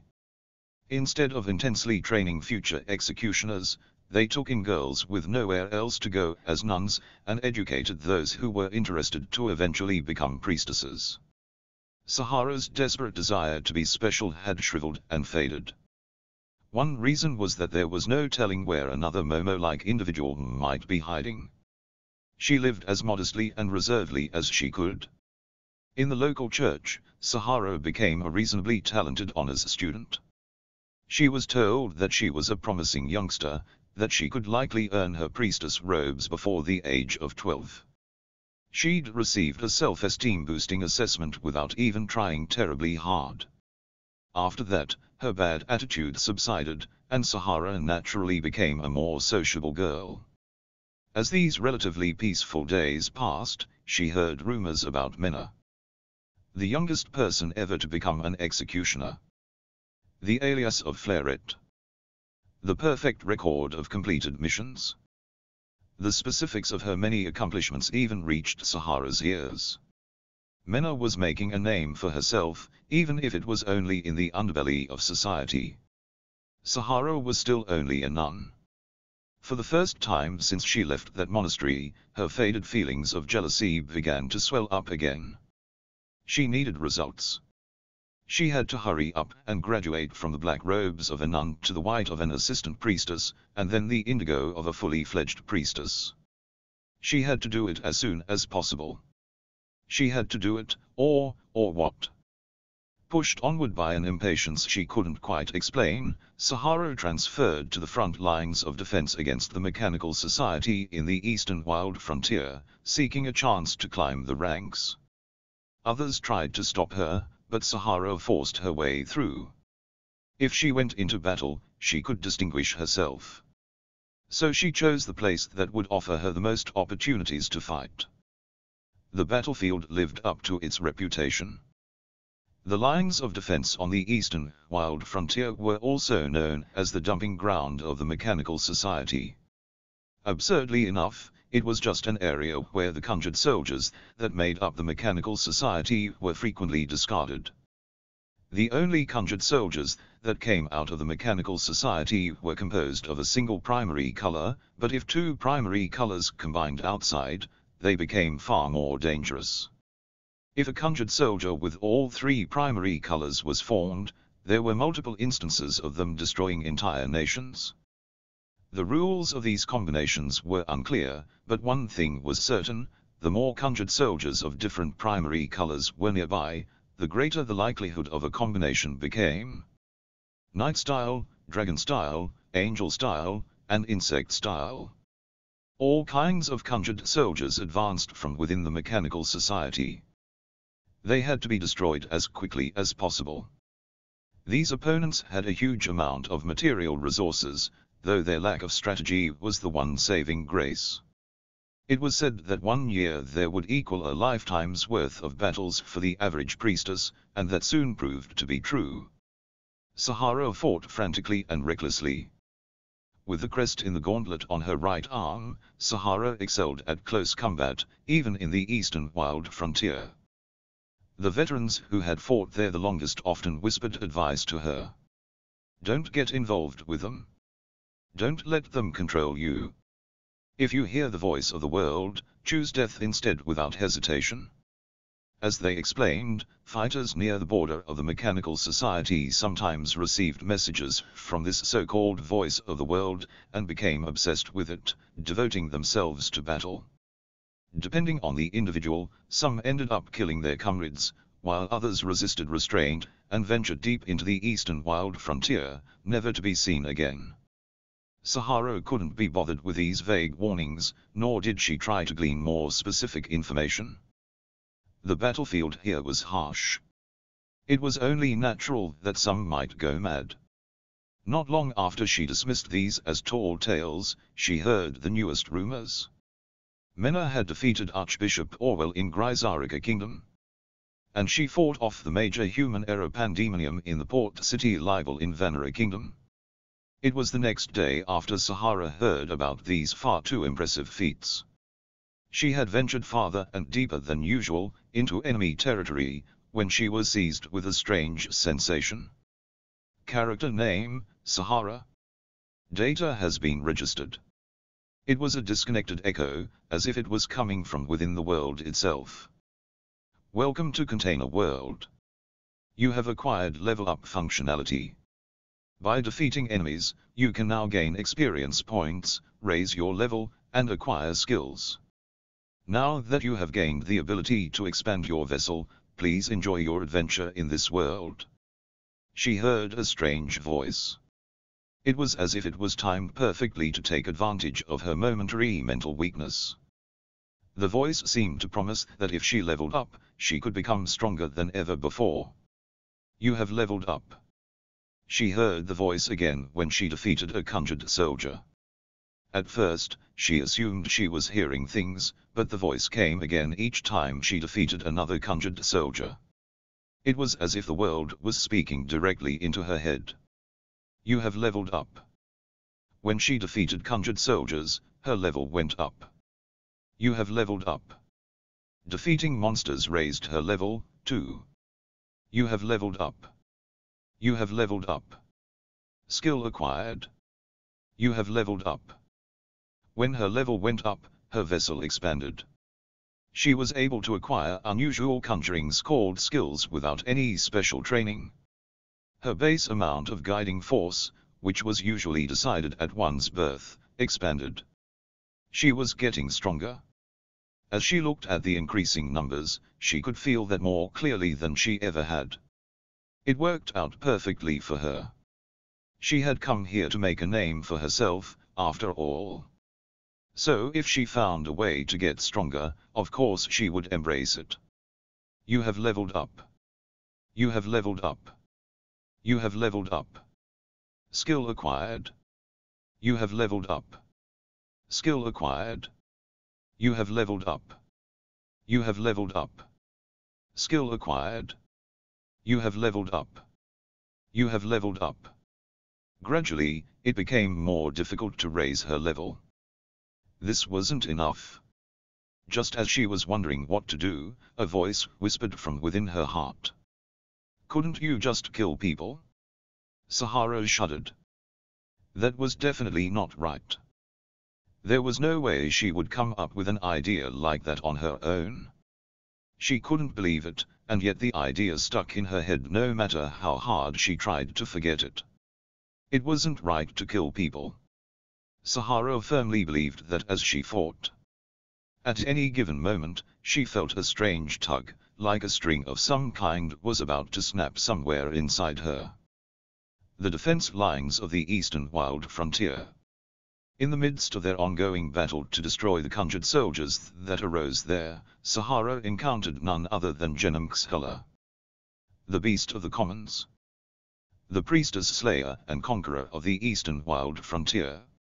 Despite being born in this world, he was said to have powers strong enough to match the pure concept abilities of the Lost Ones, he was a freak of nature who exceeded human limits despite being one himself. If she defeated him, Sahara could surely be special. Normally, she would never have even considered fighting someone like that. But Sahara stepped inside the Mechanical Society, and challenged Genom. So how do you feel now? The encounter was over in an instant. It couldn't have even been called a real fight. Holding Sahara's torn-off right arm, the man looked down at the dying girl. Why did you try to challenge me? Looks like you're mixed up in the mechanical society, but, you shoulda just run from me, yeah? I mean, even you musta known I can't leave the mechanical society. He was a very strange man indeed. Pieces of his body were missing. And yet, the cross-sectional gashes in his body were overflowing with guiding light. Strangest of all, the man had no face. There was a huge, gaping hole where his face should have been. He looked so inhuman that it was hard to tell whether he was a person at all. A guiding force life form. A supernatural being who cast off their physical body and transcended the framework of humanity. It occurred to Sahara that this must be the end result of a person who raised their level high enough. Why? The reason was simple. Because she wanted to be special. Sahara wanted to be more special than Menou.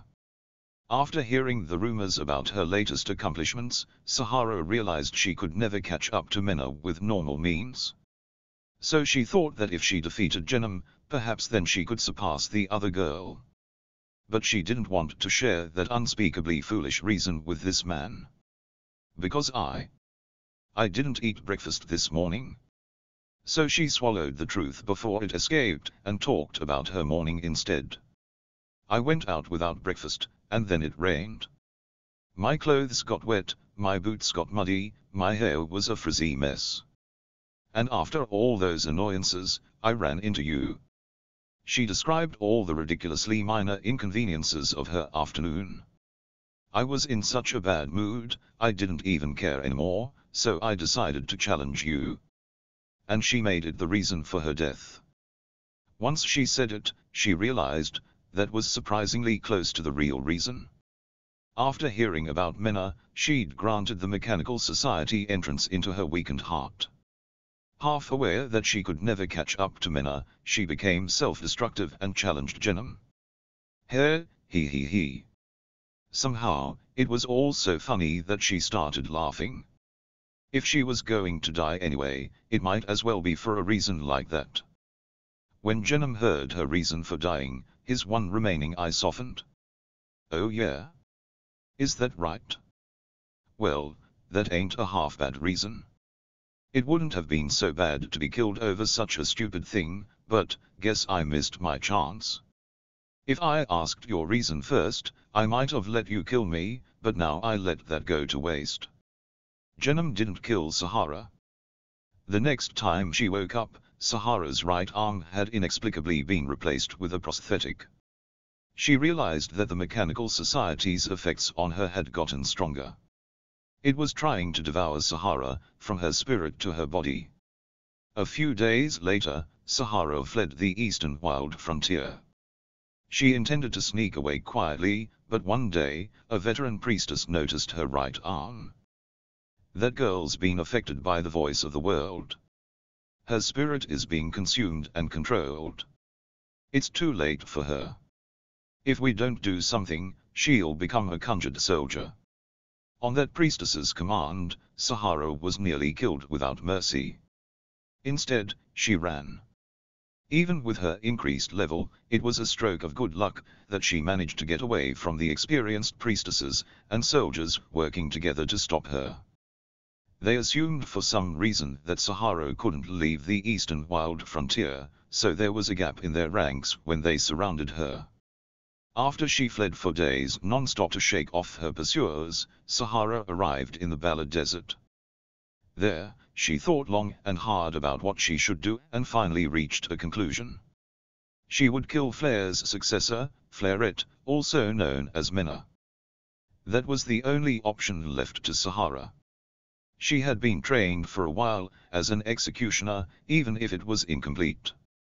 By following the trail of her former classmates' accomplishments, she was able to predict her next move. Examining the information, she formulated a plan to have Menou meet up with the knights who were chasing Sahara, and clash against the nearby criminal group Iron Chain. Once they weakened and exhausted each other, Sahara would swoop in and wipe them all out. Which was why Sahara made contact with Iron Chain, and gave them information about Menou. Sahara was only locked in the cell to wait in case Menou showed up.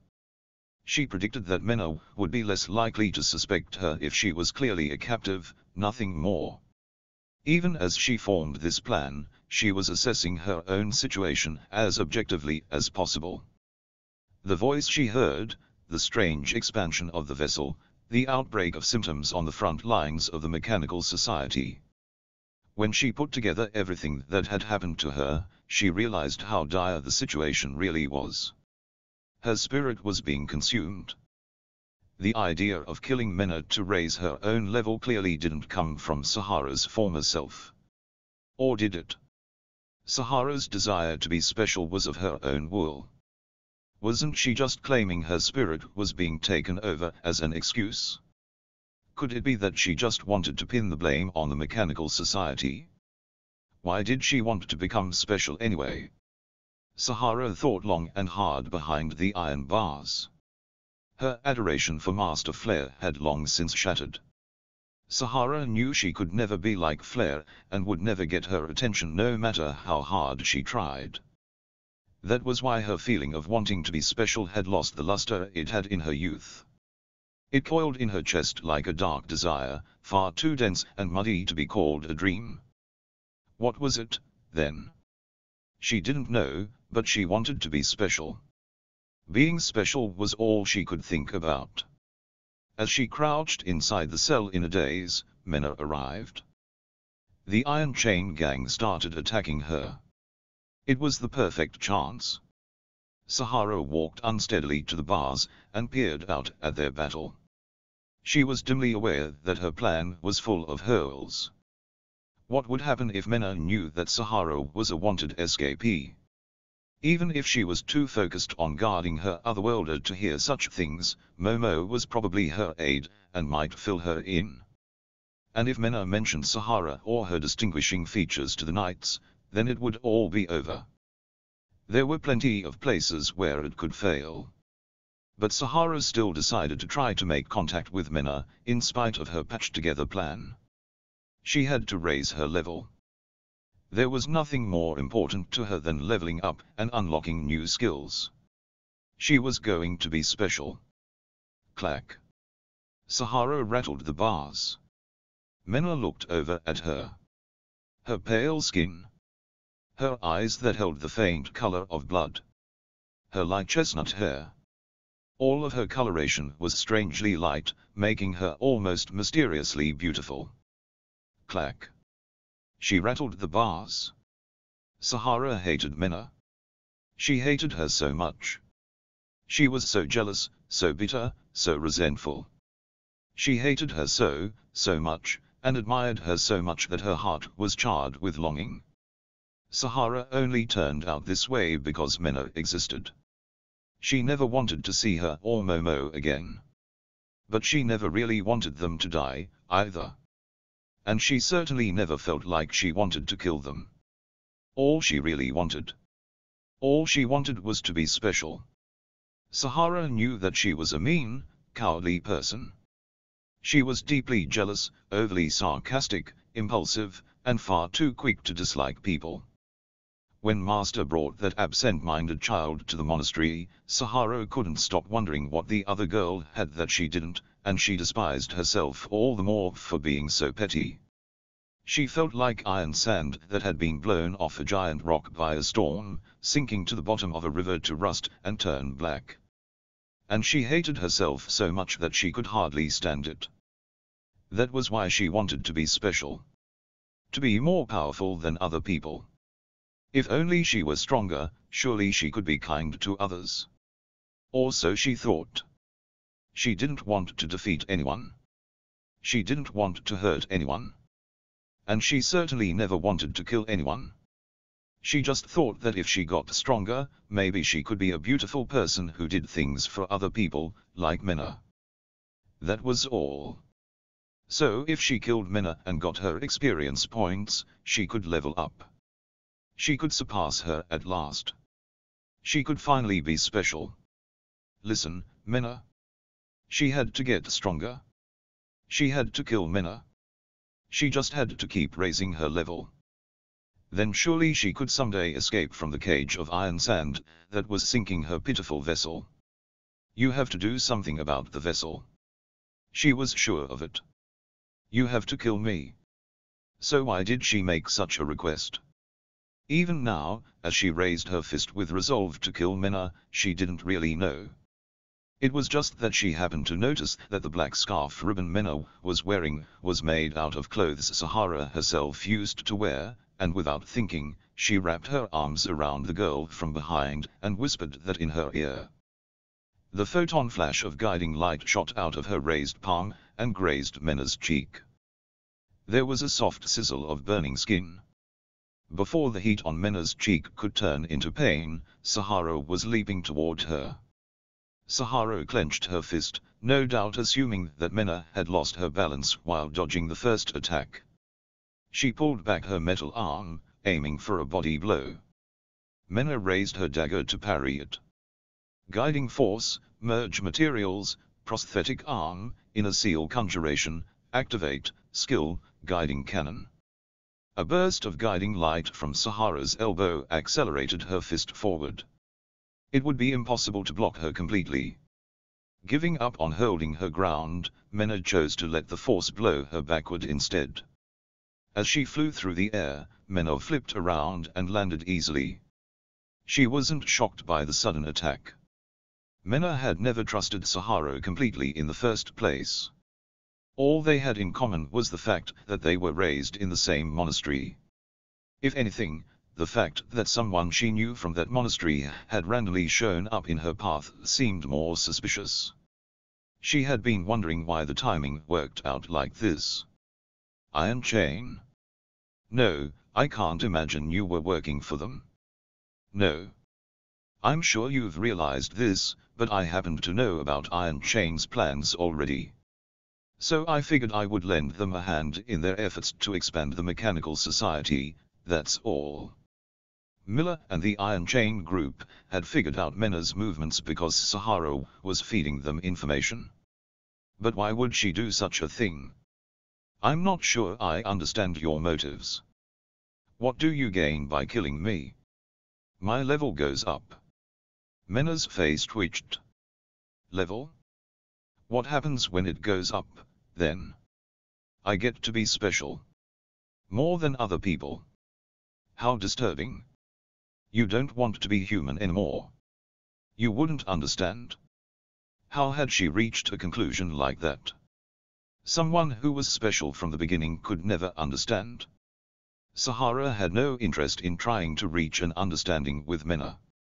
There have been a few hitches, like the fact that you knew the Princess Knight somehow, but you still danced for me perfectly. Now that you and those knights are exhausted, I just have to kill you, and it'll all be over. She had played both sides, led them to each other so that they would fight. Once both parties were worn out from battle, Sahara planned to defeat them with ease. Menou didn't get angry that she'd been deceived, nor did she appear shocked by the setup. Level. Level, home. I see. I've heard the rumors about the eastern wild frontier, but I never expected to see it for myself. Instead, she just smiled coldly. Sahara's right arm reflected in Menou's eyes. There's one fundamental flaw in that plan. Sahara's brow furrowed at Menou's mocking tone. What do you mean? You abandoned your executioner training, and never even bothered to earn the robes of a priestess of the Faust. Do you really think a spoiled little nun has what it takes to kill me? Sahara's eyes burned with rage, while Menou's glittered cold. Taking a deep breath, Sahara steadied herself. Guiding force, merge materials, prosthetic arm, inner seal conjuration, activate, skill, silver gauntlet. Her right arm transformed. The metal pieces split apart and expanded while guiding light filled the newly formed spaces and solidified a new shape. Her once slender arm became a large, sturdy, shining gauntlet. The guiding light that was used to form the transformation shot out with a crackling sound. Well, I suppose this is about what I expected. That was impossible, of course. The transformation of Sahara's right arm far surpassed any known guiding force technique. Even for the Faust, guiding prosthetics were limited to imitating a real arm. They had no technology for creating arms that could transform. But Menou didn't let her alarm show. That arm looks awfully heavy. You want one, too. Sahara's expression didn't change, as she raised her fist. It's pretty cool, isn't it? Guiding force, merge materials, prosthetic arm, inner seal conjuration, activate, skill, guiding cannon. Guiding force, connect, scripture, 2-5, invoke, rejoice, for the wall that surrounds a pious flock of sheep shall never crumble. Dot. A cannonball of guiding force shot out from Sahara's palm. It was far larger than the ones she'd used thus far. As the dense particles of force flew straight toward Menou, she deflected them with the scripture conjuring she'd already prepared. The holy wall of the church. A voice spoke to Menou from outside the wall of light that formed around her. I know what you're really made of. We're from the same monastery, after all. Your strength, guiding force capacity, faith. All of it is perfectly average. There was a clunk of a fist hitting the wall. It was a light touch, not the loud crash of a punch. Sahara was touching the barrier Menou had created. In the next moment, Menou found out why. Guiding force, merge materials, prosthetic arm, inner seal conjuration. Sahara's arm began to transform again. The upper part of her fist took on a cylindrical shape, with a massive stake in the middle. It was so large that Menou could see it even past the wall she'd made. The energy built up at the bottom of the cylinder released all at once. Activate, skill, pile driver. The massive stake shot out of her arm. It shook the air with the force of a battering ram. The explosive strength that propelled it forward at point-blank range gave the stake incredible piercing power. The barrier made from scripture broke apart under the immense impact. Which means fighting multiple battles after marching through the desert will definitely be tough for you. While the shining shards of guiding force scattered, Sahara stood with her metal arm held up high. She smirked, having destroyed Menou's defenses. You still wanna keep going? She had a plan to wear Menou down, a decent home field advantage, and a prosthetic arm that could destroy Menou's conjurings. And in this desert, there was no earthen vein. There would be no chance for her to turn things around with a powerful invocation. Mena was at a complete disadvantage. So when Sahara invited her to surrender, she only had one response. This is still a good deal better than the time with Archbishop Orwell. Her strength and guiding force were dwindling a little. She had her dagger and scripture. That was plenty. It was hardly any different from her training in the monastery. Sahara? Sahara responded with only silence, but Menou just smiled gently. This place was still a conjuring circle that would activate if the right conditions were met. If anyone died, they would further supply the circle with guiding force. And so Menou knew exactly what to say. I can't kill you, so don't worry, I'll hold back. Sahara's expression sharpened at the challenge. While she was distracted by her thoughts, Menou moved forward. Menou approached Sahara with unhurried, unsteady steps. There was confusion mixed into the other girl's rage. Menou's approach was simply too vulnerable. As she advanced without even readying her dagger, her defense was so full of holes, that Sahara must have questioned if she had gone mad with desperation. Just as it seemed like she might be staggering with exhaustion, she suddenly shifted from sluggish steps to top speed. Sahara gasped. She couldn't react in time to the sudden change in tempo. When she quickly drew back, she played right into Menou's hands. Menou's kick struck her squarely in the chest, as she retreated. NNGH. Sahara grunted in pain, but she didn't stop moving. Holding her ground against the impact of the kick, Sahara used her metallic right arm to counterattack. With the high output of guiding force behind her strikes, Menou couldn't resist them in this state, no matter how hard she tried. No, even if she were at full power, she wouldn't be able to withstand those attacks alone. But that was fine. Guiding Force, Connect, Scripture, 6-5. It didn't require all that much force to kill a person. Sensing the construction of a conjuring, Sahara's attention whipped toward Menou's scripture. She moved to stop her, unwilling to give her enough time to invoke a scripture conjuring at such a short distance.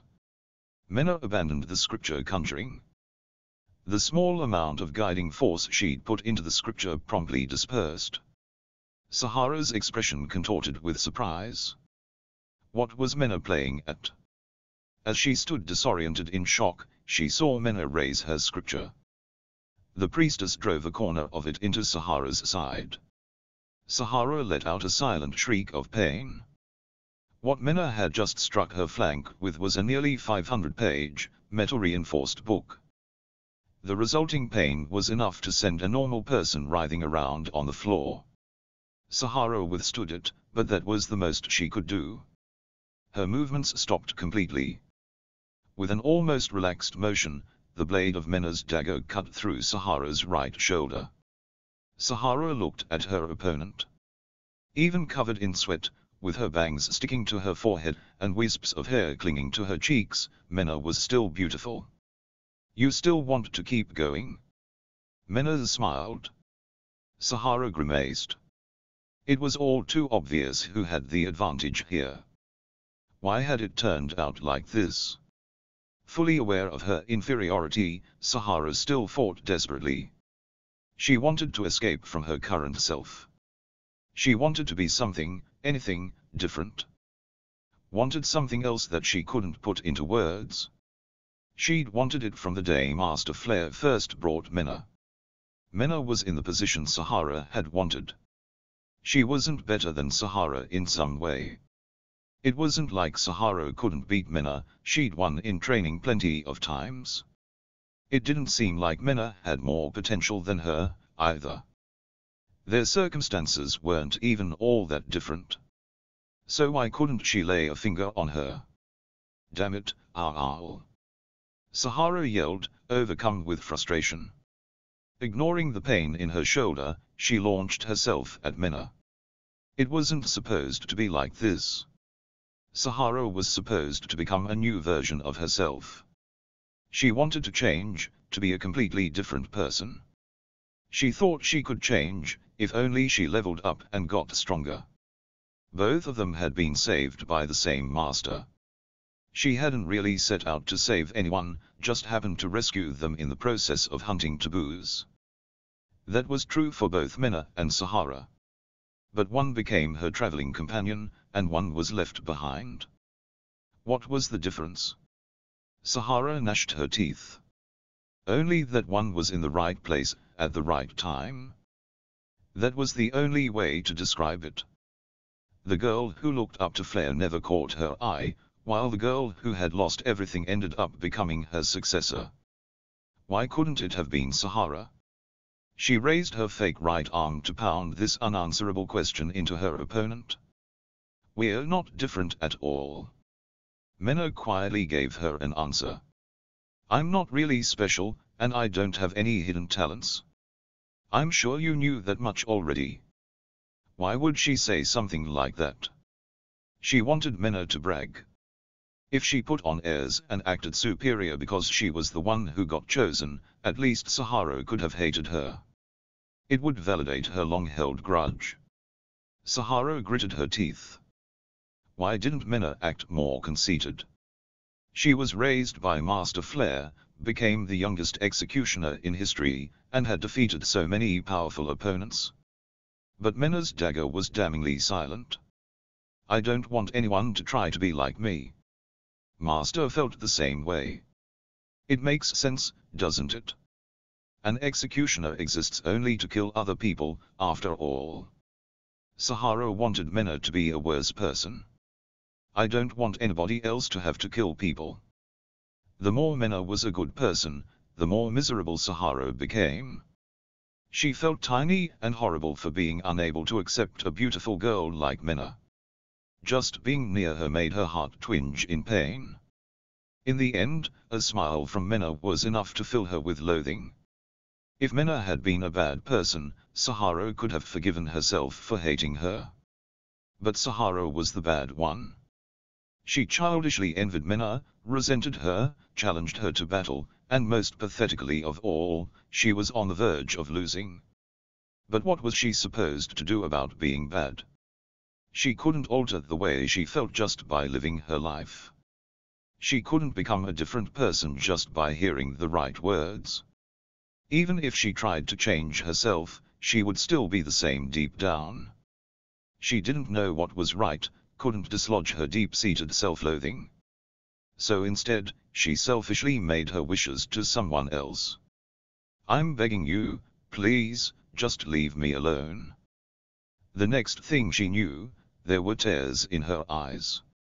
Even if she left Menou behind, Menou didn't disappear. She kept hearing rumors about her. She kept finding out about her accomplishments. Far away from her, Menou's fame still gnawed away at Sahara's heart. Whether she was controlled by the mechanical society or not, Sahara's ideal of Menou already threatened to crush her heart. So there was nothing she could do anymore. She figured it out, whether she wanted to or not. How exactly did she want to be special? Sahara suddenly realized the terrible answer. Without a doubt, Sahara just wanted to be Menou. One arm wasn't enough. A voice whispered in Sahara's mind. The person you want to be, you can't become her. Wonder what you are missing? I'll tell you. The faint whisper came from her right arm. You have to be that vessel. It was Sahara's own voice. Everyone says the same thing. They want to be strong. They want to be special. They want to be better. They want to be like that person they see in the distance. They want to be anything other than themselves. It's selfish. So selfish. Yet so dear. That is the desire that drives you.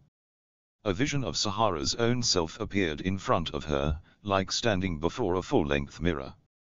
Sahara reached out for the illusion of herself. For the left hand that was supposed to someday hold a scripture when she became a priestess.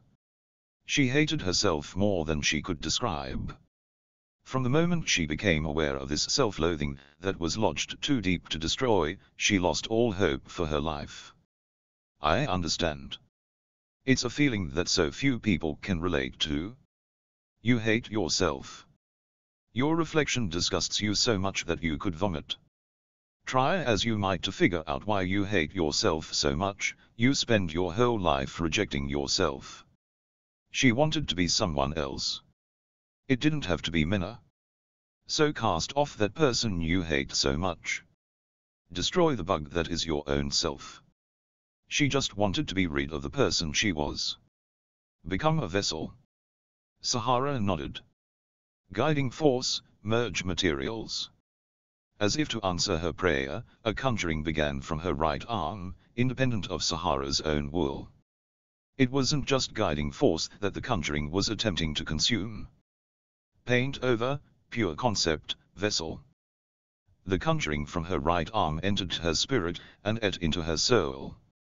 As she felt herself becoming someone else entirely, Sahara felt only relief. Finally, this awful display of hers would be over. Activate, possession. The pure concept of vessel that slumbered in Sahara's right arm invoked a conjuring. Sahara was sucked into her right arm. There was no other way to describe what happened. The metal that made up her arm consumed her shoulder, and spread further. Her prosthetic right arm covered the rest of her body like a film, until Sahara herself could no longer be seen. The metal that surrounded her split apart the three components of her life, body, spirit, and soul, as if devouring them all, transforming them into three colors of guiding light. Sahara's body was broken down thoroughly, not physically, but into different colors of light. She turned into particles of red, blue, and green. Menou was paralyzed at the construction of the conjuring that occurred. A pure concept. Particles of light finer than sand unfurled with a shushing sound. The primary colors were impossible to discern from reality even for Menou's sharp eyes. Sahara's spirit must have been gradually eroded and changed without her realizing it.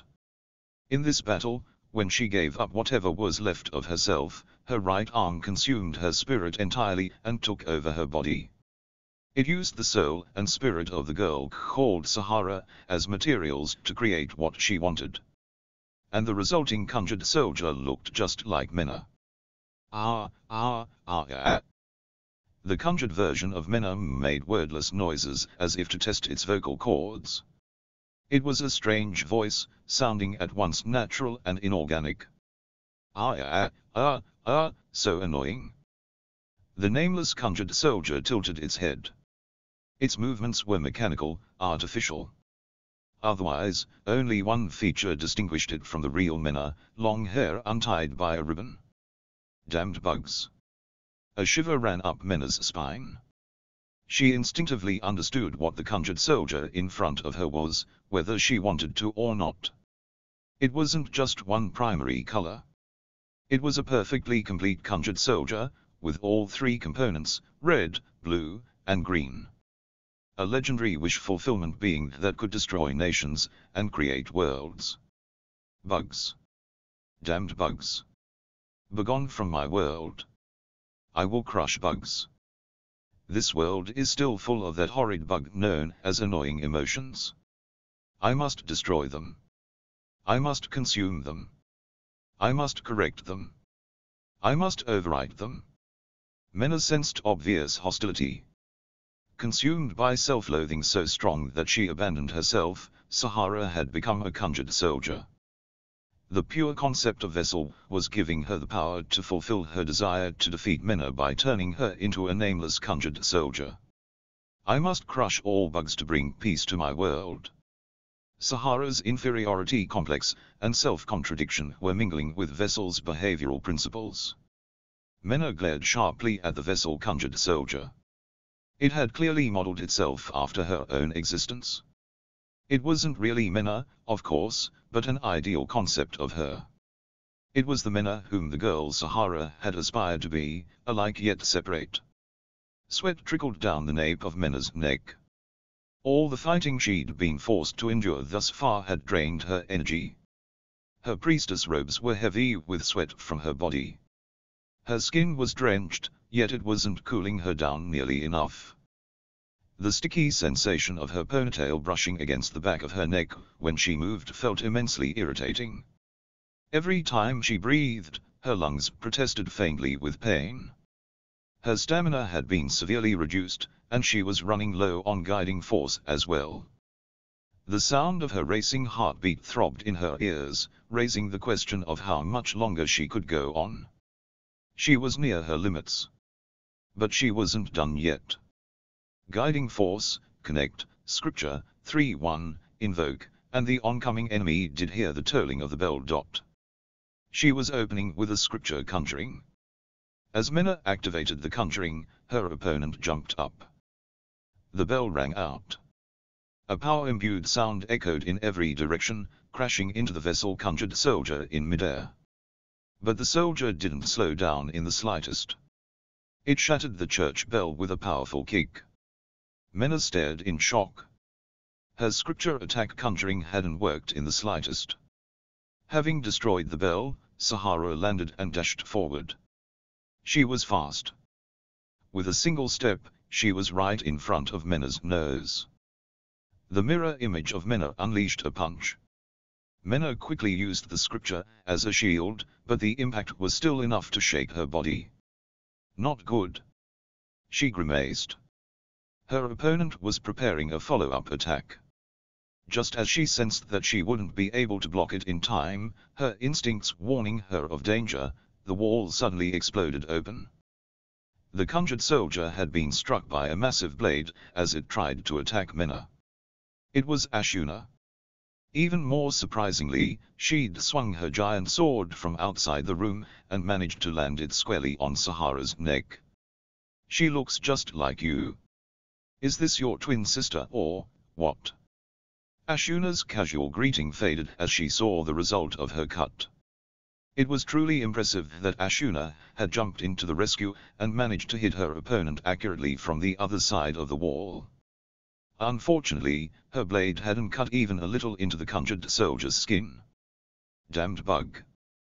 The soldier knocked the blade away and shot forward like an arrow. Even Ashuna, who excelled at close combat, couldn't follow its movements. It slipped past the broadsword and drove a fist into Ashuna's abdomen, sending her flying with the impact. As her feet left the floor, the conjured soldier grabbed her by the collar and slammed her down. There was a tremble underfoot. The tremors shook Menou's heart as well. How could Ashuna be taken down so easily? It was all the more shocking because Menou knew how powerful Ashuna was. Without bothering to go after the now unconscious Ashuna, the conjured soldier fixed its gaze on Menou. Crush all bugs. If I am now you, then you are no longer anything more than a bug. This opponent wasn't creepy like Pandemonium, or as unknowable or visually repulsive. The words and actions of the being in front of Menou were so hollow that it seemed like you might hear an empty echo if you flicked the outside. It was purely, mechanically strong. Without the playfulness of Pandemonium, not a single movement was wasted. Before the rumbling in the floor faded, the next attack was already crashing into Menou. She was able to just barely resist it, but nothing more. The next attack struck her temple, and nearly knocked her out. Alarmingly enough, Menou was losing track of where she was being hit. Each punch and kick left an impact on her body and mind alike, but she couldn't tell where she was taking damage anymore. Menou's consciousness was quickly fading. Her feet weren't on the ground. Her vision was darkening. Her entire body was battered and bruised. Most likely, she was only still alive because somewhere inside the conjured soldier, Sahara only wanted to make Menou surrender. Something grabbed Menou's head. She felt the faint coolness of metal against her face. Then she was lifted into the air. Her limbs dangled limply, her body swaying. She was going to lose. The word defeat flitted across Menou's mind. As she realized she was going to be defeated and die here, the first words that came to mind were I'm sorry. It wasn't an apology to all the people she'd killed. Instead, she was thinking of Momo, who was always by her side, and for some reason, Akari. Menou had never valued her life. She was fine with the idea of dying, whenever it might happen. Since she was a murderer who went through life killing other people, it seemed wrong for her to want to live herself. So when the time came for her to die in disgrace, she felt she would be ready. But now that the moment of her death was upon her, it was very different. She was thinking of Momo's face, as she slyly slid closer. Akari as she sat up in bed, still mostly asleep. Not all of Menou's time was spent killing people. She had short bursts of happiness, so trivial that no one would bother trying to share it with others. Now that she was the one about to be killed, she finally realized something. Menou didn't want to die. She didn't want to let someone kill her. So she had to win. Even if it meant she had to kill someone else. Ah! Uh, warm blood trickled into Menou's mouth. It was her own blood. The metallic taste reminded her that she was still alive. It was a striking, revolutionary thought. In that moment, Menou resolved for the first time to kill someone else for her own sake, and she fervently wished to live. Sahara wanted to win against Menou, wanted to kill her even if it meant giving herself up. She must have had a good reason. Menou, however, couldn't just lose for her sake. She didn't know how she could possibly win. Her rational mind whispered that there were some battles that couldn't be won. What could she do against an enemy who seemed impervious to her attacks? I will destroy all bugs. The conjured soldier sent guiding force into Menou through its grip on her face. Guiding force, connect. She had a feeling she knew what was about to happen. The vessel was trying to possess Menou. It wanted to make Menou another host, just as it had to Sahara. The mechanical society of the pure concept of vessel had always expanded by taking over everything around it, inorganic or otherwise. Ever since she was blanched with white when she was young, Menou had lost the defenses around her spirit. At this rate, the enemy would flow right into her.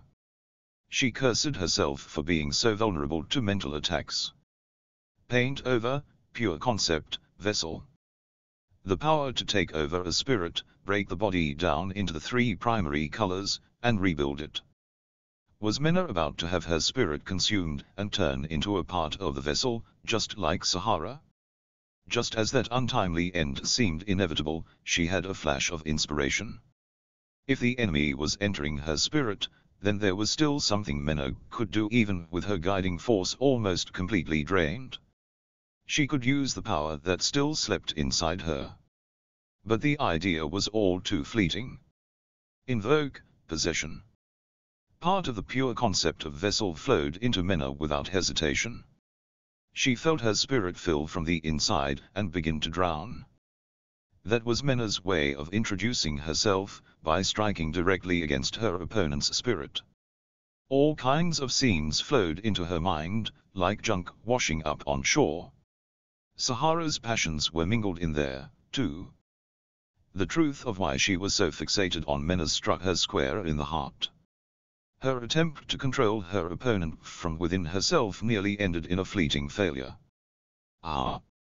But then the conjured soldier that wore Menou's face and was trying to replace her gave a small gasp. Confusion had overtaken the vessel.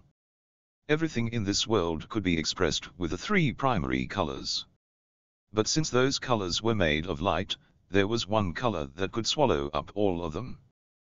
That was ivory, emptiness. Why is ivory here?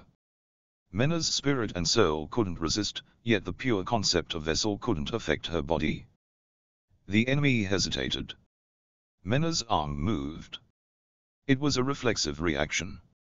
Her instincts told her this was her chance, and made a move toward survival. She struck with her dagger. The tip of her blade bounced fruitlessly off the conjured soldier's temporal region. It didn't seem to have any effect, but the grip on Menou's face loosened and let go. The connection was cut off. Ha! Dropping to the floor, Menou gasped for breath. She started inhaling and exhaling once again. Her entire body was covered in cold sweat, and her chest felt tight and painful. This was the end. For some reason, the conjured soldier that wore Menou's face was staring at her in fear. Menou mentally pulled herself back together. She took control of the power that had flowed into her and been left behind. Guiding force, connect. Drawing it out from inside of her, she ejected it into her scripture. Scripture, chapter 13, full passage. A full passage invocation from the scripture. Menou took hold of the pure concept power that had entered her spirit, manipulated it, controlled it, and kept sending it into her scripture. Invoke, why, cried the king. The woman fell. She had taken the spear in the king's stead. The woman said, It is not for your sake. The king did not understand. The woman's blood soaked the king's feet. Your life is meant for the Lord. With that, the woman passed. The sign of the conjuring being invoked was a beautiful cup made of guiding light. Away. The king wept. He did not understand. Why did the woman die? Why did he let the woman die? There was only one thing he could say for sure. It was an empty cup, big enough to be held in both hands. A chalice. She kept releasing the guiding force that had seeped inside her into the cup in order to manifest its true power. The spirit of a martyr is so precious, it is almost foolish. Dot. This conjuring was normally used to link a person's guiding force to the earth and activate the astral vein within. The guiding force sank into the ground, filling the veinless desert with an enormous amount of power. It was almost as if it was restoring the flow that had once been ripped away here. At this rate, there would be no point. The guiding force would simply disperse. But Menou was currently in the center of a conjuring circle. Guiding force, auto-connect, conditions met, desert base, fort architectural conjuring circle, invoke, teleportation. The massive amount of guiding force flowed into the giant conjuring circle and activated it. That was exactly what Menou intended. The conjuring circle was created based on two disciplines, materiology and Crestology. The pattern formed by the strategically placed buildings began to glow.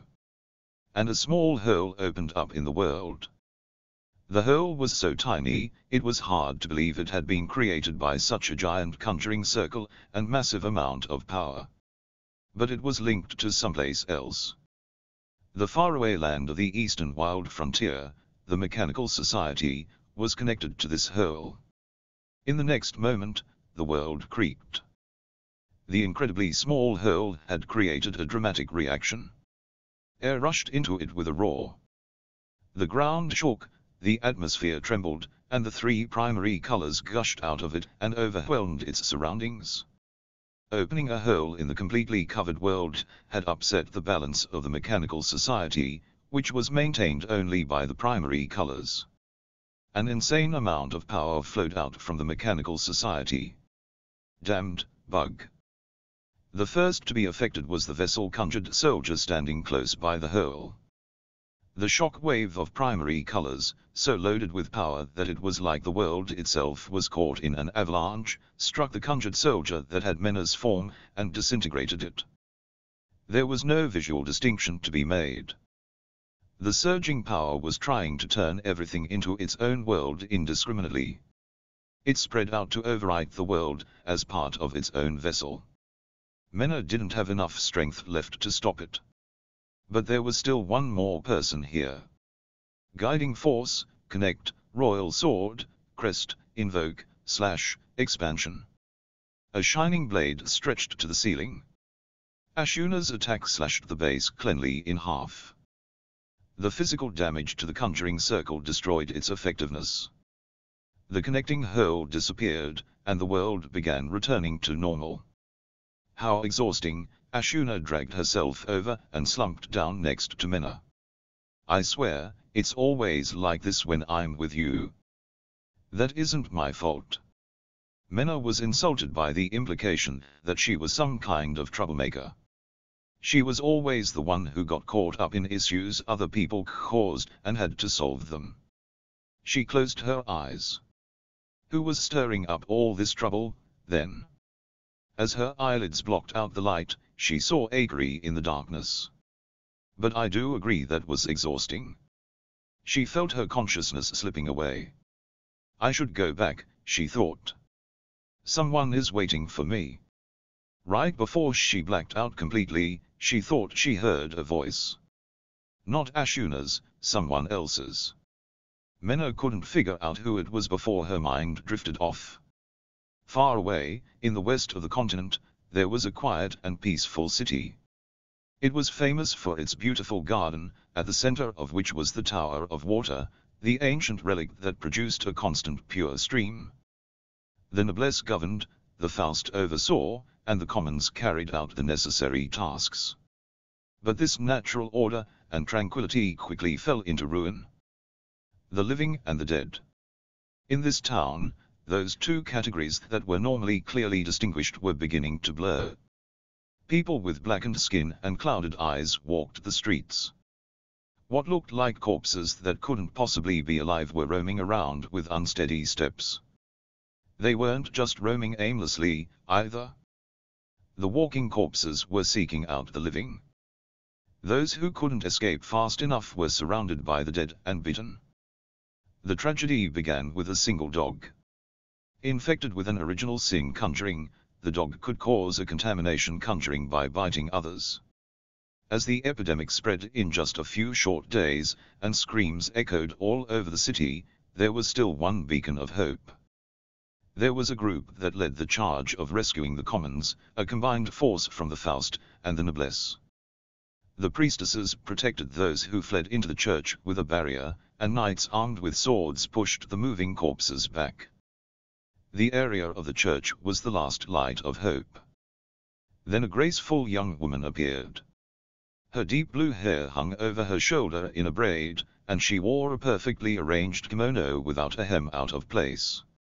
She had soft, gentle eyes, perhaps reflecting her personality. The knights hesitated. She looked like a harmless girl, but the situation was strange. She was walking closer among the corpses, making no effort to flee. Hey, you! Stop right there. Just as a knight called out to stop her, her shadow billowed and shifted underfoot. Pardon me. A sharp sound cut the air. The knight standing in front of the girl was sliced diagonally in two. After a moment, his upper half slid to the ground with a dull thud. The knight had been cut by none other than the girl's squirming shadow. Damn you! It was obvious who was behind that. Judging correctly that the girl must be some kind of demon given human form, the other knight charged. The girl in the kimono blocked the knight's sword with her fan. It was an iron fan, used for self-defense. She knocked the blade away and opened the fan fully, revealing a crest. Guiding force, Connect, Iron Fan, Crest, Invoke, Wind Blade. With a flick of her fan, she created a violent gust of wind. The knights in its way were slashed into ribbons. The last line of defense was broken. A swarm of walking corpses surged toward the newly formed opening. That will do, I suppose. The girl in the kimono jumped high into the sky. Blasphemously enough, she landed directly on the roof of the church. Using the symbol of faith as a foothold, she looked down at the people's last resistance from above. No doubt few people would believe this girl was responsible for creating the calamity that had overtaken this city. A zombie apocalypse, didn't she call it? Yes, this is certainly worth watching. Now I understand why that girl recommended it to me. This tragedy all started with a single dog. The dead attacked the living. Roaming corpses sensed live human beings, tracked them down, bit them, and made them into more of the dead. The epidemic was rapidly spreading through the entire city. Currently, it had encroached on about 30% of the city.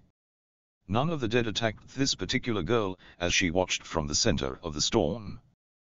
The reason was simple, because the girl with the fan was one of the dead, too. Manon Libelle. She was beautiful to behold, but she was no longer human. Her soul had been offered up in an original sin ceremony, allowing her to be reborn as a demon.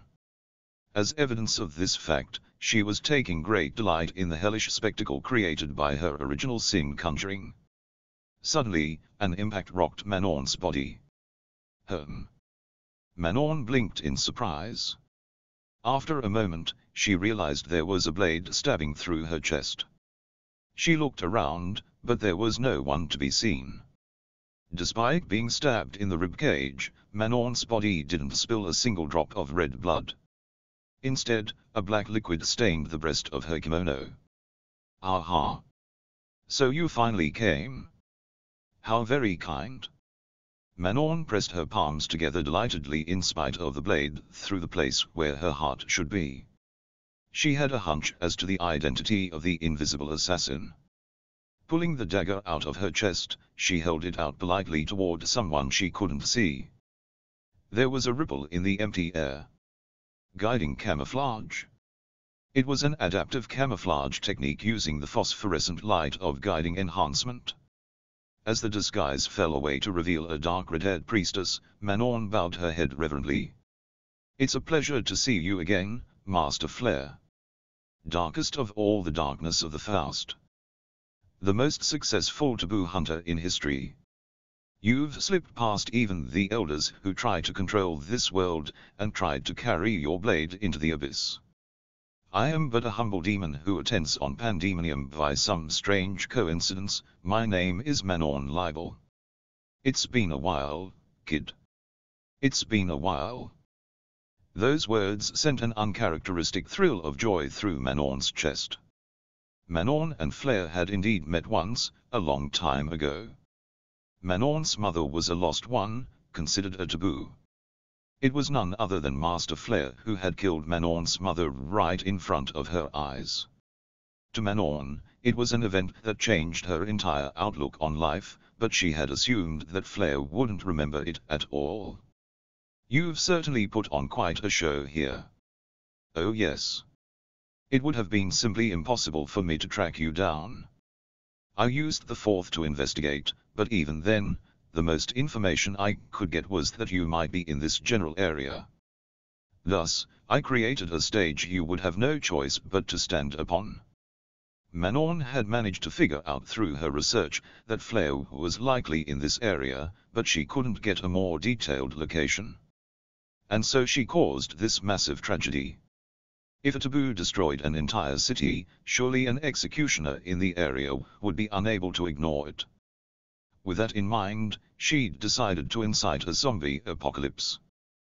With guidance from Pandemonium, she'd created a corrupt conjuring that spread from the dead to the living. Where is Pandemonium?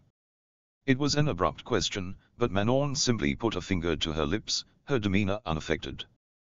She smiled mischievously, like any girl her age trying to tease an adult. That's a secret. I see. Fine, then. If I slice that stomach of yours open, you'll spill your guts, right. Actually, I have a question for you as well. It's about the method by which a lost one can return to the other world, in other words, the ceremony that can send someone in this world back to Japan. There's no such thing. Pardon? But of course there is. Manon paid no mind to the priestess's denial. She simply continued with the assumption that it did exist. After all, she already knew about it. Its existence is the whole reason that ancient civilization fell a thousand years ago. The four major human errors, and the ivory hero. These five people had destroyed a civilization at the height of humanity out of a rebellion against this world because they wanted to go back to their own. There was a brief silence. Listen, Manon Libelle. The master sighed. It was a long, heavy sigh. The words that followed were no attempt to feign ignorance, but based on certain knowledge. There's no such thing because we would never let that happen. Aha. Manon giggled. So it really did exist. A path to the other world. For Manon, it was a means of going to her mother's homeland. He he he, ah ha ha ha ha. Oh, Master Flare. I've decided. Just now, I made up my mind. Manon smiled so charmingly that anyone might fall for her. She knew exactly what kind of chaos she had to cause and stated it in a clear, loud voice. I am going to the other world, to Japan. And I shall plunge this world into chaos as my sacrifice if that is what it takes to get there. Flare didn't answer. She charged her dagger with guiding force and activated her crest conjuring. Guiding force, connect, dagger, crest, invoke, guiding branch. Branches of guiding force spread from Flare's dagger.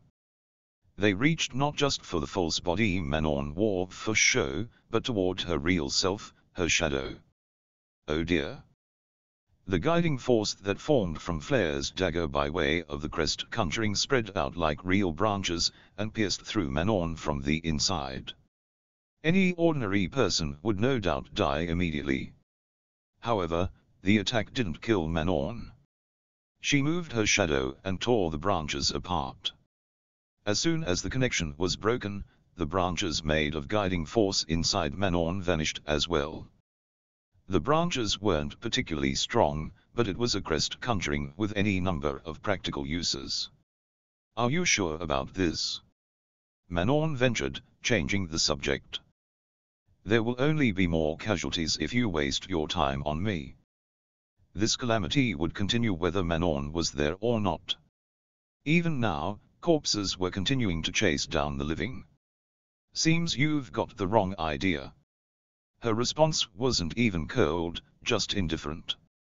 Flare undoubtedly had the strength to save the people being assaulted by this tragedy, yet she made no effort to stop the casualties unfolding around her.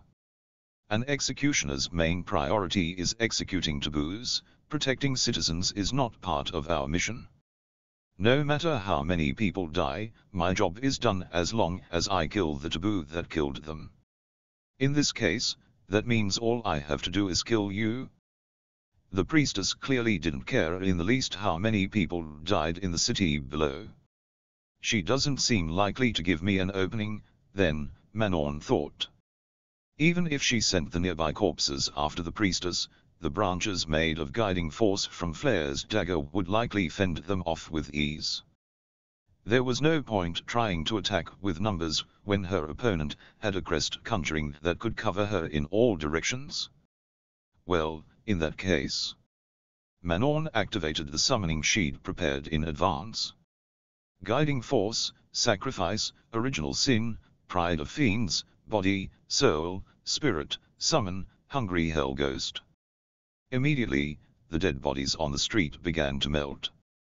She had offered the corpses wandering around the city as a sacrifice to invoke a summon conjuring.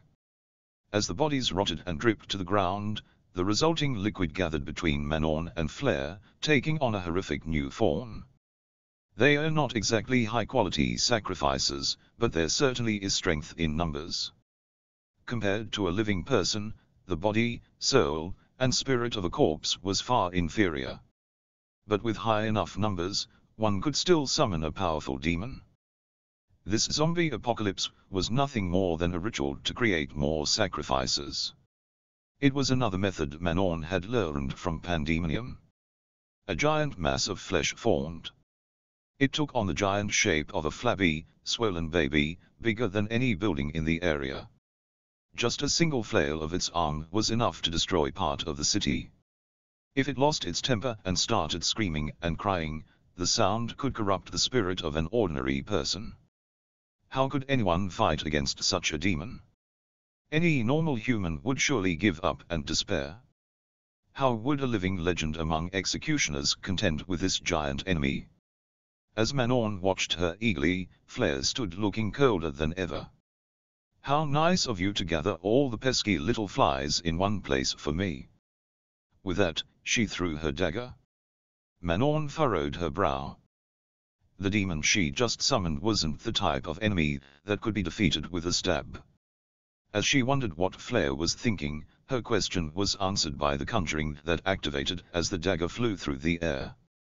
Guiding force, auto-connect, conditions met, guiding branches, crest. An automatic invocation. The sphere of branches that had grown from the dagger's hilt formed a three-dimensional crest. Invoke, missile sword. The guiding branches rapidly expanded. They absorbed the guiding force of their target and kept growing, the branches shining brightly as they stretched outward. The giant baby Manon had summoned began to shrivel, the twigs tangling around its body as they absorbed all of its strength. The demon's body scattered into dust. But the mistletoe-shaped mass of branches made of guiding force didn't stop growing there, they pierced through the summoner, Manon. I'll give you 30 seconds.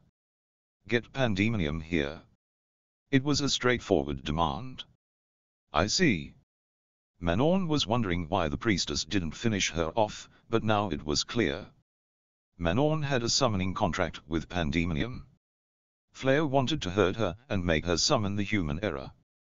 Manon cast her gaze aside carefully and brought up the question she'd been saving for Flare. As long as we're here, would you mind if I asked you about something? I'm starting the countdown.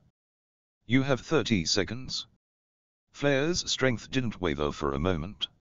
She began counting. You see, I discovered some fascinating materials in Grisarika Kingdom. 25 seconds. It was the experiment log of a person who became Archbishop. Apparently, one of the taboos she committed turned an entire village pure white. Isn't that just awful? 13 seconds. Now, it just so happens that I have a friend who came from that very village.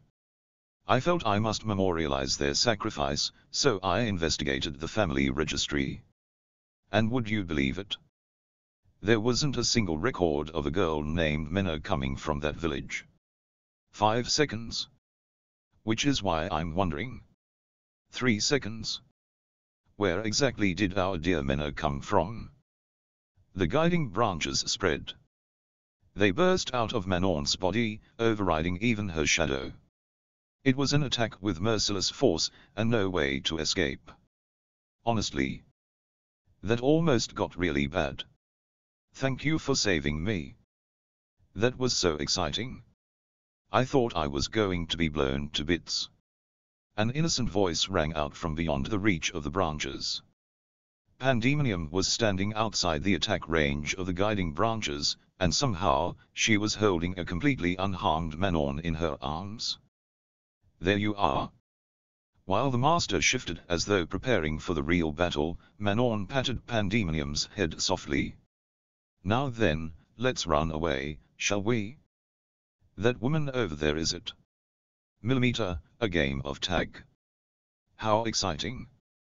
As Manon promptly chose to flee in spite of the addition of Pandemonium's aid, Flare's scowl deepened slightly for the first time, and she touched the guiding branches.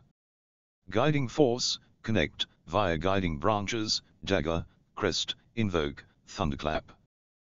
The guiding force in the branches that had expanded to the size of the giant demon they'd destroyed converted all at once into electricity. An overpowering amount of heat rolled toward Manon, and a massive bolt of lightning shot up from the ground toward the sky. Looks like they got away. The master looked around. Manon was gone. She'd escaped. That was fine. If she couldn't crush Pandemonium's little finger, it was for the best that she let Manon live, too. It would be easier to track down Pandemonium if she was working with Manon toward a goal than if she was rampaging indiscriminately on her own. Flare had no more business here. As she began walking, a voice spoke to her. Knowing the future isn't always a blessing. Sometimes, that knowledge comes with even more duties to perform. It came from the scripture the priestess was holding. More importantly, Master, I do not believe we can avoid contact from Elder, Magician, much longer. Listen up. You're a piece of junk, got it? It makes perfect sense that you would fail to receive a communication signal over and over. Oh, very well.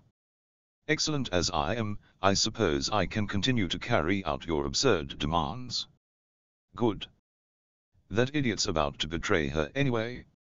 I don't care how much time changes, but... She threw her head back and laughed, her mouth open wide. We've got to prevent the second coming of Ivory, no matter what happens. After about half a day of travel through the desert, Menou made it back to the inn where Akari was supposed to be waiting. All she wanted to do now was rest. Her body was covered in small cuts and bruises. Most of all, she was completely exhausted, a deep-seated fatigue that would be hard to recover from. However, she wasn't exactly alone. Technically speaking, yes, Menou was on her own. She had come back by herself. I wanna die? Her scriptures spoke. It was an incredibly gloomy voice. Menou gingerly opened her scripture, and guiding light rose up from the pages. The light formed a three-dimensional image, a palm-sized projection of Sahara. She was sitting with her knees hugged to her chest, and glaring up reproachfully at Menou. Of course, Menou wasn't just playing around with the projection technology of the scripture on her own. Menou covered her face with her palm. How did it turn out like this? That's what I'd like to know. Shockingly enough, Sahara's soul and spirit were dwelling in Menou's scripture. When and how had this happened in the midst of that battle? Was it when Menou was almost possessed, and she poured everything that had entered her body into the scripture instead? Or had Sahara's soul and spirit turned into something incredibly unique when she was possessed by the vessel? I don't want to live in disgrace. Burn me right now. Can you really describe yourself as living in this state? The definition of life is the combination of a body, a spirit, and a soul.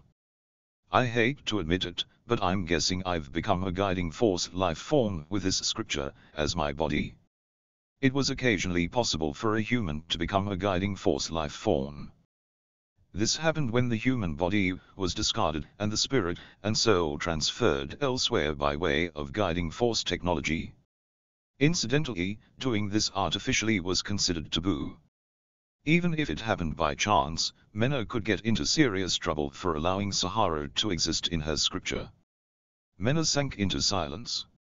She knew she had to burn the scripture. And yet, it would be a tactical disadvantage to lose her scripture here. I'll wait until I can exchange my scripture in the next town. In all likelihood, Menou never would have made that decision back when she first met Akari. You're the worst. This sucks. I want to die. Why do I have to be stuck hanging out with you of all people? I don't feel great about killing you a second time. Why does the scripture even have such an elaborate conjuring construction that it can store a person's soul? Menou bit her lip. Sahara had a point. If the scripture could transfer a human's spirit, that meant it already contained conjuring constructions that could produce a human-like guiding force life form. We might have just stumbled on a weird secret. Doesn't this mean you're on the verge of sticking your nose where it doesn't belong? Why don't you burn me before anyone else finds out? Yes, well, I'll think about it. For now, just make sure you don't say a word in front of Akari. That would be such a headache, I don't even want to think about it. I'm on Team Akari, not Team Momo, so I want to support her however I can. Also, I can't seem to make contact with Momo. In fact, I'm having trouble constructing scripture conjurings in general at the moment. I'm more than happy to prevent you from contacting that violent little shit. I see you still have strong feelings about that. This had to be some kind of bug. If it was arbitrarily preventing her from using conjurings, this was basically a virus. Cursing at Sahara, who was still inconsiderate even now that she was a guiding force life form, Menou entered their room at the inn. There was no one inside. Akari. Menou looked around for signs of life. Then her eyes fell on Momo's scripture, left abandoned on the desk. Akari's headband lay on top of it, holding down a single piece of paper in between. I'm taking Akari Tokitou away. That was all that was written there, in Momo's own handwriting. Oh boy. If the voice coming from the scriptures still had a body, she would definitely have been shaking her head and shrugging. This is why I told you to be careful about Momo. But, why? Momo was Menou's assistant, and dear friend. Unexpectedly betrayed by the one girl she trusted most in the world, Menou could only stand in dumbfounded silence. Author, what do you want for Christmas? Editor, maybe the finished manuscript for Executioner, Volume 3. In the dead of winter, this cold conversation took place, at the end of the first year of the Reiwa era.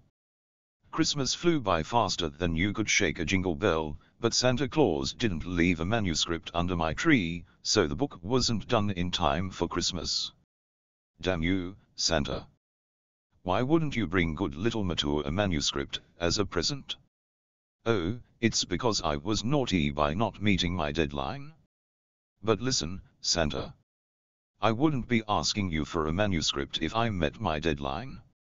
So technically, couldn't you say I did the right thing by not meeting my deadline so that I could ask for it in my letter to Santa Claus? This is a question of the chicken or the egg and as I was struggling with this philosophical quandary, I couldn't even get my manuscript into my editor null as a New Year's gift. Whoopsie. Oh well.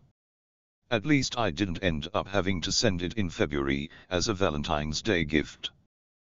The 14th of February is practically the release date. Let's move on to the thank yous. To Nilitsu, the illustrator. I am sincerely sorry that you were forced to work on an unbelievably tight schedule because of me. I can't thank you enough for turning in such beautiful, high-quality illustrations in spite of all that. To my editor, Null. You have no idea how apologetic I feel that you had to deal with a nightmarish level of progress management because of me. Really.